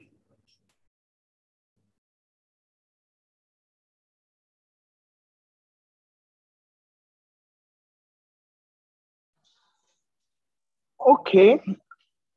Um, Binta, can I jump into one of the questions I've seen? Yes. Okay, Susan wants to answer one or two. Let me allow that. Okay. Okay, just looking at the chat box. Okay. So question from Nafisa is how does one participate and assist where the CEO does not agree to sign up? That's a very tricky one. And, you know, I, I do have instances where we've had people say, well, can the CEO or somebody, you know, next to the CEO sign up? And the answer is we really need the person at the, at the very helm of affairs to sign that statement of support. Because for us, it's a commitment by the, it's an indication that the, the, the organization is committing to um, become a WEP signatory. What I can say to possibly support, um, you know, your question would be perhaps we can look to have a, you know, uh, a bilateral conversation. So maybe the CEO may not get quite understand um, the concept of what we're trying to, you know, achieve within the private sector. So perhaps what we can do is, because when I do send out the materials, you will get my email address. So you can engage me directly and then we can work towards maybe getting some time with your CEO, have a virtual meeting and, you know, have a presentation on the WEPs. Um, maybe that way your CEO can can get that buy-in and you know hopefully get him to sign that statement of support. But unfortunately, we can't circumvent that process because it's quite important that we get the commitment of the most senior person in that organization, even if even though we know that CEO won't necessarily be the one um, you know, personalizing and driving it day to day, but we do need the CEO's commitment. So, like I said, once I send that email with the materials, um, Nafisa, feel free to respond to me, and then we can look to have um, a bilateral meeting with your CEO virtually. Um, someone has also asked, Beatrice Onoja, can a small upcoming entrepreneur organizations be members of the WEPs? Um, one of the things that I said in frequently asked questions is that yes, a startup can be a member of the WEPs, but you have to be registered as a like as an LTD in Nigeria, as a company, a business as a company in Nigeria. As long as you're registered, you have your CAC documentation, you have your directors, you have your CEO, then we should be able to register you as a WEPS. I think that's all for me from now. Are CSOs allowed to sign up, to the WEPS? CSOs, civil service organizations, um, no. That's the short answer. Even though we encourage you to visit the WEPs and also um, take advantage of the materials, but this particular initiative is directly targeted at private sector company and organizations. Thank you. Thank you so very much, Susan, um, for tackling those questions. And thank you, Habiba, for sharing the information as promised. Um, we can confirm that 69% of surveyed respons- respondents say that their organization does indeed have a policy in place. So that's a good number. We would like to see it get up to 100 as soon as possible. Okay, uh, we would come to the end of this session shortly, and I'll hand over back to Habiba, um, who would be showing us what this beautiful certificate looks like, confirming all the hard work you have put in today, joining us this many hours. But before then, there's a question that I will um, direct to the team at the UN, uh, and it's a valid question. It's our Ghanaian brother, I think, or sister who's asking. Okay. Oh, you've responded. Excellent. I just saw that before I jumped on it. Okay. And what's your answer, man? The question was if we would be able to roll this out in Ghana, correct? Right. And the responses, I'm sorry, I've made, I can't find that just. I, I responded already. Excellent. May I go?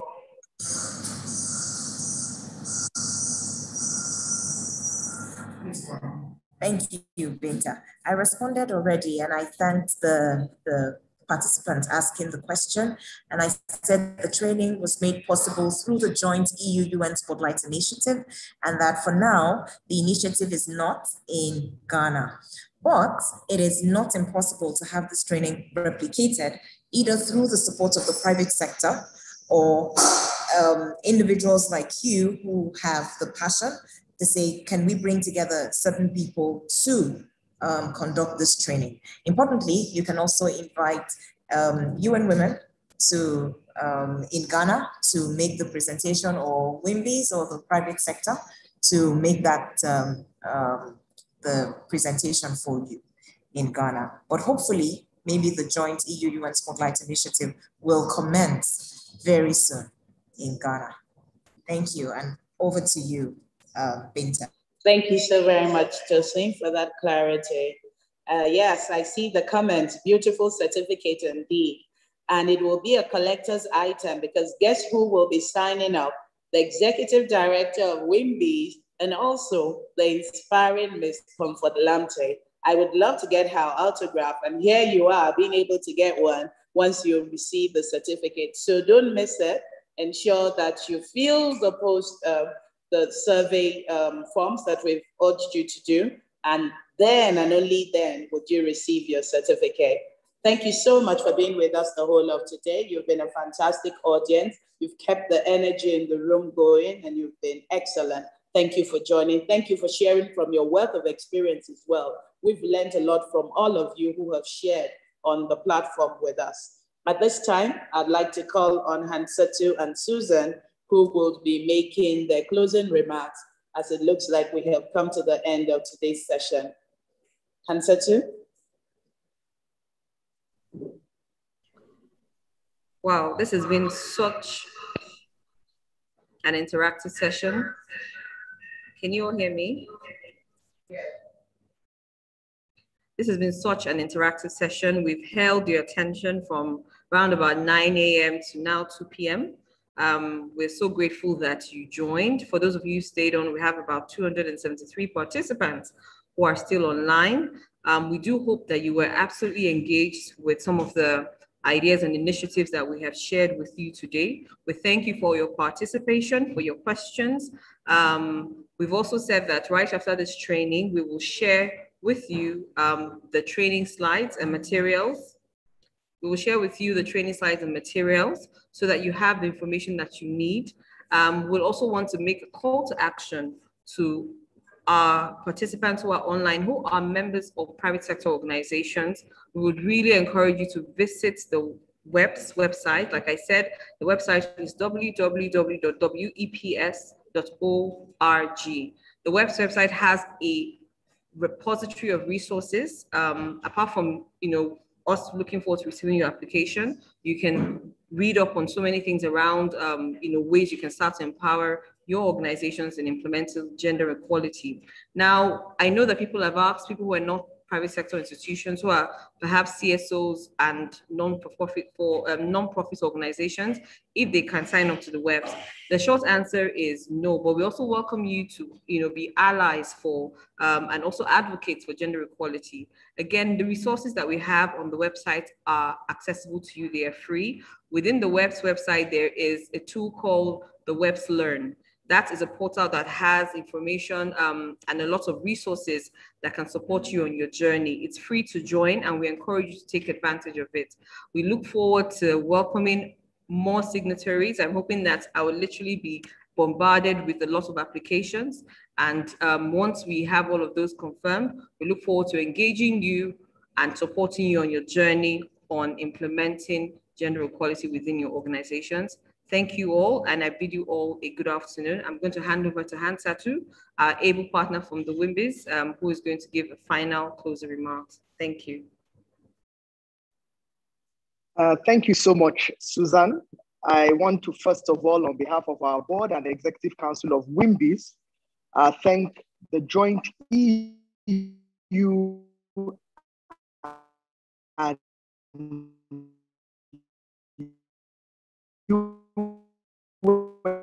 and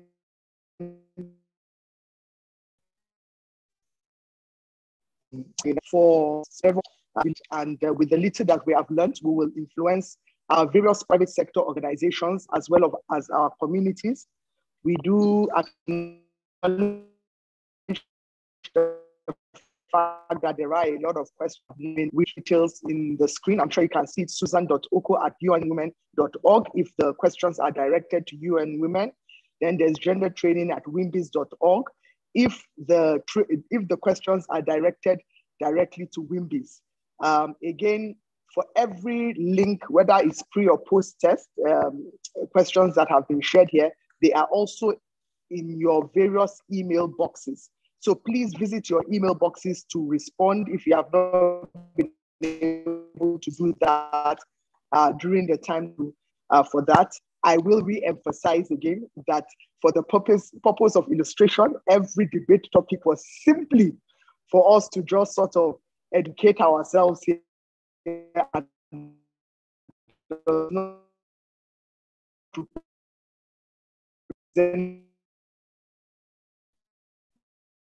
the views of UN women, just I appreciate every facilitator that has availed themselves. In fact, to be honest with you, for the past days, have slept, I've pulled them out on day one, and now we're in Calabar. So a big thank you to Susan Oko, Binta Max Gbinije, Habiba Balogun, Tosin Akibu, uh, and uh, also uh, my humble self. I, I, I, may as well appreciate myself. I want to appreciate those that were working on the back end. We have marvelous Okay, Chuku. A lot of you had a lot of interaction with her.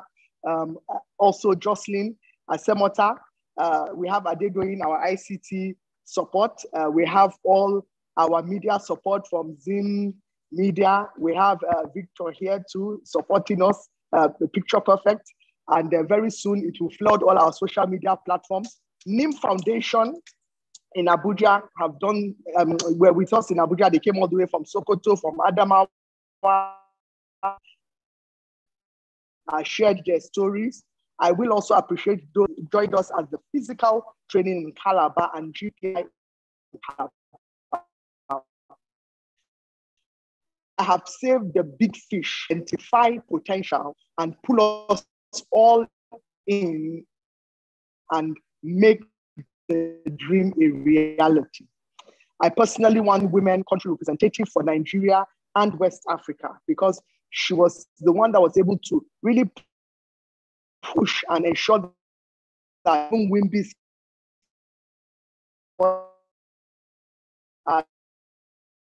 join hands uh, in to sort of, of organize this together between visibility. This is just the beginning.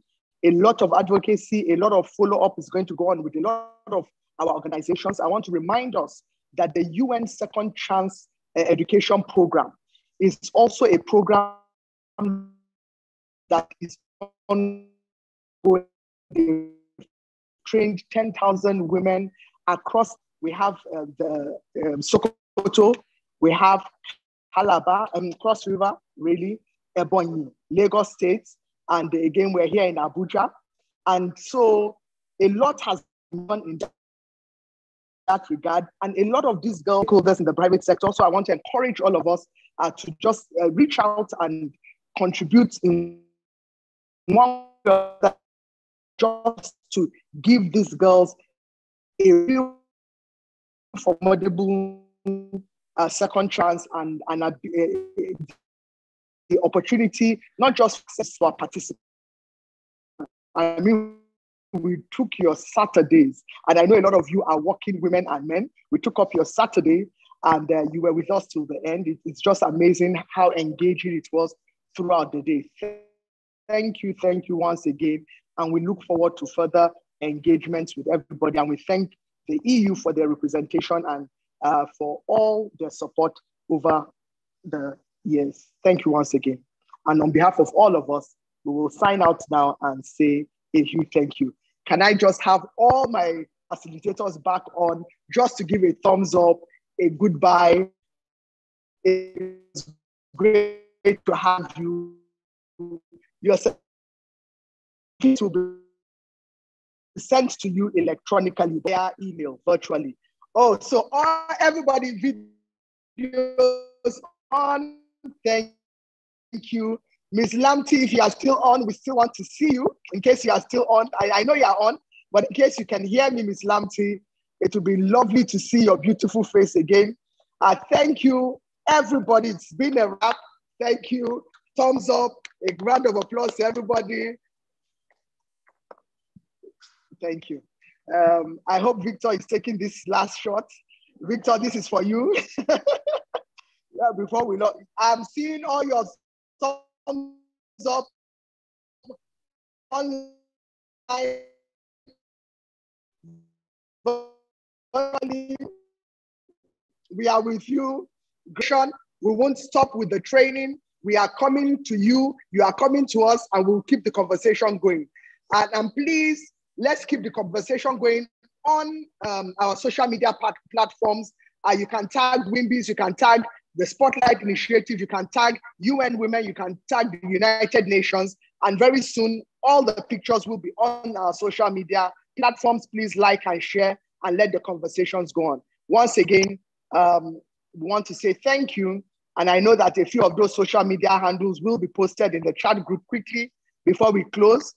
Uh, can we have the UN Women, uh, the United Nations handles on the social media, or the social media handles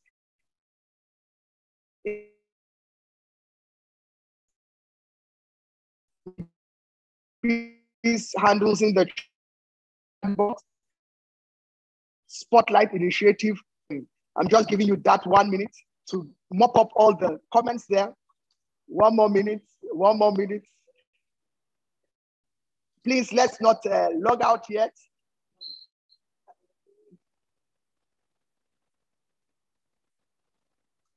Let's not log out yet. Please, can I have people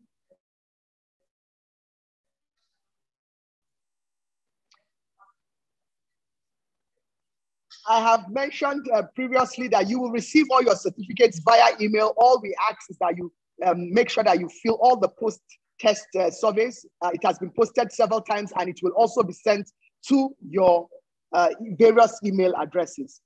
Uh, please, all the social media handles are on the chat group for UN Women. I want to believe. Okay. Thank you. I see them. I mean, we're on Twitter, Facebook, Instagram, Union, everything. Just follow, follow, and follow anyhow. So the train has finally reached its destination. We have been in the air actually. We, we are about to land now, and you know what happens when you're about to land? The captain will tell everybody it is time to put off all your electronic devices because we are about to land. And so, on behalf of the EU, the United Nations again, and WIMBIZ, we are logging off now. We are landing. We have arrived at our destinations, and we say thank you and bye and keep the conversations going. Thank you very much. Yes, it's been a smooth flight. I agree with you. Thank you so much and enjoy the rest of your weekend. Thank you.